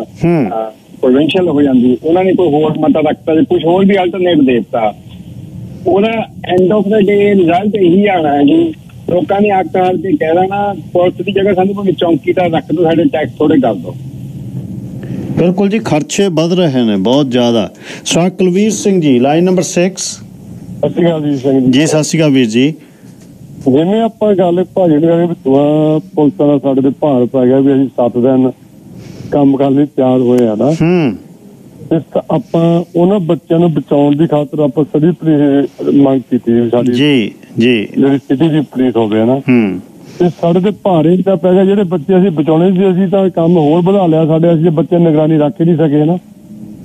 ਸਾਡੇ ਤੇ ਹੋਰ ਇੰਨਾ ਪ੍ਰੈਸ਼ਰ ਪੈ ਗਿਆ ਵੀ ਟੈਕਸਾਂ ਦਾ ਪੈ ਕਿ ਅਸੀਂ ਨਹੀਂ ਜਵਾਕਾਂ ਦਾ ਸਮਾਂ ਘਟ ਗਿਆ ਵੱਧ ਕੰਮ ਕਰਨਾ ਪੈ ਗਿਆ। ਹਾਂਜੀ ਵੱਧ ਕੰਮ ਕਰਨਾ ਅਸੀਂ ਤਾਂ ਉਦੋਂ ਜ਼ਿਆਦਾ ਇਹਨਾਂ ਤੇ ਨਿਰਭਰ ਹੋ ਗਿਆ ਨਾ। ਸਾਡਾ ਤਾਂ ਇਹ ਜਿਹੜਾ ਟੈਕਸ ਵੀ ਵੱਧ ਗਿਆ ਸਾਨੂੰ ਕੰਮ ਵੀ ਵੱਧ ਕਰਨਾ ਪੈ ਗਿਆ। ਸਾਡੇ ਬੱਚੇ ਵੀ ਉਹੀ ਲੈਣ ਤੇ ਚੱਲੇ ਸਾਨੂੰ ਕੋਈ ਫਾਇਦਾ ਵੀ ਨਹੀਂ ਹੋਇਆ ਨਾ। ਬਿਲਕੁਲ ਠੀਕ ਹੈ ਤੁਹਾਡੀ ਗੱਲ। ਹੈਰੀ ਜੀ ਲਾਈਨ ਨੰਬਰ 1 ਜੀ ਹੈਰੀ ਜੀ। ਹਾਂਜੀ ਭਾਈ ਸਤਿ ਸ਼੍ਰੀ ਅਕਾਲ। ਜੀ ਸਤਿ ਸ੍ਰੀ ਅਕਾਲ। ਭਾਜੀ ਜਿਹੜਾ ਤੇ ਮਸਲਾ ਸਾਰੀ ਵਾਲਾ ਨੇ ਜੀ ਉਹ ਅਸੀਂ ਬਿਲਕੁਲ ਪ੍ਰਿੰਸੀਪਲ ਗਵਰਨਮੈਂਟ ਦੇ ਨਾਲ ਖੜੇ ਆ ਤੇ ਕੀ ਉਹਦਾ ਰੀਜ਼ਨ ਕੀ ਹੈ ਭਾਜੀ? ਜੋ Surrey transaction already half pay ਹੋ ਚੁੱਕੀ ਹੈ। ਹੂੰ। ਜੋ ਉਹਨੂੰ ਮੁੜ ਕੇ ਦੁਬਾਰਾ ਰਿਵਰਸ ਕਰਨਾ ਆਈ ਥਿੰਕ ਇਟਸ ਸਟੂਪਿਡ ਹੂੰ। ਮਤਲਬ ਏਦਾਂ ਨਹੀਂ ਕਰਨਾ ਚਾਹੀਦਾ। ਆਲਰੇਡੀ ਤੁਹਾਨੂੰ ਪਤਾ ਜਾ ਚੁੱਕੀ ਹੈ। ਦੂਜੀ ਗੱਲ ਹੈਗੀ ਹੈ ਸਾਨੂੰ ਦੋਨੋਂ ਫੋਰਸਾਂ ਦੀ ਰਿਸਪੈਕਟ ਕਰਦੇ ਹਾਂ ਅਸੀਂ। ਬਿਲਕੁਲ ਕਰਦੇ ਆ ਆਮ ਲੋਕਾਂ ਦੇ ਵਿੱਚ ਸਤਿਕਾਰ ਹੈ ਦੋਨੇ ਫੋਰਸਸ ਦਾ। ਬਿਲਕੁਲ ਦੋਵਾਂ ਦਾ ਸਤਿਕਾਰ ਹੈ ਜੀ ਐਸੀ ਗੱਲ ਨਹੀਂ ਹੈ। ਬਟ ਰੀਜ਼ਨ ਇਹ ਹੈ ਹੁਣ ਚਲੋ ਜੇ ਪਹਿਲਾਂ ਕਲਾਇੰਟ ਲੋਕਾਂ ਨੇ ਦਿੱਤਾ ਸੀ ਉਹ ਲੋਕ ਜੀ ਉਹਨਾਂ ਨੂੰ ਮੈਂਡੇਟ ਮਿਲਿਆ ਹੋਇਆ ਉਹ ਆਪਣੀ ਗੱਲ ਤੇ ਰਾਏ ਸਾਹਿਬ ਦੀ ਗੱਲ ਠੀਕ ਹੈ। ਕਿਉਂਕਿ ਉਹ ਕਹਿੰਦੇ ਮੈਨੂੰ ਲੋਕਾਂ ਨੇ ਜਿਤਾਇਆ। ਇਸ ਮੈਂਡੇਟ ਤੇ। ਅ, ਡਗ ਮੁਕੱਲਮ ਹੋਣੀ 4 ਸਾਲ ਆਪਣੀ ਟ੍ਰਾਂਜੀਸ਼ਨ ਚ 19 ਚ ਆਉਂਦੇ ਹੀ ਉਹਨਾਂ ਨੇ ਗੱਲ ਕਿਉਂਕਿ ਜਿੱਤੇ ਹੀ ਉਸ ਗੱਲ ਤੇ ਵੀ ਸਾਰੀ ਪੁਲਿਸ ਜਿਹੜੀ ਵੇਕਅਪ ਸਰੀ ਗਰੁੱਪ ਨੇ ਕਾਲ ਕੀਤੀ ਤੁਸੀਂ ਸਾਰੇ ਆਏ ਉਹਦੇ ਚ ਸਰੀ ਦੀ ਪੁਲਿਸ ਦੀ ਗੱਲ ਤੁਰੀ ਉਹ ਉਸੇ ਵਿਸ਼ੇ ਤੇ ਡਗ ਹੋਣੀ ਇਲੈਕਸ਼ਨ 19 ਦੀ ਜਿੱਤੇ। ਪਰ ਚ- ਜਿਹੜੀ 22 ਵਾਲੀ ਇਲੈਕਸ਼ਨ ਆ ਉਹਦੇ ਚ ਉਹਨਾਂ ਦੀ ਜਿੱਤ ਨਾ ਹੋਈ ਕੁਝ ਹਜ਼ਾਰ ਵੋਟ ਤੇ ਉਹ ਹਾਰ ਗਏ 5-400 ਵੋਟ ਦੂਜੇ ਬੰਨੇ ਪੈ ਜਾਂਦੀ ਤਾਂ ਜਿੱਤ ਜਾਣਾ ਸੀ ਉਹਨਾਂ ਨੇ। ਜਸਕਰਨ ਸਿੰਘ ਬਾਗੜੀ ਜੀ ਲਾਈਨ ਨੰਬਰ 2 ਸਤਿ ਸ੍ਰੀ ਅਕਾਲ ਵੱਡੇ ਵੀਰ। ਸਤਿ ਸ਼੍ਰੀ ਅਕਾਲ ਬਾਗੜੀ ਜੀ ਸਤਿ ਸ਼੍ਰੀ ਅਕਾਲ ਛੋਟੇ ਵੀਰ। ਵੀਰ ਜੀ ਪਹਿਲਾਂ ਤਾਂ ਪ੍ਰਮਾਤਮਾ ਅੱਗੇ ਅਰਦਾਸ ਕਰਦੇ ਵੀ ਪਿਛਲੇ ਵਾਰੀ ਤਾਂ ਚਲੋ ਜੋ ਕਰਤਾ ਕਰਤਾ। ਹੈ ਕੀ ਤਾਂ ਮੈਨੂੰ ਲੱਗਦਾ ਲੋਕ ਵੀ ਸਾਥ ਦੇਣਗੇ ਤੇ ਜਿੱਤ ਪੱਕੀ ਆ। ਵਾਹਿਗੁਰੂ ਜਿੱਤ ਕਰੂਗਾ ਕਰੂਗਾ। ਬੇਈਮਾਨਾਂ ਦੀ ਹਰੇਕ ਵਾਰੀ ਨਹੀਂ ਚੱਲਦੀ ਹੁੰਦੀ। ਬੇਈਮਾਨ ਡਗਦੇ ਹੁੰਦੇ ਕਿੰਨਾ ਕੁ ਚਿਰ ਪੌੜੀਆਂ ਚੜਨਗੇ ਬੇਈਮਾਨੀ ਦੀਆਂ ਬਾਲਾ ਚਰਨਗਾ ਤੇ ਗੱਲ ਇਹ ਆ ਵੀਰ ਜੀ ਦੂਸਰੀ ਸਰੀ ਦੀ ਜਿਹੜੀ ਇਲੈਕਸ਼ਨ ਵਾਲੀ ਆ ਉਹ ਤੇ ਹੁਣ ਲੋਕਾਂ ਨੂੰ ਪਤਾ ਹੈ ਨਾ ਸਾਰਿਆਂ ਨੂੰ। ਵੀ ਕਿਹਨਾਂ ਨੇ ਸਾਡਾ ਭੱਠਾ ਬਿਠਾ ਲਿਆ। ਜਦੋਂ ਉਹ ਬੀਬੀ ਤੇ ਉਹ ਭਾਈ ਸਾਹਿਬ ਆਉਂਦੇ ਆ ਤੁਹਾਡੇ ਦਰਾਂ ਦੇ ਵੋਟਾਂ ਮੰਗਣ ਉਦੋਂ ਤੁਸੀਂ ਉਹਨਾਂ ਨੂੰ ਪੁੱਛੋ ਘੇਰ ਕੇ ਉਹਨਾਂ ਨੂੰ ਸਵਾਲ ਜਵਾਬ ਕਰੋ। ਲੜਾਈ ਦਾ ਗਾਲਾਂ ਕੱਢਣ ਦਾ ਕੋਈ ਫਾਇਦਾ ਨਹੀਂ ਕਿਸੇ ਨੂੰ ਨਹੀਂ ਕਹਿਣਾ ਪਰ ਉਹਨਾਂ ਨੂੰ ਮਾੜਾ ਠੱਠ ਕਰੋ। ਉੱਥੇ ਘੇਰੋ ਉਹਨਾਂ ਨੂੰ ਪੁੱਛੋ ਵੀ ਸਾਡੇ ਬੱਚਿਆਂ ਦਾ ਜਿਹੜਾ ਅਸੀਂ ਚਾਹੁੰਦੇ ਸੀਗੇ ਜਦੋਂ ਬੇਕਬਰ ਆਪਣੇ ਰੈਲੀਆਂ ਹੋਈਆਂ ਸਾਰਾ ਕੁਝ ਹੋਇਆ ਪੁਲਿਸ ਦਾ ਕਿਹਾ ਸੀਗਾ ਲੋਕਾਂ ਨੇ ਵੀ ਇਹ ਤੁਸੀਂ ਬੇੜਾ ਕਾਹਤੋਂ ਬਿਠਾ ਲਿਆ? ਵੀ ਤੁਸੀਂ ਜਦੋਂ ਐਮਪੀ ਆ ਐਮਐਲਏ ਆ ਉਦੋਂ ਸੁਧਾਰ ਜਿਹੜਾ ਕਰਨਾ ਉਦੋਂ ਤਾਂ ਤੁਹਾਡੇ ਤੋਂ ਹੁੰਦਾ ਕੁਝ ਨਹੀਂਗਾ ਤੇ ਮੇਅਰ ਬਣ ਕੇ ਉਹ ਬੀਬੀ ਵੀ ਕਹਿੰਦੀ ਸੀ, ਜੇ ਮੈਂ ਮੇਅਰ ਬਣ ਗਈ, ਤੇ ਮੇਰੇ ਕੋਲ ਇਦਾਂ ਦੇ ਆਈਡੀਆ ਆ, ਸੁਣ ਸੁਣ ਹਾਸਾ ਆਉਂਦਾ ਹੁੰਦਾ ਸੀਗਾ ਵੀ ਮੈਂ ਹੀ ਕਹਿੰਦੀ ਦੱਸ ਸਕਦੀ ਆ। ਜੇ ਕਿਸੇ ਹੋਸਟ ਨੇ ਪੁੱਛਿਆ ਵੀ ਤੁਸੀਂ ਦੱਸ ਦਿਓ ਵੀ ਕਿਹੜੇ ਤੁਹਾਡੇ ਕੋਲ ਆਈਡੀਆ ਦੇ ਦਿਓ ਕਹਿੰਦੀ ਨਹੀਂ ਇਦਾਂ ਨਹੀਂ ਦੇਣੇ ਹੈਗੇ। ਉਹ ਮੈਂ ਸਾਂਭ ਕੇ ਝੋਲੇ 'ਚ ਪਾਏ ਆ, ਗੰਢ ਦਿੱਤੀ ਆ, ਕਹਿੰਦੀ ਮੈਂ ਬਣ ਗਈ ਜਦੋਂ ਮੇਅਰ ਤੇ ਮੈਂ ਉਹ ਆਈਡੀਆ ਖੋਲਣੇ ਤੇ ਰਾਤੋਂ ਰਾਤ ਹੀ ਕਹਿੰਦੀ ਸਾਰੀ ਸਰੀ ਦਾ ਨਕਸ਼ਾ ਬਦਲ ਕੇ ਰੱਖ ਦੇਣਾ। ਤੇ ਉਹ ਭਾਈ ਸਾਹਿਬ ਵੀ ਇਦਾਂ ਕਹਿੰਦੇ ਹੁੰਦੇ ਸੀ, ਜਿਹੜੇ ਐਮਪੀ ਆ, ਇਸ ਕਰਕੇ ਲੋਕਾਂ ਨੂੰ ਚੇਤਾ ਰੱਖਣਾ ਚਾਹੀਦਾ ਆ। ਥੋੜਾ ਜਿਹਾ ਮੈਮਰੀ ਸ਼ਾਰਟ ਨਾ ਕਰਨ ਥੋੜਾ ਜਿਹਾ ਦੂਰ ਅੰਦੇਸ਼ੀ ਨਾਲ ਸੋਚ ਕੇ ਤੇ ਉਹਨਾਂ ਨੂੰ ਹੁਣ ਪੁੱਛਣ ਜਦੋਂ ਆਉਣਾ ਉਹਨਾਂ ਨੇ ਵੀ ਭਾਈ ਇਹ ਕੀ ਹੋ ਰਿਹਾ ਸਾਡੇ ਨਾਲ? ਜਿਹੜਾ ਸਾਡੇ ਬੋਝ ਪਿਆ ਕਿਉਂ ਪਿਆ ਆ? ਧੰਨਵਾਦ ਵੀਰ ਜੀ ਧੰਨਵਾਦ। Sir Paramjit Singh line number 3 hello ਸਤਿ ਸ੍ਰੀ ਅਕਾਲ ਜੀ ਗੱਲ ਸਾਹਿਬ। ਜੀ ਸਤਿ ਸ਼੍ਰੀ ਅਕਾਲ ਵੀਰ ਜੀ। ਦੇਖੋ ਜੀ ਇਹ ਲਿੰਡਾ ਬਿਲਕੁਲ ਝੂਠ ਬੋਲਦੀ ਆ ਅਸੀਂ ਇਹ ਤੇ ਬਿਲਕੁਲ ਇਤਬਾਰ ਨਹੀਂ ਕਰਦੇ। ਖਰਚਾ ਜਿਹੜਾ ਉਹ ਗਵਰਨਮੈਂਟ ਦੱਸ ਰਹੀ ਆ ਐਨਡੀਪੀ ਗਵਰਨਮੈਂਟ ਖਰਚੇ ਉਹ ਬਰਾਬਰ ਦੱਸ ਰਹੀ ਆ। ਕਰਕੇ ਜਿਹੜੀ ਆਰਸੀਐਮਪੀ ਆ ਇਹ ਵੀ ਯੂਨੀਅਨ ਦੇ ਯੂਨੀਅਨ ਚ ਹੋ ਗਈ ਆ ਔਰ ਇਹ- ਇਹਨਾਂ ਦੇ ਰੇਟ ਬਹੁਤ ਉੱਤੇ ਜਾ ਰਹੇ ਆ ਉਹਨਾਂ ਦੇ ਬਰਾਬਰ ਹੀ ਖਰਚੇ ਹੋਣੇ ਆ। ਇਹ ਸਭ ਬਕਵਾਸ ਮਾਰਦੀ ਆ। ਦੂਜੀ ਗੱਲ ਉਹਨੇ ਇਹਨੇ ਕਿਹਾ ਸੀ ਮੈਂ ਰੈਫਰੈਂਡਮ ਕਰਾਉਂਗੀ ਜਿੱਤ ਕੇ। ਇਹਨੇ ਕਰਾਉਂਦੀ ਕਾਤੇ ਨਹੀਂ ਉਹ ਕਰਾ ਲੈਂਦੀ ਤਾਂ ਹੁਣ। ਤਾਂ ਦੂਜਾ, ਰਾਏ ਸਾਹਿਬ ਸਾਰੀ ਗੱਲ ਮੇਰੇ ਦਿਲ ਦੀ ਗੱਲ ਕਹਿ ਗਏ ਆ, ਇਹ ਭੋਗ ਮੰਤਰੀ ਹੁਣੇ ਸਾਰਾ ਕੰਮ ਖਰਾਬ ਕੀਤਾ। ਇਹਦੇ ਇਹਦੇ ਏਰੀਆ ਦੇ ਵਿੱਚੋਂ ਵੱਡੇ ਪ੍ਰੋਜੈਕਟ ਕੱਢ ਕੇ ਉਧਰ ਜਾ ਰਹੇ ਆ, ਤਾਂ ਉਹ ਪਤਾ ਨਹੀਂ ਕਿੱਥੇ ਬੈਠਾ, ਜਿਹੜੇ ਕਿੰਗ ਮੇਕਰ ਅੱਛਾ, ਦੂਜੀ ਗੱਲ, ਇਹਨੇ ਬੇਇੱਜ਼ਤੀ ਜਾਣਾ ਜੀ ਲਿੰਡਾ ਨੇ, ਤੁਹਾਨੂੰ ਮੈਂ ਦੱਸ ਦਿੰਦਾ ਇਦਾਂ ਦੇ ਕਿੰਗ ਮੇਕਰ ਹੋਰ ਬਹੁਤ ਪਿੱਛੇ ਖੜੇ ਆ ਜਿਹੜੇ ਉਹਨੂੰ ਜਿਤਾ ਦੇਣਗੇ ਇਹ ਵੀ ਖਤਰਾ ਆ ਦੇਖ ਲਿਓ ਜਿਹੜੇ ਟੈਕਸ ਲੱਗ ਗਏ ਇਹ ਘਟਣੇ ਨਹੀਂ ਇੱਥੇ ਹੀ ਰਹਿਣੇ ਭਾਵਾਂ ਕੋਈ ਵੀ ਮੇਰ ਆ ਜਾਵੇ ਜੀ ਧੰਨਵਾਦ। ਬੇਨਤੀ ਮੈਂ ਕਰਦਾ ਥੋੜੇ ਜੇ ਸ਼ਬਦ ਤਿੱਖੇ ਨਾ ਵਰਤੀਏ ਸ਼ਬਦ ਵਧੀਆ ਵਰਤੀਏ ਸਤਿਕਾਰ ਵਾਲੇ ਆਪਣੇ ਇਲੈਕਟਡ ਅਫੀਸ਼ੀਅਲ ਨੇ ਸਾਰੇ। ਸ਼ਰਾਬ ਅਵਤਾਰ ਸਿੰਘ ਜੀ ਲਾਈਨ ਨੰਬਰ 4 ਗਿਲ ਸਾਹਿਬ ਸਤਿ ਸਤਿ ਸ਼੍ਰੀ ਅਕਾਲ ਡਾਕਟਰ ਸਾਹਿਬ। ਗਿਲ ਸਾਹਿਬ ਸਾਰਿਆਂ ਤੋਂ ਪਹਿਲਾਂ ਤਾਂ ਆਪਾਂ ਨੂੰ ਇਹਦੇ ਪਿੱਛੇ ਜਾਣ ਦੀ ਲੋੜ ਹੈ ਵੀ ਚੱਕ ਮੁਕੱਲਮ ਨੂੰ ਕਿਹੜੇ ਬੰਦਿਆਂ ਨੇ ਹਰਾਇਆ ਜਾਂ ਕਿਸ ਸਕੀਮ 'ਚ ਹਰਾਇਆ। ਉਹ ਆਪਾਂ ਸਾਰਿਆਂ ਨੂੰ ਪਤਾ ਉਹ ਮੈਂ ਰਿਪੀਟ ਨਹੀਂ ਕਰਨਾ ਚਾਹੁੰਦਾ। ਹੂੰ। ਉਹ ਬੰਦਿਆਂ ਨੂੰ ਆਪਣੀ ਪੋਲਿਟਿਕਸ ਵਿੱਚੋਂ ਕੱਢਣ ਦੀ ਲੋੜ ਆ ਕਿਉਂਕਿ ਨਹੀਂ ਤਾਂ ਅਦਰਵਾਈਜ਼ ਆਪਾਂ ਇੰਡੀਆ ਵਾਲੀ ਪੋਲਿਟਿਕਸ ਇੱਥੇ ਲੈ ਆਉਣੀ ਆ ਵੀ ਫਲਾਣੇ ਬੰਦੇ ਦੀਆਂ ਵੋਟੀਆਂ ਤੋੜ ਲਿਓ ਐਸ ਆਹ ਬੰਦਾ ਖੜਾ ਦਿਓ ਇੰਨੀਆਂ ਗਿਣ ਤੋੜ ਜਾਣੀਆਂ ਇੰਨੀਆਂ ਗਿਣ ਤੋੜ ਜਾਣੀਆਂ ਹੋਵੇ ਆਪਾਂ ਉਸ ਪਾਸੇ ਨੂੰ ਜਾ ਰਹੇ ਆ ਠੀਕ ਹੈ ਆਪਾਂ ਨੂੰ ਇਹ ਬਹੁਤ ਜ਼ਰੂਰੀ ਆ ਵੀ ਇਸ ਚੀਜ਼ ਨੂੰ ਸਾਖਿਆ ਜਾਵੇ ਕਿਹੜੇ ਬੰਦੇ ਨੇ ਜਿਹੜੇ ਆਪਣੀ ਹਜ਼ਾਰ ਕੁ ਵੋਟ ਤੋੜੀ ਹਜ਼ਾਰ ਵੋਟ ਸੰਗਾ ਵੋਟਾਂ ਦੇ ਹਾਰੇ ਸੀ ਡਾਕਟਰ ਸਾਹਿਬ। ਹੂੰ ਹੂੰ। ਤਾਂ ਜਦੋਂ ਨੰਬਰ ਦੋ ਤੇ ਜੀ ਆਪਾਂ ਇਹ ਕਿਉਂ ਨਹੀਂ ਕਹਿੰਦੇ? ਜਿਹੜੀ ਨੇਬਰਹੁੱਡ ਪੁਲਿਸ ਹੁੰਦੀ ਉਹ ਨੇਬਰਹੁੱਡ ਪੁਲਿਸ ਹੁੰਦੀ ਆਰਸੀਐਮਪੀ ਆਰਸੀਐਮਪੀ ਹੁੰਦੀ ਹੈ ਹੂੰ ਹੂੰ। ਠੀਕ ਹੈ ਜੀ ਇੱਕ ਬੀਸੀ ਗਵਰਨਮੈਂਟ ਨੇ ਇੱਕ ਕਮਿਸ਼ਨ ਬਣਾਇਆ ਸੀ ਕਮਿਸ਼ਨ ਦਾ ਨਹੀਂ ਆਲ ਪਾਰਟੀ ਜੋ ਵੀ ਕਮੇਟੀ ਬਣਾਈ ਸੀ। ਉਹਨੇ ਕਿ ਉਹਨਾਂ ਦੀ ਰਿਪੋਰਟ ਪੜ੍ਹ ਲਓ ਮੇਰੇ ਖਿਆਲ ਤਿੰਨ ਚਾਰ ਸਾਲ ਪਹਿਲਾਂ ਦੀ ਗੱਲ ਹੈ। ਉਹਨੇ ਕਿਹਾ ਵੀ ਆਰਸੀਐਮਪੀ ਹਰ ਜਗ੍ਹਾ ਤੋਂ ਜਾਣੀ ਚਾਹੀਦੀ ਹਰ ਜਗ੍ਹਾ ਤੇ ਲੋਕਲ ਪੁਲਿਸ ਹੋਣੀ ਚਾਹੀਦੀ। ਹੂੰ। ਠੀਕ ਹੈ ਇਹ ਇਹ- ਲਓ ਇਹਨਾਂ ਦੀ ਕਮੇਟੀ ਦੀ ਰਿਪੋਰਟ ਹੈ ਮੇਰੇ ਤਿੰਨ ਚਾਰ ਸਾਲ ਪਹਿਲਾਂ ਇਹਨੇ ਇੱਕ ਸਰਵ ਪਾਰਟੀ ਕਮੇਟੀ ਬਣਾਈ ਸੀ ਬਹੁਤ ਮਤਲਬ ਬੀਸੀ ਲੈਵਲ ਤੇ। ਉਹਦੀ ਰਿਪੋਰਟ ਉਹਦੀ ਰਿਪੋਰਟ ਹੀ ਪੜ੍ਹ ਜਿਹੜੀ ਲੋਕਲ ਤੁਹਾਡੀ ਨੇਬਰਹੁੱਡ ਪੁਲਿਸ ਹੈ ਨੇਬਰਹੁੱਡ ਪੁਲਿਸ ਹੈ ਜਿਹੜੀ ਆਰਸੀਐਮਪੀ ਆਰਸੀਐਮਪੀ ਇੱਕ ਨੈਸ਼ਨਲ ਲੈਵਲ ਦੀ ਫੋਰਸ ਹੋਣੀ ਚਾਹੀਦੀ ਜਿੱਦਾਂ ਅਮਰੀਕਾ 'ਚ ਐਫਬੀਆਈ ਹੈ ਦੈਟਸ ਐਕਸੈਪਟੇਬਲ ਬਾਕੀ ਜਿਹੜੀ ਤੁਹਾਡੀ ਲੋਕਲ ਪੁਲਿਸ ਹੈ ਲੋਕਲ ਪੁਲਿਸ ਹੋਣੀ ਚਾਹੀਦੀ ਤਾਂ ਕਿ ਉਹਨੂੰ ਹਰ ਇੱਕ ਬੰਦੇ ਨੂੰ ਉਹਨੂੰ neighborhood 'ਚ ਪਤਾ ਹੋਵੇ ਮੇਰੇ ਨੇਬਰਹੁੱਡ 'ਚ ਕੌਣ ਰਹਿੰਦਾ ਕਿੱਥੇ ਕੌਣ ਰਹਿੰਦਾ ਉਹ neighborhood 'ਚੋਂ ਬੰਦੇ ਉੱਠ ਕੇ ਸਵੇਰ ਨੂੰ ਪੁਲਿਸ ਵਿੱਚ ਜਾਂਦੇ ਹੋਣ। ਤਾਂ ਉਹ ਇਦਾਂ ਨਾ ਹੋਵੇ ਵੀ ਉਹ ਕੋਈ ਕਿਵਰਿਕ ਤੋਂ ਆਇਆ ਕੋਈ ਕਿਤੋਂ ਆਇਆ ਉਹ ਗੱਲ ਨਹੀਂ ਬਣਦੀ। ਇਹ ਜਿਹੜਾ ਕਨਸੈਪਟ ਨੇਬਰਹੁੱਡ ਪੁਲਿਸ ਉਹ ਨੇਬਰਹੁੱਡ ਪੁਲਿਸ ਦਾ। ਇਸ ਕਰਕੇ ਆਪਾਂ ਨੂੰ ਵੀ ਓਨੈਸਟਲੀ ਇਸ ਕਰਕੇ ਨਹੀਂ ਕਹਿਣਾ ਚਾਹੀਦਾ ਵੀ ਆਪਾਂ ਇਹ ਆਰਸੀਐਮਪੀ ਫੀਲ ਬੈਡ ਕਰੂਗੀ ਨਹੀਂ। ਜਿਹੜੀ ਨੇਬਰਹੁੱਡ ਪੁਲਿਸ ਹੈ ਕਿਸੇ ਥੈਂਕ ਯੂ ਵੀਰ ਜੀ ਡਾਕਟਰ ਸਾਹਿਬ ਥੈਂਕ ਯੂ ਜੀਤ ਢਾਲੀਵਾਲ ਜੀ। ਬਲਜੀਤ ਭਾਈ ਜੀ ਸਤਿ ਸ਼੍ਰੀ ਅਕਾਲ। ਸੌਰੀ ਬਲਜੀਤ ਸਿੰਘ ਢਾਲੀਵਾਲ ਜੀ। ਭਾਈ ਜੀ। ਜੀਤ ਢਾਲੀਵਾਲ ਜੀ। ਹਾਂ ਜੀ ਸੌਰੀ ਜੀਤ ਢਾਲੀਵਾਲ ਜੀ ਹਾਂ ਜੀ ਹਾਂਜੀ ਹਾਂਜੀ ਬਾਈ ਜੀ ਸਾਰਿਆਂ ਨੂੰ ਸਤਿ ਸ਼੍ਰੀ ਅਕਾਲ ਜੀ। ਭਾਜੀ ਮੈਂ ਦੋ ਚਾਰ ਗੱਲਾਂ ਨਾ ਕੁਝ ਚੀਜ਼ਾਂ ਭੁੱਲ ਗਿਆ ਸੀ ਮੈਂ ਉਹ ਐਡ ਕਰਨਾ ਚਾਹੁੰਦਾ ਕਰ ਦਿਓ ਜੀ। ਜੀ ਡੱਗ ਮਕੱਲਮ ਤੋਂ ਪਹਿਲਾਂ ਨਾ ਜੀ ਜਦੋਂ ਟਰੰਪ ਉਹਨਾਂ ਨੂੰ ਖੜਾ- ਸੀ ਮੇਅਰ ਵਾਸਤੇ ਉਹਦੇ ਬਰਾਬਰ ਸਾਡੀ ਸਿਟੀ ਕੋਲ 1 ਬਿਲੀਅਨ ਡਾਲਰ ਸਰਪਲਸ ਪਿਆ ਉਹ ਮਨੀ ਕਿੱਥੇ ਹੈ ਜੀ? ਹੂੰ। ਉਹ ਨਿਊਜ਼ ਦੇ ਉੱਤੇ ਤੁਸੀਂ ਵੀ ਸ਼ਾਇਦ ਆਈ ਮੈਂ ਤੁਸੀਂ ਵੀ ਮੈਂਸ਼ਨ ਕੀਤਾ। ਦੂਜੇ ਰੇਡੀਓ ਤੇ ਮੈਂਸ਼ਨ ਕੀਤਾ ਗਿਆ ਵੀ ਸਾਡੇ ਕੋਲ ਵੀ ਸਿਟੀ ਆਫ ਸਰੀ ਕੋਲ 1 ਬਿਲੀਅਨ ਡਾਲਰ ਸਰਪਲਸ ਪਿਆ। ਹੁਣ ਨੰਬਰ 2 ਤੇ ਆ ਜੰਨੇ ਜੀ। ਹੂੰ। ਆ ਬੀਬੀ ਇੱਕ ਆਰਸੀਐਮਪੀ ਦੇ ਵਿੱਚ ਸੀ ਜੀ। ਹੂੰ। ਉਹ ਰੇਡੀਓ ਤੇ ਆ ਕੇ ਬੀਬੀ ਢਿੱਲੋਂ ਨੇ ਉਹਦੀ ਇੰਟਰਵਿਊ ਕੀਤੀ ਸੀ ਡਿਫਰੈਂਟ ਰੇਡੀਓ ਦੇ ਉੱਤੇ। ਹੂੰ। ਡੱਗ ਮੱਕਲਨ ਜਦੋਂ ਮੇਅਰ ਖੜਨਾ ਸੀ ਅਜੇ ਮਹੀਨਾ ਕਿ ਪਿਆ ਸੀ ਕੁਛ ਉਹਦੇ ਪਿੱਛੇ ਜੋ ਪ੍ਰੀਵੀਅਸ ਮੇਅਰ ਸੀ ਕੁਛ ਗੱਲਾਂ ਬੋਲੀਆਂ ਜਾਂਦੀਆਂ ਸੀ। ਹੂੰ। ਉਹ ਬੀਬੀ ਇਹਦੇ ਉੱਤੇ ਕਰਦੀ ਗੱਲ ਤੇ ਉਹਦੇ ਚਲੋ ਅਗੇਂਸਟ ਹੁਣ ਵੀ ਉਹ ਫੋਰਸ ਦੇ ਵਿੱਚ ਆ ਪਰ ਸੀਰੀਅਸ ਬਾਰਡਰ ਸਰਵਿਸ ਦੇ ਵਿੱਚ। ਉਹ ਬੀਬੀ ਨੂੰ ਜੀ ਮੈਂ ਰਾਈਟ ਵੇ ਨਾ ਉਸ ਤਰ੍ਹਾਂ ਬੀਬੀ ਤੇ ਉਹਨਾਂ ਨੂੰ ਮੈਸੇਜ ਛੱਡਿਆ ਵੀ ਮੈਂ ਉਹਨਾਂ ਨਾਲ ਗੱਲ ਕਰਨਾ ਚਾਹੁੰਦਾ ਵੀ ਇਹ ਤੇ ਕਿਉਂਕਿ ਗਾਹ ਪਿਆ ਹੋਇਆ ਸੀ ਉਦੋਂ ਟਾਮ ਦਾ ਈਵਨ ਇਹਦਾ ਜਿਹੜਾ ਜਿਹਦੇ ਆਪਾਂ ਮੇਅਰ ਦੀ ਗੱਲ ਕਰਦੇ ਆ ਹੂੰ। ਉਹ ਬੀਬੀ ਦਾ ਕਾਲ ਆਈ ਜੀ ਮੈਨੂੰ ਅਨਨੋਨ ਨੰਬਰ ਤੇ। ਅੱਛਾ ਜੀ। ਉਹ ਢਿੱਲੋਂ ਬੀਬੀ ਜੀ ਨੇ ਪੁੱਛਿਆ ਉਹਨਾਂ ਨੂੰ ਵੀ ਤੁਸੀਂ ਸੀਬੀਐਸ ਜਦੋਂ ਆਫਿਸ ਸੀ ਤੁਸੀਂ ਕੋਰਟ ਤੇ ਕੰਮ ਕੀਤਾ? ਕਹਿੰਦੀ ਯੈਸ ਹੂੰ। ਤੇ ਕਹਿੰਦੇ ਤੁਸੀਂ ਛਿਪਾਂ ਦੇ ਵੀ ਚੜਦੇ ਹੋ? ਕਹਿੰਦੀ ਯੈਸ ਤੇ ਕਹਿੰਦੀ ਵੀ ਮੈਨੂੰ ਉੱਥੇ ਡਰ ਲੱਗਦਾ ਸੀ ਚੜਨ ਤੋਂ ਉੱਤੇ। ਹੂੰ। ਉਹਦੇ ਉਹਨਾਂ ਛਿਪਾਂ ਦੇ ਉੱਤੇ। ਹੁਣ। ਜਿਹੜੀ ਅਗਲੀ ਗੱਲ ਆ ਜੀ ਹੂੰ। ਜਿੱਥੇ ਵੀ ਮੈਂ ਉਹਨੂੰ ਮੈਂ ਕਿਹਾ ਵੀ ਮੈਂ ਨੋ ਬਾਡੀ ਆ ਬਟ ਮੈਂ ਪ੍ਰੀਟੀ ਸ਼ੋਰ ਮੈਂ ਕਹਾਂ ਅਗਰ ਕਹਾਂ ਮੇਰੇ ਸ਼ਹਿਰ ਦੇ ਲੋਕ ਮੈਂ ਜਾ ਕੇ ਅਨਾਉਂਸ ਕਰਦਾ ਵੀ ਤੂੰ ਮੇਰੇ ਵਾਸਤੇ ਖੜੀ ਹੋ। ਹੂੰ। ਉਹ ਕਹਿੰਦੀ ਵੀ ਨਹੀਂ ਵੀ ਮੈਂ ਮੇਰੇ ਵਾਸਤੇ ਨਹੀਂ ਖੜੀ ਹੋ ਸਕਦੀ। ਮੈਂ ਕਿਹਾ ਵੀ ਸਾਡੇ ਸ਼ਹਿਰ ਸ਼ਹਿਰ ਦੇ ਵਿੱਚ ਸਾਡੇ ਬੱਚੇ ਗਲਤ ਪਾਸੇ ਜਾ ਰਹੇ ਆ। ਤੇਰੇ ਵੀ ਤੇਰਾ ਐਡਾ ਰੈਜ਼ਮੇ ਆ ਵੀ ਤੈਨੂੰ ਤਾਂ ਠਾ ਵੋਟਾਂ ਬਣੀਆਂ ਹੂੰ। ਉਹ ਗੱਲ ਕਰਦੇ ਕਰਦੇ ਜੀ ਅਗਲੀ ਗੱਲ ਇਹ ਪੁੱਛੀ ਮੈਂ ਕਿਹਾ ਵੀ ਤੁਸੀਂ ਪੋਰਟ ਤੇ ਕਹਿੰਦੇ ਸੀ ਰੇਡੀਓ ਤੇ ਸੁਣਦਾ ਸੀ। ਮੈਨੂੰ ਕੁਝ ਬੰਦੇ ਜਾਣਦੇ ਆ ਜੀ ਪੋਰਟ ਤੇ। ਹੂੰ। ਜਿਹੜੇ ਹੈਲਥ ਐਂਜਲ ਉਹ ਨਹੀਂ ਜਿਹੜੇ ਬੰਦੇ ਉਹ ਕੰਮ ਕਰਦੇ ਜਾਣਦੇ ਹੈਲਥ ਐਂਜਲ ਵਾਲੇ ਕਹਿ ਦਿੰਦੇ ਆ ਸੀਵੀਸ ਤੇ ਵਾਲਿਆਂ ਨੂੰ ਵੀ ਆ ਕੰਟੇਨਰ ਟੱਚ ਨਹੀਂ ਕਰਨਾ। ਹੂੰ। ਤਾਂ ਬੱਟੇ ਪਾ ਕੇ ਇੱਥੇ ਹੀ ਛੱਡ ਦਾਂਗੇ ਥੱਲੇ।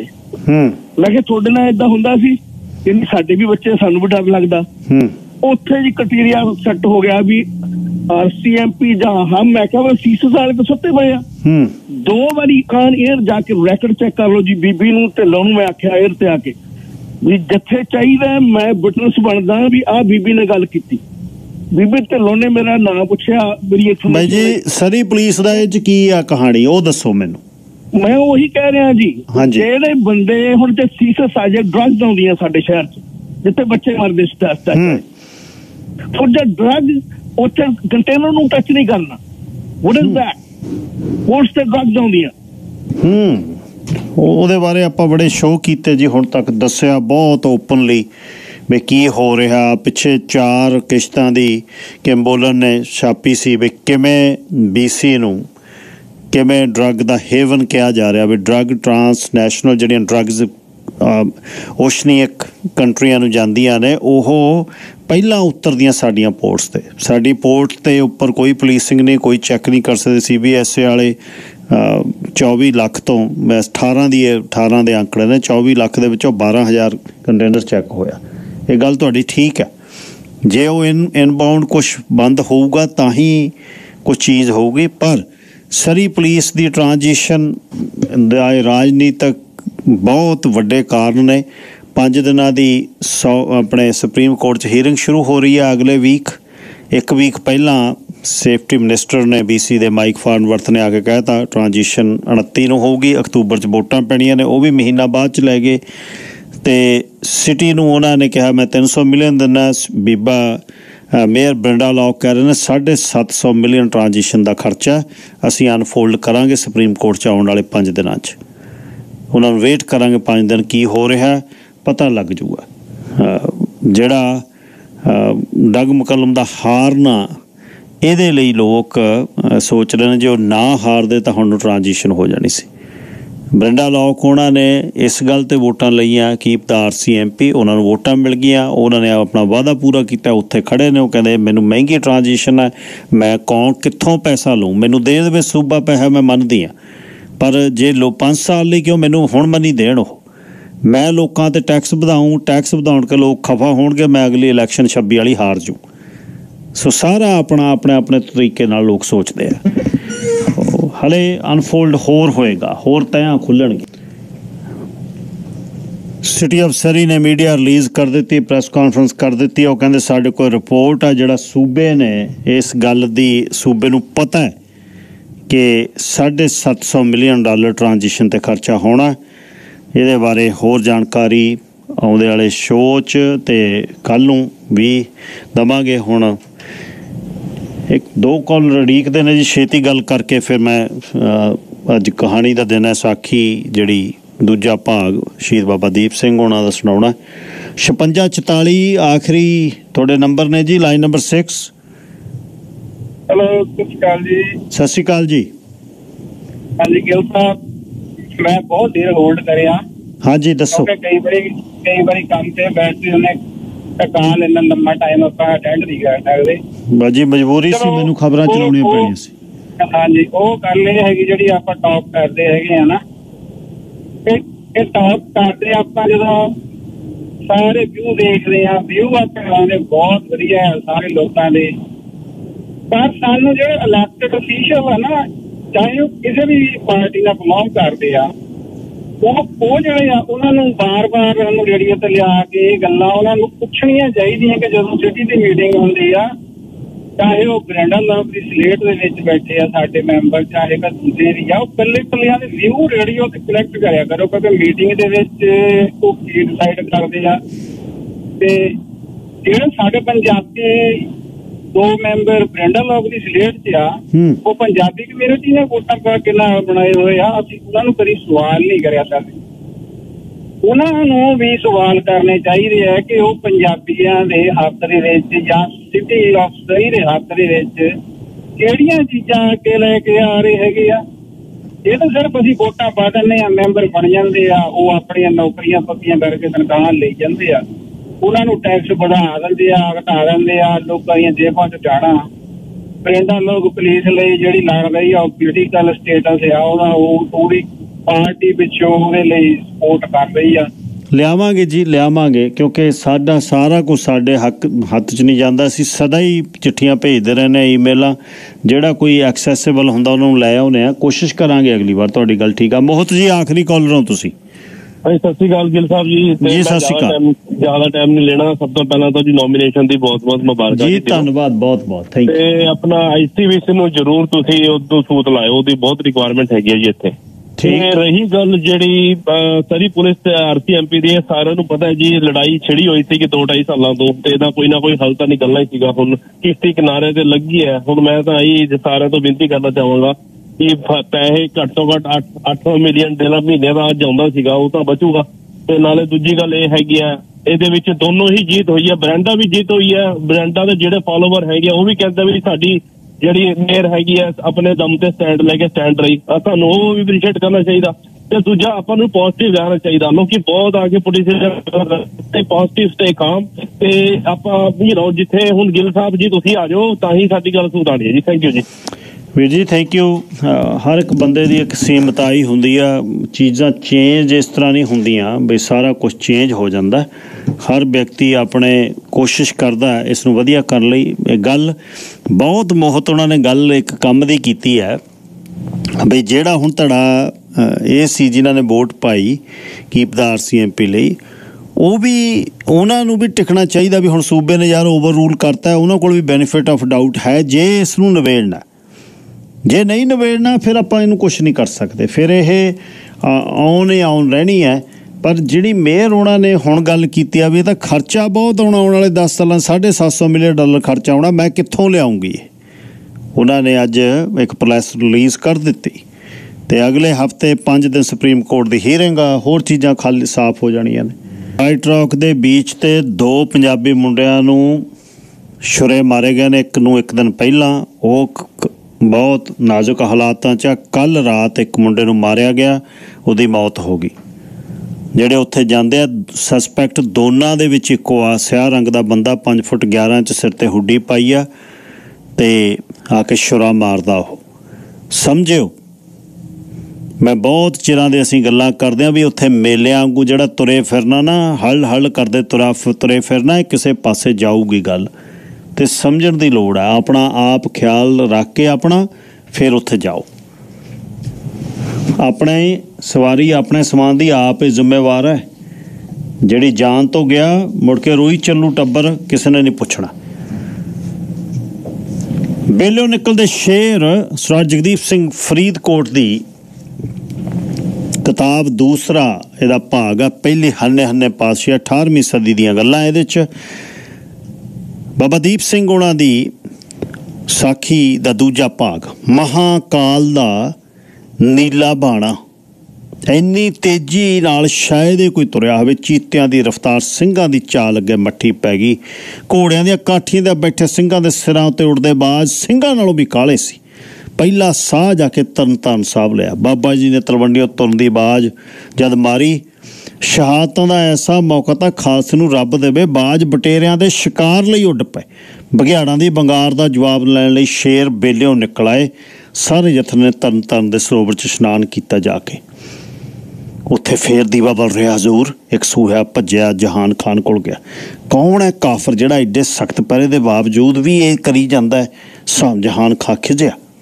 ਹੋਏ ਰਿਹਾ ਸੀ, ਜਹਾਨ ਖਾਨ ਨੇ ਸਰਾਬਰ ਸਰੋਵਰ ਪੂਰ ਦਿੱਤਾ, ਦਰਬਾਰ ਸਾਹਿਬ ਨੂੰ ਢਾ ਦਿੱਤਾ। ਮਲਵੇ ਦੇ ਢੇਰ ਤੇ ਹਰ ਰਾਤ ਕੋਈ ਚੌਮੁਖੀਆ ਦੀਵਾ ਬਾਲ ਰਿਹਾ ਸੀ। ਬਹੁਤ ਪਹਿਰੇ ਲੱਗਦੇ, ਕਿਵੇਂ ਲੱਗਦਾ ਕਿਸੇ ਨੂੰ ਨਾ ਪਤਾ ਲੱਗਦਾ ਕਰਾਮਾਤ ਹੈ ਹਜ਼ੂਰ। ਜਹਾਨ ਖਾਨ ਦੇ ਫੌਜਦਾਰ ਲਗੇ। ਮੈਂ ਸੁਣਿਆ ਸਿੱਖਾਂ ਦੇ ਸੰਬੰਧ ਚ ਗੈਬੀ ਤਾਕਤ ਹੈ, ਰਾਖੀ ਰੂਹਾਂ ਕਰਦੀਆਂ ਮਾ- ਇੱਥੇ ਰੂਹਾਂ। ਗੈਬੀ ਤਾਕਤ। ਮੈਂ ਪਰਖਾਂਗਾ, ਮੰਦਰ ਵੀ ਢਾਵਾਂਗਾ, ਇਹਨਾਂ ਰੂਹਾਂ ਤੇ ਦੇਹਾਂ ਨੂੰ ਵੀ ਨਜਿੱਠਾਂਗਾ, ਜਹਾਨ ਖਾਨ ਨੇ ਕਿਹਾ ਬਾਬਾ ਜੀ ਨੇ ਖੰਡਾ ਮਿਆਨੋਂ ਕੱਢਿਆ, ਮੱਥੇ ਨੂੰ ਛੁਆਇਆ ਤੇ ਧਰਤੀ ਤੇ ਲੈਨ ਖਿੱਚਤੀ ਲਕੀਰ। ਇਹ ਲਕੀਰ ਅੱਜ ਡਰ ਤੇ ਨਿਰਤਾ ਦੇ ਵਿਚਾਲੇ ਪਾੜਾ ਮਿਟੇਗੀ। ਟੱਪੋ ਜੀ ਨੇ ਟੱਪਣਾ। ਲਕੀਰ ਦੇ ਇੱਧਰ ਖਲੋਤੇ ਰਹਿ ਗਏ, ਇੱਕ ਦਿਨ ਮਰ ਜਾਣਗੇ ਤੇ ਪਾਰ ਹੋ ਗਿਆ ਅੱਜ ਸ਼ਹੀਦ ਹੋਣਗੇ। ਜਿਹੜੇ ਪਾਰ ਕਰ ਗਏ ਉਹ ਪਾਰ ਹੋਣਗੇ। ਬਾਬਾ ਜੀ ਨੇ ਸਾਰੇ ਜਥਨੇ ਨੂੰ ਲਲਕਰਾ ਮਾਰਿਆ। ਕੋਈ ਵੀ ਅਜਿਹਾ ਨਹੀਂ ਜਿਹਨੇ ਲਕੀਰ ਨਾ ਪਾਰ ਕੀਤੀ ਹੋਵੇ। ਸਾਰੇ ਲਾਈਨ ਟੱਪ ਗਏ।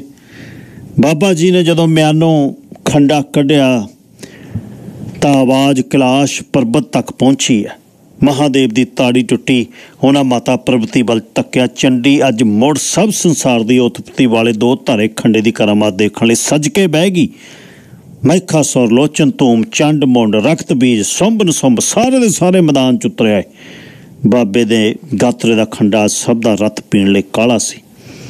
ਤੂੰ ਤਾਂ ਲਾੜਾ ਬਣ ਕੇ ਆਇਆ ਸਿੰਘਾ। ਕਿਸੇ ਬਹੁ ਬਿਉਣ ਚੱਲੇ ਲਾੜੇ ਵਾਂਗੂ ਤਿਆਰ ਹੋਏ ਸਿੰਘ ਨੂੰ ਬਾਬੇ ਨੌਦ ਸਿਉ ਨੇ ਕਿਹਾ, ਜਹਦਾਰ ਜੀ ਮੇਰੀ ਮਾਂ ਦੀ ਹੁੰਦੀ ਸੀ ਕਿ ਸਿੱਖਾਂ ਦੇ ਪੁੱਤਾਂ ਲਈ ਅੰਜ ਤੇ ਜੰਗ ਵਿੱਚ ਫ਼ਰਕ ਕੋਈ ਨਹੀਂ ਹੁੰਦਾ। ਮਾਝੇ ਦੇ ਭਾਊ ਨੇ ਕਿਹਾ, ਸ਼ਹੀਦੀ ਲਾੜਿਆਂ ਦੀ ਜੰਜ ਤਿਆਰ ਹੋ ਗਈ, ਸਭ ਨੇ ਆਪਣੇ ਦਸਤਾਰਿਆਂ ਚੋਲਿਆਂ ਤੇ ਕੇਸਰ ਛਿੜਕ ਲਏ। ਮਹਿਕਾ ਮਾਰਦੇ ਨੀਲੇ ਬਾਣਿਆਂ ਨੂੰ ਸ਼ਾਦਤ ਦਾ ਚਾਹ ਚੜਿਆ ਹੋਇਆ ਸੀ। ਚਿਹਰੇ ਵੇਖ ਕਿਵੇਂ ਦਗ ਦਗ ਕਰ ਰਹੇ ਨੇ, ਜੰਗ ਦੇ ਮੈਦਾਨ 'ਚ ਖੜੇ ਇਹ ਪੀਲੇ ਚਿਹਰੇ ਵਾਲੇ ਅਫਗਾਨ ਨੇ ਕਿਹਾ ਇਹ ਸਾਡੇ ਅੰਗ ਤਨਖਾਹਦਾਰ ਸਿਪਾਹੀ ਨਹੀਂ ਜੋ ਲਾਲਚ ਬਸ ਤਲਵਾਰਾਂ ਫੜ ਕੇ ਖੜੇ। ਇਹ ਦੀਨ ਲਈ ਕੁਰਬਾਨ ਹੋਣ ਵਾਲੇ ਨੇ। ਚਿਹਰਿਆਂ ਦੀ ਇਹ ਲਾਲੀ ਪੰਜਾਬ ਦੀ ਤਸਵੀਰ ਹੈ। ਇਹ ਲਾਲੀ ਸਿੰਘਾਂ ਤੇ ਉਦੋਂ ਚੜੇ ਜਦੋਂ ਕੋਈ ਜੰਗ ਦੇ ਵਿੱਚ ਕੋਈ ਸਨਮੁਖ ਖੜਦਾ ਆ ਕੇ ਜਾਤ ਗੋਤ ਸਿੰਘਨ ਕੀ ਦੰਗਾ ਦੰਗਾ ਹੀ ਇਨ ਗੁਰਤੇ ਮੰਗਾ। ਨਿਹੰਗ ਸਿੰਘ ਬੋਲ ਰਹੇ ਸੀ। ਬਾਬਾ ਜੀ ਨੇ ਅਰਦਾਸ ਆਰੰਭ ਕਰ ਦਿੱਤੇ, ਹੈ ਤੰਤਰ ਗੁਰੂ ਰਾਮਦਾਸ ਜੀਓ ਮਹਾਰਾਜ, ਦ੍ਰਿੜਤਾ ਤੇ ਸਿਦਕ ਬਖਸ਼ਿਓ। ਇਹ ਸੀਸ ਆਪਾਂ ਆਪ ਜੀਆਂ ਦਾ ਤੇ ਸਤਿਗੁਰ ਸੱਚੇ ਪਾਤਸ਼ਾਹ ਜੀਓ, ਆਪ ਜੀ ਦੇ ਸਨਮੁਖ ਹੀ ਭੇਂਟ ਕਰਾਂਗਾ। ਆਪ ਜੀ ਦੇ ਅਸੀਸ ਦੇ ਆਸਰੇ ਤੇ ਆਪ ਜੀ ਦੀ ਓਟ ਵਿੱਚ ਲੜਦੇ ਆਏ ਸਭ ਖੰਡਾ ਬਹਾਂਗੇ ਕਾਬਲੀ ਤਲਵਾਰਾਂ ਖੁੰਡੀਆਂ ਕਰ ਦੇਾਂਗੇ ਬਦਨੀਤਾਂ ਨੂੰ ਅੰਮ੍ਰਿਤਸਰ ਤੋਂ ਦੂਰ ਭਜਾ ਦੇਗਾ ਦਰਬਾਰ ਸਾਹਿਬ ਦੇ ਦਰਸ਼ਨ ਕਰੇ ਬਿਨਾ ਪ੍ਰਾਣ ਨਹੀਂ ਤਿਆਗਾਂਗਾ। ਬਾਬਾ ਜੀ ਦੇ ਬੋਲ ਬੋਲਣ ਤੇ ਅਸਮਾਨੋਂ ਬਿਜਲੀ ਚਮਕੀ।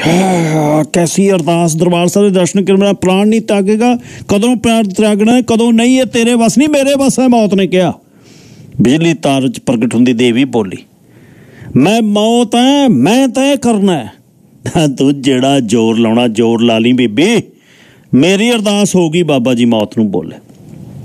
ਅਜੀਬ ਲੇਖ ਲਿਖੇ ਨੇ ਸਿੰਘ ਦੇ ਮੱਥੇ ਜੰਗ ਦੇਖਣ ਲਈ 71 ਦੇਵਤਿਆਂ ਚੋਂ ਇੱਕ ਬੋਲੇ। ਪੜ ਲਿਆ ਤੁਸੀਂ? ਸੁਣ ਲਿਆ ਤੁਸੀਂ ਇੱਕ ਦੂਜੇ ਨੂੰ? ਤੇ ਇਹਨੂੰ ਲੈਣ ਲਈ ਗੁਰੂ ਸਾਹਿਬ ਨੇ ਭੇਜਿਓ ਸ਼ੀਰ ਸਿੰਘ ਇੱਥੋਂ, ਕੋਹ ਦੂਰ ਪਹੁੰਚ ਗਏ। ਹਰਮੰਦਰ ਹਰਮੰਦਰ ਆ ਰਹੇ ਹਨ, ਉਹ ਸਿੰਘਾਂ ਦੇ ਵਰਤਾਰਿਆਂ ਤੋਂ ਅਣਜਾਣ ਦੇਵਤਾ। ਵਿਵਾਨਾਂ 'ਚ ਲੈ ਕੇ ਜਾਣਗੇ, ਸਾਰੇ ਆ ਰਹੇ ਨੇ ਉੱਪਰੋਂ। ਛੱਡ ਦੋ, ਤੁਹਾਨੂੰ ਨਹੀਂ ਪਤਾ ਇਹਨਾਂ ਦਾ। ਮੱਥਿਆਂ ਦੀਆਂ ਲਕੀਰਾਂ ਇੰਨੀ ਤਾਕਤ ਹੈ ਕਿ ਸਿੰਘਾਂ ਦੇ ਸਿਰਕ ਨਾਲ ਮੱਥਾ ਲਾ ਲਵੇ ਕੋਈ? ਨਾ ਨਾ ਨਾ। ਹਜੇ ਵੀ ਬੇੜਾ ਬੋ ਵਾਪਸ ਲੈ ਬੋਲ ਆਪਣੇ। ਮੌਤ ਨੇ ਕਿਹਾ, ਜਾ, ਬੀਬਾ, ਤੁਰਦੀ ਹੋ। ਜਾਂ, ਰੱਸੇ ਵਟ ਜਾ। ਇਹ ਨਹੀਂ ਬੋਲ ਮੁੜਦੇ ਹੁਣ। ਮੌਤ ਖੜੀ ਦੇਖੇ। ਕੋਲ ਦੀ ਲੰਘਦੇ ਬਾਬਾ ਨੌਦ ਸਿੰਘ ਜੀ ਮੌਤ ਨੂੰ ਖੰਗੂਰਾ ਮਾਰ ਕੇ ਲੰਘੇ। ਗੁਰੂ ਦੀਆਂ ਚਿੜੀਆਂ ਨੇ ਬਾਜਾਂ ਦੀਆਂ ਘੰਟੀਆਂ ਮਰੋੜ ਦਿੱਤੀਆਂ ਤੇ ਇਹ ਤਾਂ ਸ਼ਿਕਰੇ ਨੇ। ਇਹਨਾਂ ਨੂੰ ਕੀ ਸਮਝਦੇ ਹਾਂ ਅਸੀਂ? ਬਾਬਾ ਨੌ ਸੁਨੇ ਅਫਗਾਨਾ ਵੱਲ। ਸਾਡੀ ਗਿਣਤੀ ਲੱਖ ਚ ਹੈ। ਹਕੂਮਤ ਨੇ ਫਰਮਾਨ ਜਾਰੀ ਕੀਤਾ। ਕਿਸੇ ਵੀ ਸਿੱਖ ਨੂੰ ਦੇਖਦੇ ਮਾਰ ਦਿੱਤਾ ਜਾ ਤੁਹਾਡੀ ਭਲਾਈ ਆ, ਹਲੇ ਵੀ ਪਿੱਛੇ ਪੜ ਜੋ ਜਵਾਨ ਖਾਨ ਨੇ ਕਿਹਾ। ਸਿੰਘਾਂ ਦੇ ਨਗਾਰਿਆਂ ਤੇ ਚੋਟਾਂ ਤੇ ਨਰਸਿੰਘੇ ਵੱਜ ਉੱਠੇ। ਸਾਡੇ ਨਰਸਿੰਘ ਦੇ ਨਗਾਰੇ ਮੁੱਢ ਤੋਂ ਹੀ ਤੁਹਾਡੇ ਫਰਮਾਨਾਂ ਤੋਂ ਆਕੀ ਨੇ। ਸਾਡਾ ਬੁਰਾ ਭਲਾ, ਤੁਹਾਨੂੰ ਕੀ ਪਤਾ? ਤੁਸੀਂ ਆਪਣਾ ਵਿਚਾਰੋ, ਵੇਖੀ ਪੁੱਠੇ ਹੱਥ ਦੀਆਂ ਪੈਂਦੀਆਂ। ਅਫਗਾਨਾਂ ਦੀ ਮੰਗਾਰ। ਤੁਸੀਂ ਸਾਨੂੰ ਨਹੀਂ ਜਾਣਦੇ, ਜਹਾਨ ਕਾਸੇ ਬਸਲਾਰ ਲਾਰਦੀ ਇਹ ਫੌਜ ਕਦੇ ਜੰਗ 'ਚ ਨਹੀਂ ਹਾਰੀ, ਇੱਕ ਪਠਾਨ ਬੋਲਿਆ, ਗਿੱਦੜ ਹੋਣ ਲੱਕੜ ਬੱਗੇ ਤੇ ਹੋਣ ਬਗਿਆੜ। ਸ਼ੇਰਾਂ ਨੂੰ ਸਭ ਨਾਲ ਲੜਨ ਦਾ ਵੱਲ ਹੁੰਦਾ, ਭਾਈ ਬਲਵੰਤ ਸਿੰਘ ਉਹਨੇ ਬੋਲੇ। ਨਾਲੇ ਮਾਛੀਵਾੜੇ ਦੀ ਮਿੱਟੀ ਲੱਗੀ ਆ ਸਰੀਰਾਂ ਨੂੰ। ਦੁਨੀਆ ਦੇ ਦੁੱਖ ਤਕਲੀਫਾਂ ਦਾ ਟਿੱਚ ਜਾਣਦੀਆਂ ਸਰਬਲੋਹੀ ਦੇਹਾਂ। ਯਾਰ ਦੇ ਸੱਥਰੀ, ਗੀਤ ਗਾਉਣ ਵਾਲਿਆਂ ਨੂੰ ਖੇੜਿਆਂ ਦੇ ਨਹੀਂ ਵਸਣਾ ਆਉਂਦਾ। ਤੇਜ਼ ਆਵਾਜ਼ਾਂ ਨੇ ਅਫਗਾਨਾਂ ਦੇ ਕੰਨ ਖੜੇ ਕੀਤੇ। ਕੈਸੀਆਂ ਆਵਾਜ਼ਾਂ ਨੇ। ਕਿਰਪਾਨ ਤਿੱਖੀਆਂ, ਕਿਰਪਾਨਾਂ ਤਿੱਖੀਆਂ ਹੋ ਰਹੀਆਂ ਹਜ਼ੂਰ। ਚਰ ਚਰ ਦੀ ਆਵਾਜ਼ ਆ ਰਹੀ ਸੀ। ਕਿੰਨੀਆਂ ਕੁ ਹੋਰ ਤਿੱਖੀਆਂ ਕਰਨੀਆਂ ਨਾ ਜਹਾਨ ਖਾਨ ਦੇ ਤੁਪਕੇ ਡਿੱਗਣ ਲੱਗੇ। ਸੂਰਮਿਆਂ ਦੇ ਜਜ਼ਬੇ ਕਿਰਪਾਨਾਂ ਤੋਂ ਤਿੱਖੇ ਹੋ ਗਏ। ਜੰਗ ਸ਼ੁਰੂ ਹੋ ਗਈ। ਖੰਡੇ ਕਿਰਪਾਨਾਂ ਤੇ ਅਫਗਾਨਾਂ ਦਾ ਜੰਗ ਜੂ। ਤਾਕਤ ਦਾ ਇਮਤਿਹਾਨ ਲੈਣਾ ਸ਼ੁਰੂ ਕੀਤਾ। ਸਰਬ ਲੋਹੋ ਜੀ ਦੀ ਸਦਾ ਰੱਛਿਆ ਹਮਨੇ। ਗਾਉਂਦੇ ਯੋਧਿਆਂ ਨੇ ਜੰਗ 'ਚ ਇਹਜਾ ਲੋਹਾ ਬਾਇਆ ਪਹਿਲੇ ਹੱਲੇ 'ਚ ਜਹਾਨ ਖਾਂ ਦੇ ਪੈਰ ਉੱਠ ਕੇ। ਰੋਕੋ ਇਹਨਾਂ ਨੂੰ, ਜਹਾਨ ਖਾਨ ਰੋਣਾ। ਹੋਏ ਨਹੀਂ ਰੁਕਦੇ। ਅਤਾਈ ਖਾਨ ਆ ਰਿਹਾ ਸੀ ਸੁਨੇਹਾ ਭੇਜਿਆ ਕਿ ਉਹ ਪਹੁੰਚ ਰਿਹਾ ਹੋਵੇਗਾ। ਥੋੜਾ ਜਿਹਾ ਸਮਾਂ ਟਿਕੋ। ਸਿੱਖ ਦੀਨ ਲਈ ਲੜਨਾ ਤੁਸੀਂ ਕਿਹੜਾ ਬੇਦੀਨੇ ਹੋ? ਉਹਨਾਂ ਲਈ ਧਰਮ ਯੋਧਾ ਤੇ ਤੁਸੀਂ ਵੀ ਜਿਹਾਦ ਬਣ ਕੇ ਕਹੋ। ਜਿਹਾਦ ਦਾ ਨਾਰਾ ਲਿਓ, ਜਹਾਨ ਖਾਨ ਨੇ ਕਿਹਾ। ਨਾਲ ਹੀ ਜਹਾਨ ਖਾਨ ਨੇ ਤਮੂਰ ਵੱਲ ਸੂਏ ਭੇਜਤੇ। ਦੀਨ ਦਾ ਵਾਸਤਾ ਦੇ ਕੇ ਮੋਮਨਾਂ ਨੂੰ ਇਕੱਠਾ ਕਰੋ, ਸ਼ਹਿਜ਼ਾਦ ਆਲਮ, ਸ਼ਹਿਜ਼ਾਦਾ ਆਲਮ। ਜਿਹਾਦ ਦਾ ਨਾਰਾ ਦਿਓ। ਨਹੀਂ ਤਾਂ ਗਿਆ। ਬਾਬੇ ਨੇ ਅਰਦਾਸ ਕਰਤੀ, ਮੌਤ ਵੀ ਨਹੀਂ ਲੈ ਕੇ ਜਾਊ ਉਹਨੂੰ। ਜਹਾਨ ਖਾਨ ਦਾ ਸੁਨੇਹਾ ਤਮੂਰ ਲੰਘ ਦੇ ਕੋਲ ਸੀ। ਸਿੰਘਾਂ ਦੇ ਨਿਸ਼ਾਨ ਅੱਗੇ ਡੋਲਦੇ ਹੈਦਰੀ ਦਾ ਵਾਸਤਾ ਪਹੁੰਚ ਸਭ ਨੂੰ ਅੰਮ੍ਰਿਤਸਰ ਵੱਲ ਕੂਚ ਕਰੋ। ਤਮੂਰ ਨੇ ਭਾਵੇਂ ਜਹਾਨ ਖਾਨ ਦੀ ਸਲਾਹ ਤੇ ਗੱਲ ਕਹਿ ਦਿੱਤੀ, ਜਿਹਾਦ ਦਾ ਨਾਰਾ ਲਾਤਾ ਤੇ ਨਾਲ ਹੀ ਉਹਨੇ ਆਪਣੇ ਨਾਲ ਦੇ ਸਰਦਾਰਾਂ ਨੂੰ ਕਿਹਾ, ਇਉਂ ਕਰੋ, ਨਾਰਾ ਆਪਾਂ ਲਾਤਾ, ਸਮਾਨ ਕਰ ਲੋ ਇਕੱਠਾ ਹੁਣ ਕਾਬਲੇ ਜਾ ਕੇ ਖੜਨਾ, ਆਪਾਂ ਤਾਂ ਗਏ ਲੈ, ਬਾਬੇ ਆਏ ਲੈ। ਇਧਰ ਸਿੰਘ ਅਫ- ਅਫਗਾਨਾਂ ਨੂੰ ਭਜਾਉਣ ਲਈ ਜਾਨਾਂ ਨੂੰ ਟਿੱਚ ਸਣ ਕੇ ਜੂਝ ਰਿਹਾ ਸੀ। ਮਾਲਵੇ ਦੇ ਲੱਖੀ ਜੰਗਲ ਤੋਂ ਬਾਬੇ ਜੀ ਦੇ ਜਥੇ ਨਾਲ ਰਲੇ ਭਾਈ ਜੱਸਾ ਸਿੰਘ ਦੇ ਮੂਹਰੇ ਕਾਸਮ ਖਾਨ ਖਲੋਤਾ ਸੀ। ਉਸਨੇ ਭਾਈ ਜੱਸਾ ਸਿੰਘ ਨੂੰ ਵਿਗਾਰਿਆ ਚੰਗੇ ਭਲੇ ਡਿੱਕੇ ਬੈਠੇ ਸੀ ਜੰਗਲਾਂ 'ਚ। ਪ੍ਰਸ਼ਾਦਾ ਪਾਣੀ ਛਕਦੇ ਐਵੇਂ ਜਾਨ ਗਵਾਉਣ ਲਈ ਆ ਗਏ। ਜਾਨ ਗਵਾਉਣ ਦਾ ਫਿਕਰ ਖਾਨ ਸਾਹਿਬ, ਤੂੰ ਵੇਖ। ਜੱਸਾ ਸਿੰਘ ਨੇ ਘੋੜੇ ਨੂੰ ਅੱਡੀ ਲਾ ਕੇ ਕਸ- ਕਾਸਮ ਖਾਨ ਤੇ ਤਲਵਾਰ ਦਾ ਸਿੱਧਾ ਵਾਰ ਕੀਤਾ। ਭਾਈ ਸਾਹਿਬ ਨੇ ਢਾਲ ਤੇ ਰੋਕ ਲਿਆ, ਨਾਲ ਹੀ ਸੱਜੇ ਹੱਥ ਫੜੀ ਭਗੌਤੀ ਜਦ ਘੁੰਮੀ। ਕਾਸਮ ਖਾਨ ਦਾ ਸਿਰ ਘੋੜੇ ਦੇ ਪੈਰਾਂ 'ਚ। ਨਾਲ ਹੀ ਇੱਕ ਬੇਰ ਲੀਲੂ ਵਾਂਗੂ ਇੱਕ ਹੋਰ ਸਿਰ ਆ ਕੇ ਕਾਸਮ ਖਾਨ ਦੇ ਆ ਕੇ ਸਿਰ ਦੇ ਵਿੱਚ ਥੜਾਕ ਦੇ ਕੇ ਲੱਗਿਆ, ਇੱਕ ਹੋਰ। ਨੌਦ ਸਿਓ ਬਾਬੇ ਦਾ ਖੰਡਾ ਕਾਬਲੀ ਬੇੜਾਂ 'ਚ 70 ਵਿਛਾ ਰਿਹਾ ਸੀ। ਅਫਗਾਨ ਲਸ਼ਕਰ 'ਚ ਤਰਥੱਲੀ ਮਚਾ ਰਿਹਾ ਸੀ। ਕੋਈ ਵੀ ਪਠਾਨ ਜੰਗ 'ਚ ਬਾਬਾ ਨੌਦ ਸਿੰਘ ਦੇ ਪਾਸੇ ਨਹੀਂ ਸੀ ਹੋਂਦਾ ਜਹਾਨ ਖਾਨ ਆਪ ਟੁਕੜੀ ਟੁਕੜੀ ਲੈ ਕੇ ਅੱਗੇ ਵਧਿਆ। ਉਹਦੇ ਨਾਲ ਬੰਦੂਕਚੀਆਂ ਦੀ ਟੋਲੀ ਸੀ। ਬਾਬਾ ਜੀ ਜਹਾਨ ਖਾਨ ਵੱਲ ਵਧੇ। ਜਹਾਨ ਖਾਨ ਨੇ ਵਰਸ਼ਾ ਚਲਾਇਆ। ਬਾਬਾ ਜੀ ਨੇ ਉਸ ਵਾਰ ਤੋਂ ਆਪਣੇ ਆਪ ਨੂੰ ਬਚਾਇਆ। ਘੋੜਾ ਭਜਾ ਕੇ ਖਾਨ ਕੋਲ ਪਹੁੰਚੇ। ਬਾਬਾ ਜੀ ਦੇ ਖੰਡੇ ਦੇ ਪਹਿਲੇ ਵਾਰ ਨਾਲ ਜਹਾਦ ਖਾਨ ਦੀ ਫਲਾ, ਜਹਾਨ ਖਾਨ ਦੀ ਫਲਾਦੀ ਤਲਵਾਰ ਹੋ ਗਈ। ਬਾਬਾ ਜੀ ਨੂੰ ਜਹਾਨ ਖਾਨ ਦੇ ਅੰਗ ਰੱਖਿਆ ਨੇ। ਚਾਰੇ ਪਾਸਿਓਂ ਘੇਰਾ ਬਾਬਾ ਜੀ ਦੇ ਸਾਰੀ ਦੇਹ ਤੀਰਾਂ ਕਿਰਪਾਨਾਂ ਵਰਸ਼ਿਆਂ ਦੇ ਫੱਟਾਂ 'ਚ ਭਰ ਗਈ। ਪਰ ਮਜਾਲ ਆ, ਖੰਡੇ ਦੀ ਪਕੜ ਢਿੱਲੀ ਹੋ ਗਈ। ਇਹ ਡਿੱਗ ਕਿਉਂ ਨਹੀਂ ਰਿਹਾ? ਇੰਨੇ ਫੱਟ ਲੱਗਣ ਮਗਰੋਂ ਵੀ ਮਰ ਕਿਉਂ ਨਹੀਂ ਰਿਹਾ? ਜਾਨ ਖਾਨ ਹੈਰਾਨ ਸੀ। ਬਾਬਾ ਜੀ ਦੇ ਫੱਟ ਲੱਗਣ ਦੇ ਬਾਵਜੂਦ ਵੀ ਇੰਨੀ ਤੇਜ਼ੀ ਨਾਲ ਖੰਡਾ ਕਮਾਇਆ ਜਹਾਨ ਖਾਨ ਦੇ ਕਈ ਅੰਗ ਰੱਖਿਆ ਦੇ ਸਿਰ ਕੱਦੂ ਵਾਂਗੂ ਹੋ ਗਏ ਗੋਲੀਆਂ ਚਲਾਓ! ਸਿਰ ਤੇ ਚੜ ਗਿਆ ਇਹ ਜਹਾਨ ਖਾਨ ਨੇ ਰੌਲਾ ਪਾਇਆ। ਰਾਮ ਜੰਗੇ ਦੀ ਇੱਕ ਗੋਲੀ ਬਾਬਾ ਜੀ ਦੇ ਮੱਥੇ ਤੇ ਲੱਗੀ। ਦੇਹ ਚੋਂ ਪਾਰ ਘੋੜੇ ਤੋਂ ਉਤਰਿਆ ਕੌਮ ਦਾ ਜਰਨੈਲ ਅੰਮ੍ਰਿਤਸਰ ਵੱਲ ਨੂੰ ਮੂੰਹ ਮੱਥਾ ਟੇਕ ਕੇ ਉੱਥੇ ਹੀ ਲੰਬੇ ਪੈ ਗਏ। ਉਸ ਸ਼ਹੀਦੀ ਥਾਂ ਤੇ ਅੱਜ ਤੱਕ ਦੁਨੀਆ ਨਤਮਸਤਕ ਹੁੰਦੀ ਹੈ। ਧੰਨ ਧੰਨ ਬਾਬਾ ਨੌਦ ਸਿੰਘ ਜੀ। ਸ਼ਹੀਦ ਬਾਬਾ ਨੌਦ ਸਿੰਘ ਪਠਾਨ ਦੀਆਂ ਲਾਸ਼ਾਂ ਦਾ ਢੇਰ ਲੱਗ ਗਿਆ।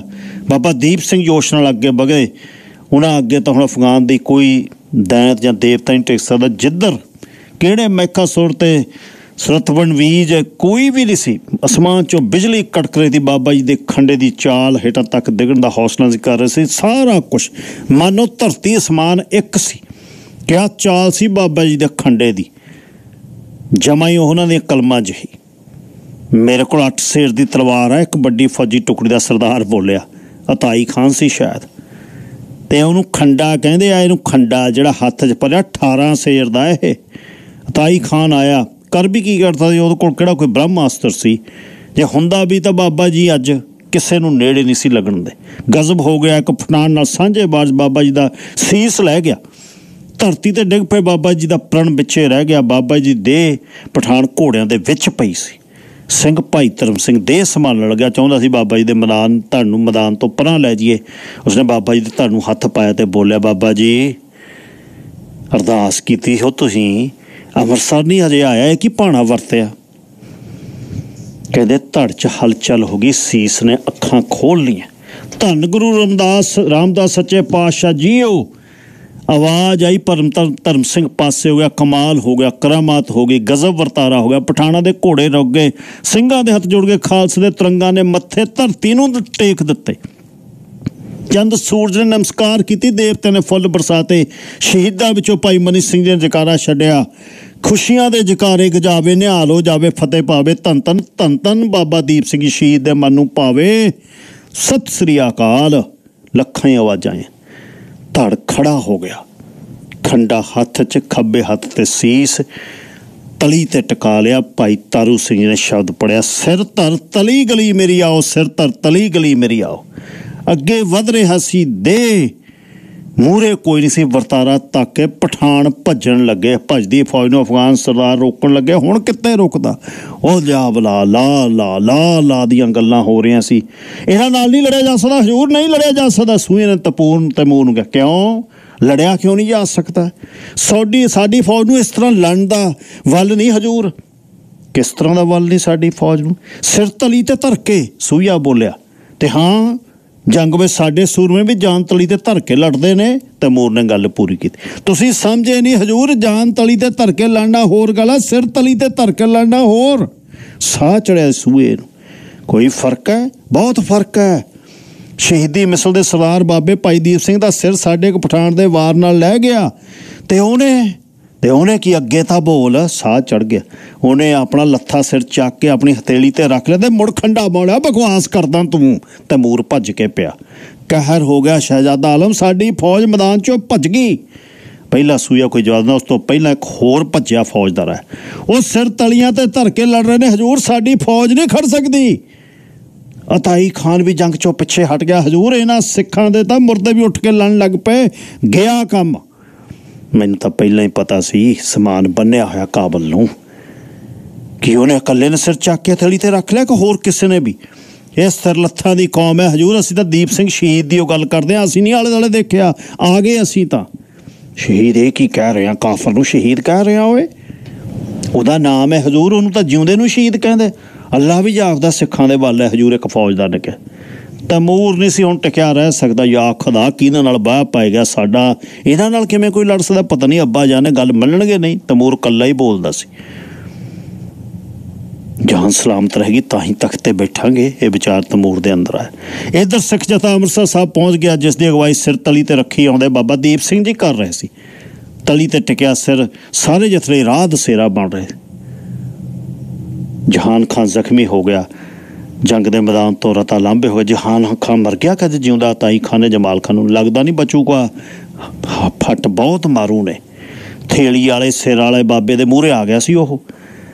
ਤੇ ਇਹ ਹਰਮੰਦਰ ਦਾਖਲ ਹੋ ਗਿਆ ਅਸੀਂ ਕਿਸ ਨੂੰ ਮੂੰਹ ਦਿਖਾਉਣ ਜੋਗੇ ਆ। ਟੱਕਰ ਲਓ ਟੱਕਰ ਲਓ ਇਹਨਾਂ ਨਾਲ, ਅਤਾਈ ਖਾਨ ਕਹਿੰਦਾ।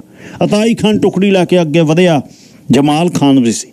ਬਾਬਾ ਜੀ ਦੇ ਸਾਹਮਣੇ ਆ ਗਏ ਸਿਪਾਈ ਅੱਗੇ ਨਾ ਹੋਣ, ਅੱਗੇ ਕਿਨੇ ਹੋਣਾ ਧੜਾਂ ਤੇ ਸਿਰਾਂ ਵਾਲਿਆਂ ਨਾਲ ਕੋਈ ਕਿਹੜਾ ਲੜੇ? ਬਿਨਾਂ ਸਿਰ ਤੋਂ ਜੂਝਦਾ ਕੌਣ? ਅਤਾਈ ਖਾਨ ਦੇ ਡਰ ਤੋਂ ਜਮਾਲ ਖਾਨ ਅੱਗੇ ਵਧਿਆ। ਬਾਬਾ ਜੀ ਦਾ ਦਰਬਾਰ ਸਾਹਿਬ ਵੱਲ ਵੱਧ ਰਹੇ ਸੀ। ਜਮਾਲ ਖਾਨ ਬਾਬਾ ਜੀ ਨੇੜੇ ਆਇਆ ਬਾਹਰ ਕੀਤਾ, ਬਾਬਾ ਜੀ ਦੇ ਨੇ ਖੰਡੇ ਤੇ ਰੋਕਿਆ। ਖੰਡਾ ਘਮਾਇਆ, ਜਾਪਿਆ, ਅਸਮਾਨੋਂ ਬਿਜਲੀ ਡਿੱਗ ਰਹੀ ਝਟਕਾ ਹੋਇਆ। ਅਗਲੇ ਪਲ ਜਮਾਲ ਖਾਨ ਦਾ ਸਿਰ ਪੁੰਜੇ ਬਾਬਾ ਜੀ ਦੇ ਚਰਨਾ ਸੀ। ਅਤਾਈ ਖਾਨ ਕੀ ਅਤਾਈ ਖਾਨ ਦਾ ਪਿਓ ਵੀ ਖੜਾ ਹੁੰਦਾ, ਹੁਣ ਕਿੱਥੇ? ਬਾਬਾ ਜੀ ਦਾ ਹਰਮੰਦਰ ਸਾਹਿਬ ਪ੍ਰਕਰਮ ਵਿੱਚ ਆਪ ਸੀਸ ਦੋਹਾਂ ਹੱਥਾਂ ਦੀਆਂ ਤਲੀਆਂ ਤੇ ਰੱਖ ਕੇ ਦਰਬਾਰ ਸਾਹਿਬ ਵੱਲ ਭੇਟ ਕਰ ਰਹੇ ਸੀ। ਕੁਝ ਸਿੰਘਾਂ ਦਾ ਕਹਿਣਾ ਹੈ ਕਿ ਬਾਬਾ ਜੀ ਦਾ ਧੜਤਾ ਰਾਮਸਰ ਕੋਲ ਰਹਿ ਗਿਆ। ਸੀਸ ਉਹਨਾਂ ਗੁਰੂ ਰਾਮਦਾਸ ਸੱਚੇ ਪਾਤਸ਼ਾਹ ਦੇ ਨਾਮ ਲੈਂਦੇ ਪ੍ਰਕਰਮਾਂ ਵੱਲ ਭਗਾਇਆ ਸੀ। ਬਾਬਾ ਜੀ ਨੇ ਖੰਡਾ ਕਮਰ ਕੱਸੇ ਵਿੱਚ ਟੰਗਿਆ, ਸੀਸ ਸੱਜੇ ਹੱਥ ਤੇ ਲਿਆ। ਧੰਨ ਧੰਨ ਸੋਢੀ ਸੁਲਤਾਨ ਸੱਚੇ ਪਾਤਸ਼ਾਹ ਗੁਰੂ ਰਾਮਦਾਸ ਪਾਤਸ਼ਾਹ ਜੀਓ। ਨਮਾਣੇ ਸੇਵਕ ਦੀ ਭੇਟ ਪ੍ਰਵਾਨ ਕਰਿਓ, ਆਖਦਾ ਹਰਮੰਦਰ ਸਾਹਿਬ ਵੱਲ ਪ੍ਰਕਰਮਾ ਵੱਲ ਸੀਸ ਭਗਾ ਮਾਰਿਆ। ਕੋਈ ਕਹਵੇ, ਬਾਬਾ ਜੀ ਨੂੰ ਸੀਸ ਹੱਥਾਂ 'ਚ ਲਈ, ਦਰਬਾਰ ਸਾਹਿਬ ਪ੍ਰਕਰਮਾ 'ਚ ਵੇਖਿਆ। ਕੋਈ ਸੱਤ ਨਹੀਂ ਕਹਿ ਰਹੇ, ਸਾਰੀਆਂ ਗੱਲਾਂ ਸੱਚ ਸੀ। ਐਸਾ ਕੌਤਕ ਕਰਦੇ ਨੇ ਬਾਬਾ ਦੀਪ ਸਿੰਘ ਦੀ ਸ਼ਹਾਦਤ ਤੋਂ ਪਹਿਲਾਂ ਕਈ ਸਿੰਘਾਂ ਨੂੰ ਕਈ ਥਾਈਂ ਦਰਸ਼ਨ ਹੋਏ। ਬਾਬਾ ਜੀ ਦਾ ਪੜਨ ਨਿਵ ਅਰਦਾਸ ਪੂਰੀ ਹੋ ਗਈ, ਸਿੱਖ ਦਾ ਸਿਦਕ ਕਾਇਮ ਰਿਹਾ। ਸ਼ਹੀਦ ਸਿੰਘ ਬਾਬਾ ਜੀ ਤੇ ਫੁੱਲਾਂ ਦੀ ਵਰਖਾ ਕੀਤੀ, ਉੱਡਣੇ ਘੋੜੇ ਤੇ ਬਵਾਨ ਬਾਬਾ ਜੀ ਨੂੰ ਲੈਣ ਵਾਸਤੇ ਸ਼ਹੀਦ ਭਾਈ ਮਨੀ ਸਿੰਘ ਤੇ ਸ਼ਹੀਦ ਭਾਈ ਤਾਰੂ ਸਿੰਘ ਸਮੇਤ ਹੋਰ ਵੀ ਬਾਬਾ ਜੀ ਦਾ ਸ਼ਹੀਦਾਂ ਦੇ ਕਾਫਲੇ ਸਵਾਗਤ ਕਰ ਰਹੇ ਸੀ। ਮੈਂ ਬੈਠਾ ਸੋਚ ਰਿਹਾ ਸੀ ਕਿੰਨੀ ਸ਼ਿਕਾਇਤ ਤੇਜ਼ੀ ਨਾਲ ਅਸੀਂ ਕਰਦੇ ਆਲੇ ਦੁਆਲੇ ਦੀਆਂ ਛੋਟੀਆਂ-ਛੋਟੀਆਂ ਸੂਲਾਂ ਬਾਰੇ, ਪਰ ਕਿਸੇ ਸੂਰਮੇ ਦਾ ਕੰਮ ਹੈ? ਕੰਡਿਆਂ ਚੋਂ ਮੁਸਕਰਾਉਂਦੇ ਹੋਏ ਲੰਘ ਕੇ ਸੂਹੀ ਭਾ ਮਾਰਨ, ਜਿਵੇਂ ਬਾਬਾ ਜੀ, ਬਾਬਾ ਦੀਪ ਸਿੰਘ ਜੀ ਦਾ ਸੀਸ ਦਰਬਾਰ ਸਾਹਿਬ ਪ੍ਰਕਾਰਮ ਲਈ ਸਦਾ ਹੀ ਖਿੜ ਗਿਆ। ਸੱਚੀ ਕਿਹਾ ਬਾਬਾ ਜੀ ਨੇ। ਕਿ ਮੱਥੇ ਦਾ ਨਿਸ਼ਾਨ ਇਸ ਧਰਤੀ ਤੇ ਪਿਆ, ਰਹਿੰਦਾ ਦੁਨੀਆ ਤੀਕ ਸੰਗਤ ਉਸ ਨਿਸ਼ਾਨ ਨੂੰ ਮੱਥੇ ਟੇਕੂ। ਬਾਬਾ ਪੰਗੂ ਆਪਣੇ ਕਾਗਜ਼ਾਂ ਤੇ ਕੁਝ ਲਿਖਣ ਲੱਗਿਆ।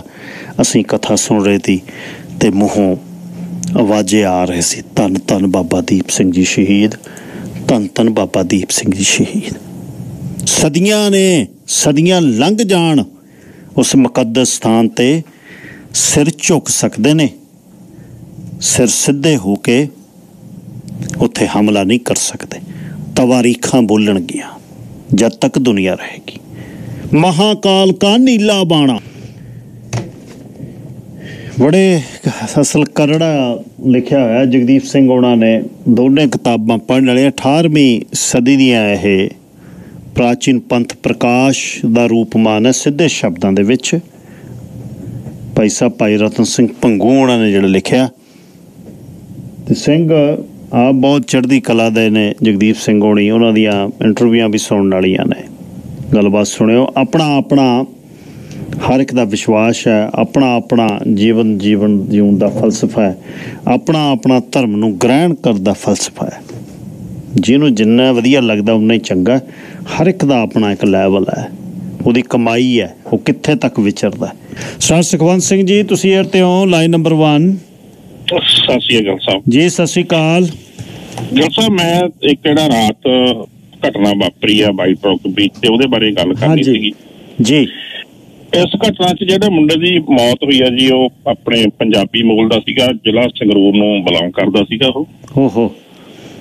ਤੇ ਗੱਲ ਇਹ ਆ ਵੀ ਜਦੋਂ ਵੀ ਆਪਾਂ ਉੱਥੇ ਹੁਣ ਮੈਂ ਕਿਉਂਕਿ ਤੁਹਾਨੂੰ ਪਤਾ ਮੈਂ ਉੱਥੇ ਲੋਕਲ ਰਹਿਣ ਵਾਲਾ ਉੱਥੋਂ ਹਾਂਜੀ ਹਾਂਜੀ। ਤੇ ਤਕਰੀਬਨ ਰੋਜ਼ ਹੀ ਸੈਰ ਕਰਨ ਚਾਹੀਦਾ ਉੱਥੇ ਦੇਖੀਦਾ ਵਾ।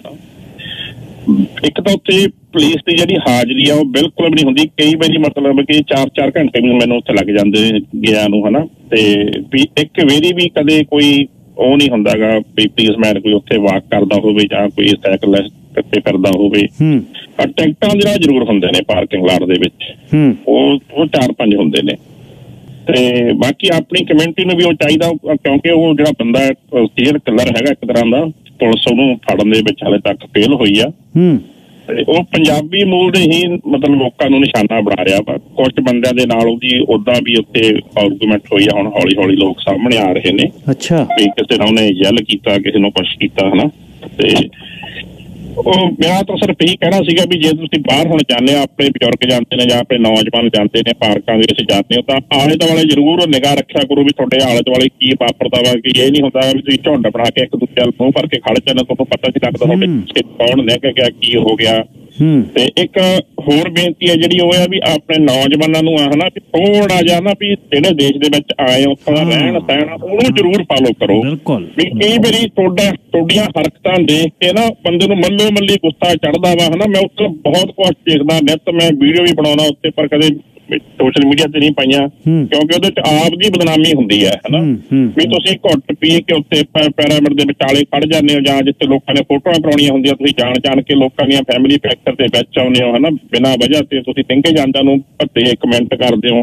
ਜਦੋਂ ਤੁਸੀਂ ਇਹੋ ਜਿਹੀਆਂ ਹਰਕਤਾਂ ਕਰਦੇ ਹੋ ਜਦੋਂ ਆਪਾਂ ਨੂੰ ਗੁੱਸਾ ਆਉਂਦਾ ਤਾਂ ਤੁਹਾਨੂੰ ਮਤਲਬ ਹੋਰਾਂ ਨੂੰ ਜਿਹਨੂੰ ਨਹੀਂ ਵੀ ਸਮਝ ਲੱਗਦੀ ਉਹਨੂੰ ਵੀ ਤਾਂ ਪਤਾ ਲੱਗਦਾ ਵੀ ਤੁਸੀਂ ਕਰ ਰਹੇ ਹੋ ਨਾ ਲੱਖ ਤੁਹਾਡੀ ਬੋਲੀ ਨਹੀਂ ਕਿਸੇ ਹੋਰ ਨੂੰ ਸਮਝ ਲੱਗਦੀ ਉਹਦਾ ਵੀ ਕਈ ਵਾਰੀ ਬੰਦਾ ਗੁੱਸਾ ਕਿਤੇ ਕੱਢ ਦਿੰਦਾ। ਹੁਣ ਕੋਈ ਇਹ ਨਾ ਸੋਚੇ ਵੀ ਆਪਾਂ ਸੈਲਫ ਹੇਟ ਕਰਦੇ ਆ ਪਰ ਇਹ ਸੱਚਾਈ ਹੈ ਤੁਹਾਨੂੰ ਮੰਨਣੀ ਪੈਣੀ ਹੈ। ਨਹੀਂ ਠੀਕ ਕਰਨਾ ਪੈਣਾ ਜੀ ਆਪਣੇ ਆਪ ਨੂੰ ਠੀਕ। ਉਹ ਉਸ ਉਹ ਉਹਦੇ ਤੇ ਸਰ ਸਦਵੰਤ ਸਿੰਘ ਜੀ ਉਸ ਵੀਚ ਤੇ ਕਿਤੇ ਹੁਣ ਥੋੜਾ ਆਪਾਂ ਪੰਜਾਬੀ ਤੁਰਨ ਗਏ ਆ 20 ਸਾਲਾਂ ਦੇ ਆਪਾਂ ਤੁਰਦੇ ਆ ਉੱਥੇ ਸਾਰੇ ਕਦੇ ਕੋਈ ਇਹੋ ਜਿਹੀ ਘਟਨਾ ਨਹੀਂ ਹੁੰਦੀ।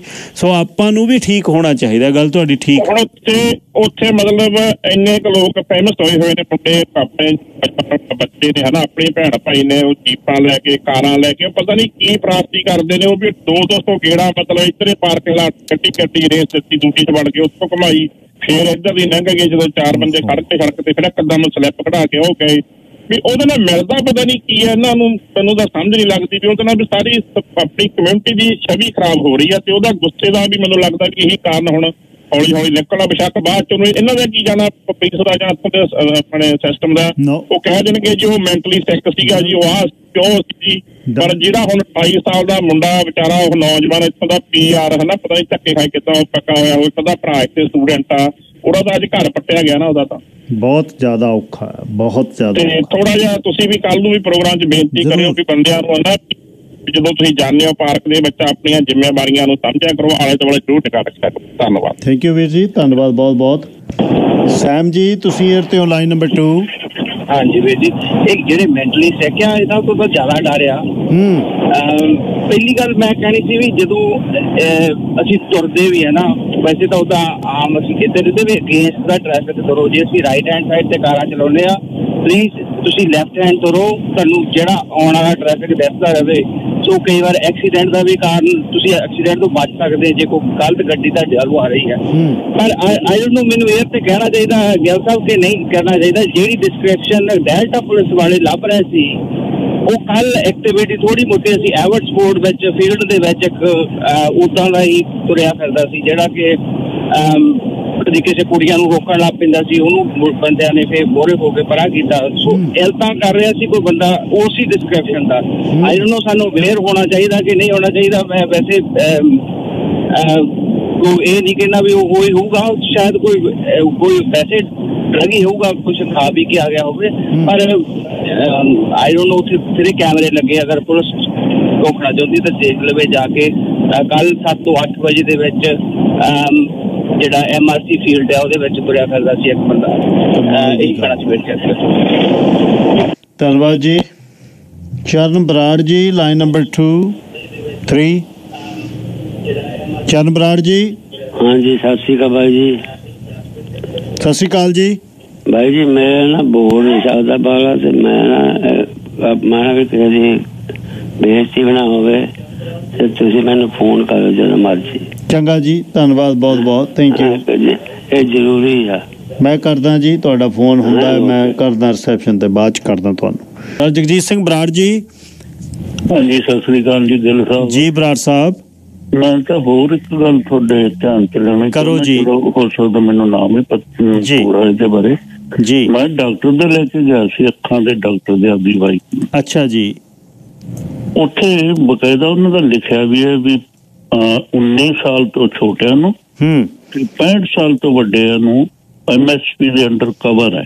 ਅੱਛਾ ਜੀ। ਉਹਨਾਂ ਨੇ ਫੇਰ ਵੀ ਸਾਥੋਂ ਪੈਸੇ ਲਏ। ਕਿੰਨੇ ਕਿੰਨੇ ਜੀ? 30 ਡਾਲਰ ਲਏ ਜੋ ਓਕੇ। ਜੀ। ਕੱਲ ਨੂੰ ਪਤਾ ਕਰਦੇ ਆ ਜੀ ਫਿਰ ਇਸ ਕਿਉਂ ਲੈਂਦੇ ਨੇ ਉਹ। ਪਤਾ ਕਰਦੇ ਆ ਡਾਕਟਰ। ਪਹਿਲਾਂ ਉਹਨਾਂ ਨੇ ਲੈ ਲਏ ਫਿਰ ਵਾਈਫ ਬਾਹਰ ਆਈ ਤਾਂ ਮੈਂ ਕਿਹਾ ਰਸੀਦ ਲਈ ਹੈ ਕਹਿੰਦੇ ਨਹੀਂ ਫਿਰ ਅਸੀਂ ਰਸੀਦ ਲੈ ਲਈ। ਵੈਸੇ ਲੈਟਰ ਪੈਡ ਤੇ ਰਸੀਦ ਦਿੱਤੀ ਹੈ, ਉਹਨਾਂ ਨੇ ਸਾਈਨ ਤੇ ਸਟੈਂਪ ਵਗੈਰਾ ਨਹੀਂ ਲੱਗੇ ਲੈਟਰ ਪੈਡ ਉਹਨਾਂ ਦਾ ਹੀ ਹੈ ਠੀਕ ਹੈ ਜੀ ਪਤਾ ਕਰਦੇ ਆ। ਕੇਵਲ ਸਿੰਘ ਜੀ। ਸਾ ਕੇਵਲ ਸਿੰਘ ਜੀ। ਹੈਲੋ ਸਤਿ ਸ਼੍ਰੀ ਅਕਾਲ। ਜੀ ਸਤਿ ਸ੍ਰੀ ਅਕਾਲ। ਹਰਜੀਤ ਜਿਹੜਾ ਮੀਡੀਆ ਦੇ ਵਿੱਚ ਕੰਮ ਕਰ ਰਿਹਾ ਨਾ ਉਹ ਬਹੁਤ ਵੱਡੀ ਸਟਰਗਲ ਹੁੰਦੀ ਆ। ਜਿਹਨੂੰ ਹਰੇਕ ਬੰਦਾ ਟਾਰਗੇਟ ਕਰੂਗਾ। ਹਨਾ? ਤੇ ਕਹਿੰਦਾ ਰਾਜ ਕਦੇਗਾ ਖਾਲਸਾ ਆਕੀ ਰਹਿਣਾ ਕੋਈ ਖਵਾਰ ਹੋਏ ਸਭਨੇ ਬਿਨ ਧੰਨਵਾਦ ਜੀ, ਜਿਉਂਦੇ ਵਸਦੇ ਰਹੋ, ਚੜ੍ਹਦੀ ਕਲਾ ਚ ਰਹੋ। ਗੁਰੂ ਅੰਗ ਸੰਗ ਨੇ